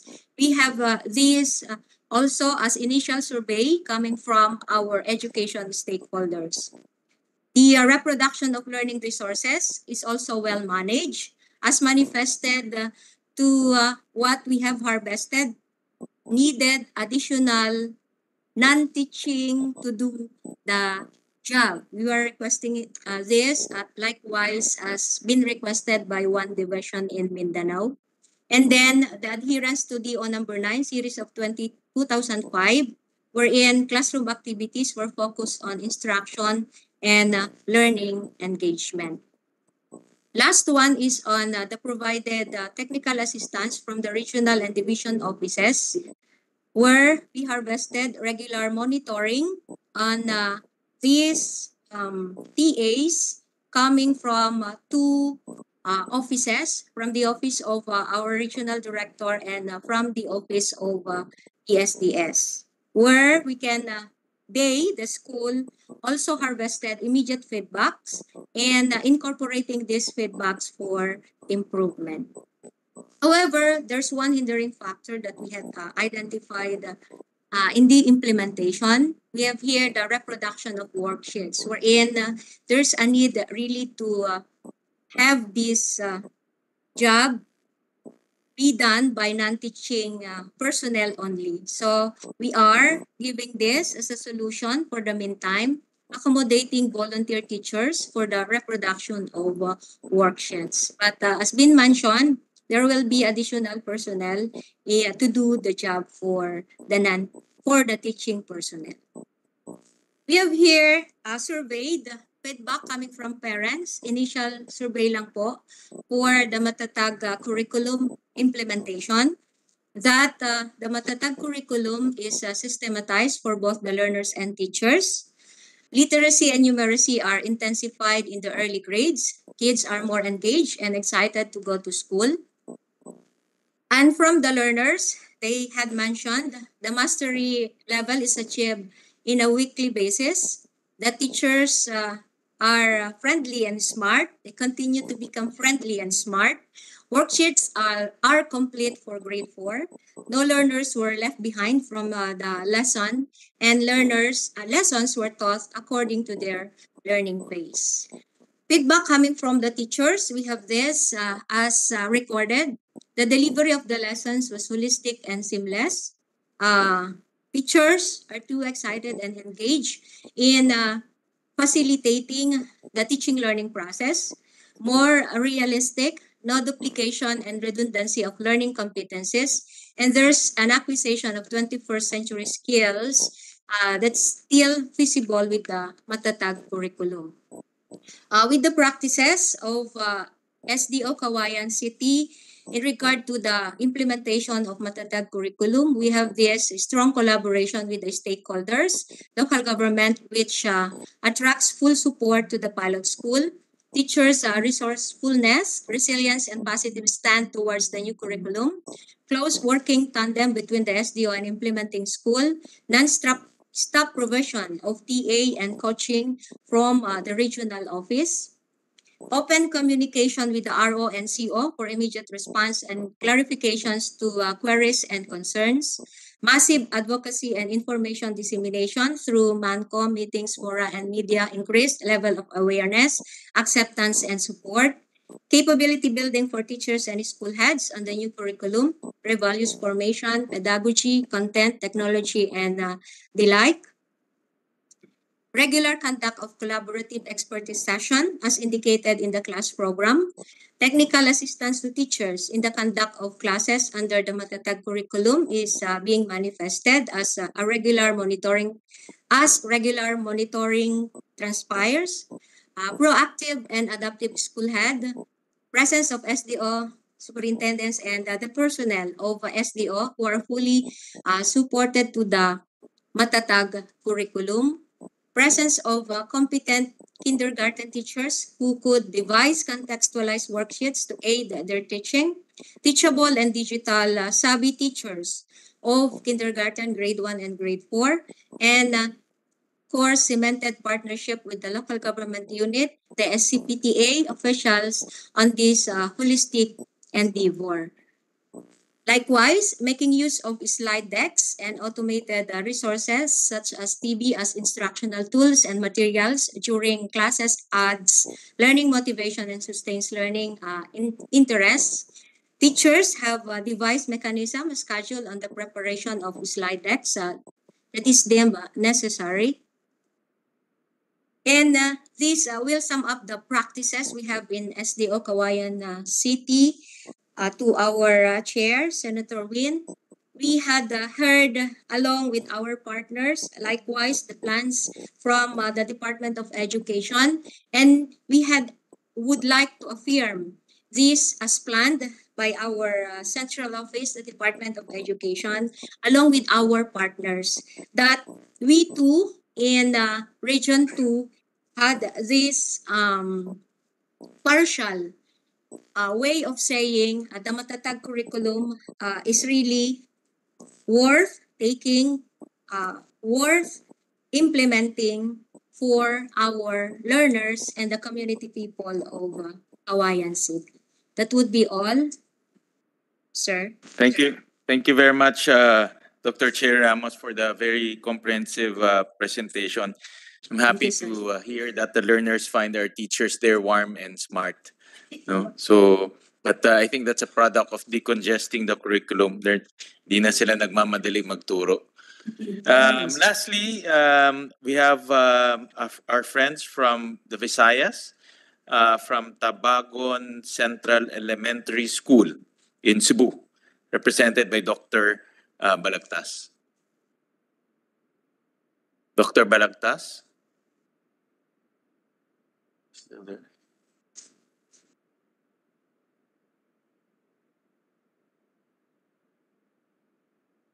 Or uh, Miss Cinco? Purenda Cinco?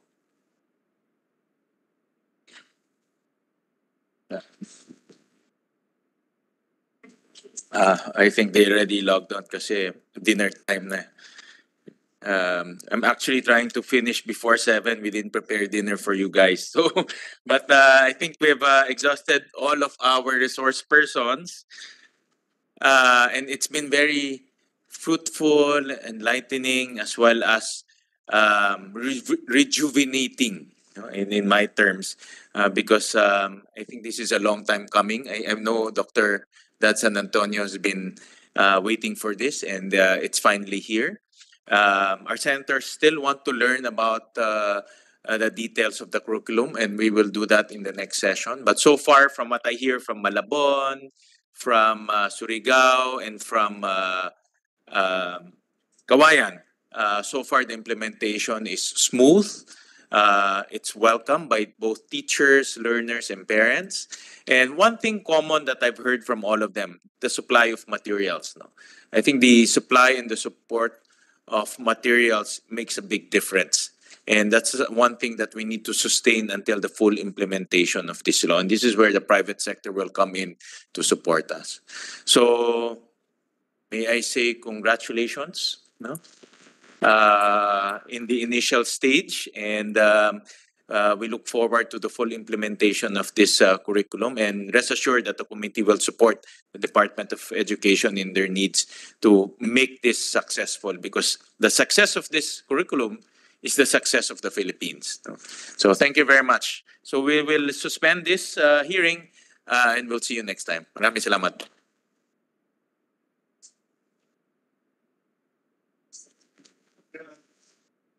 So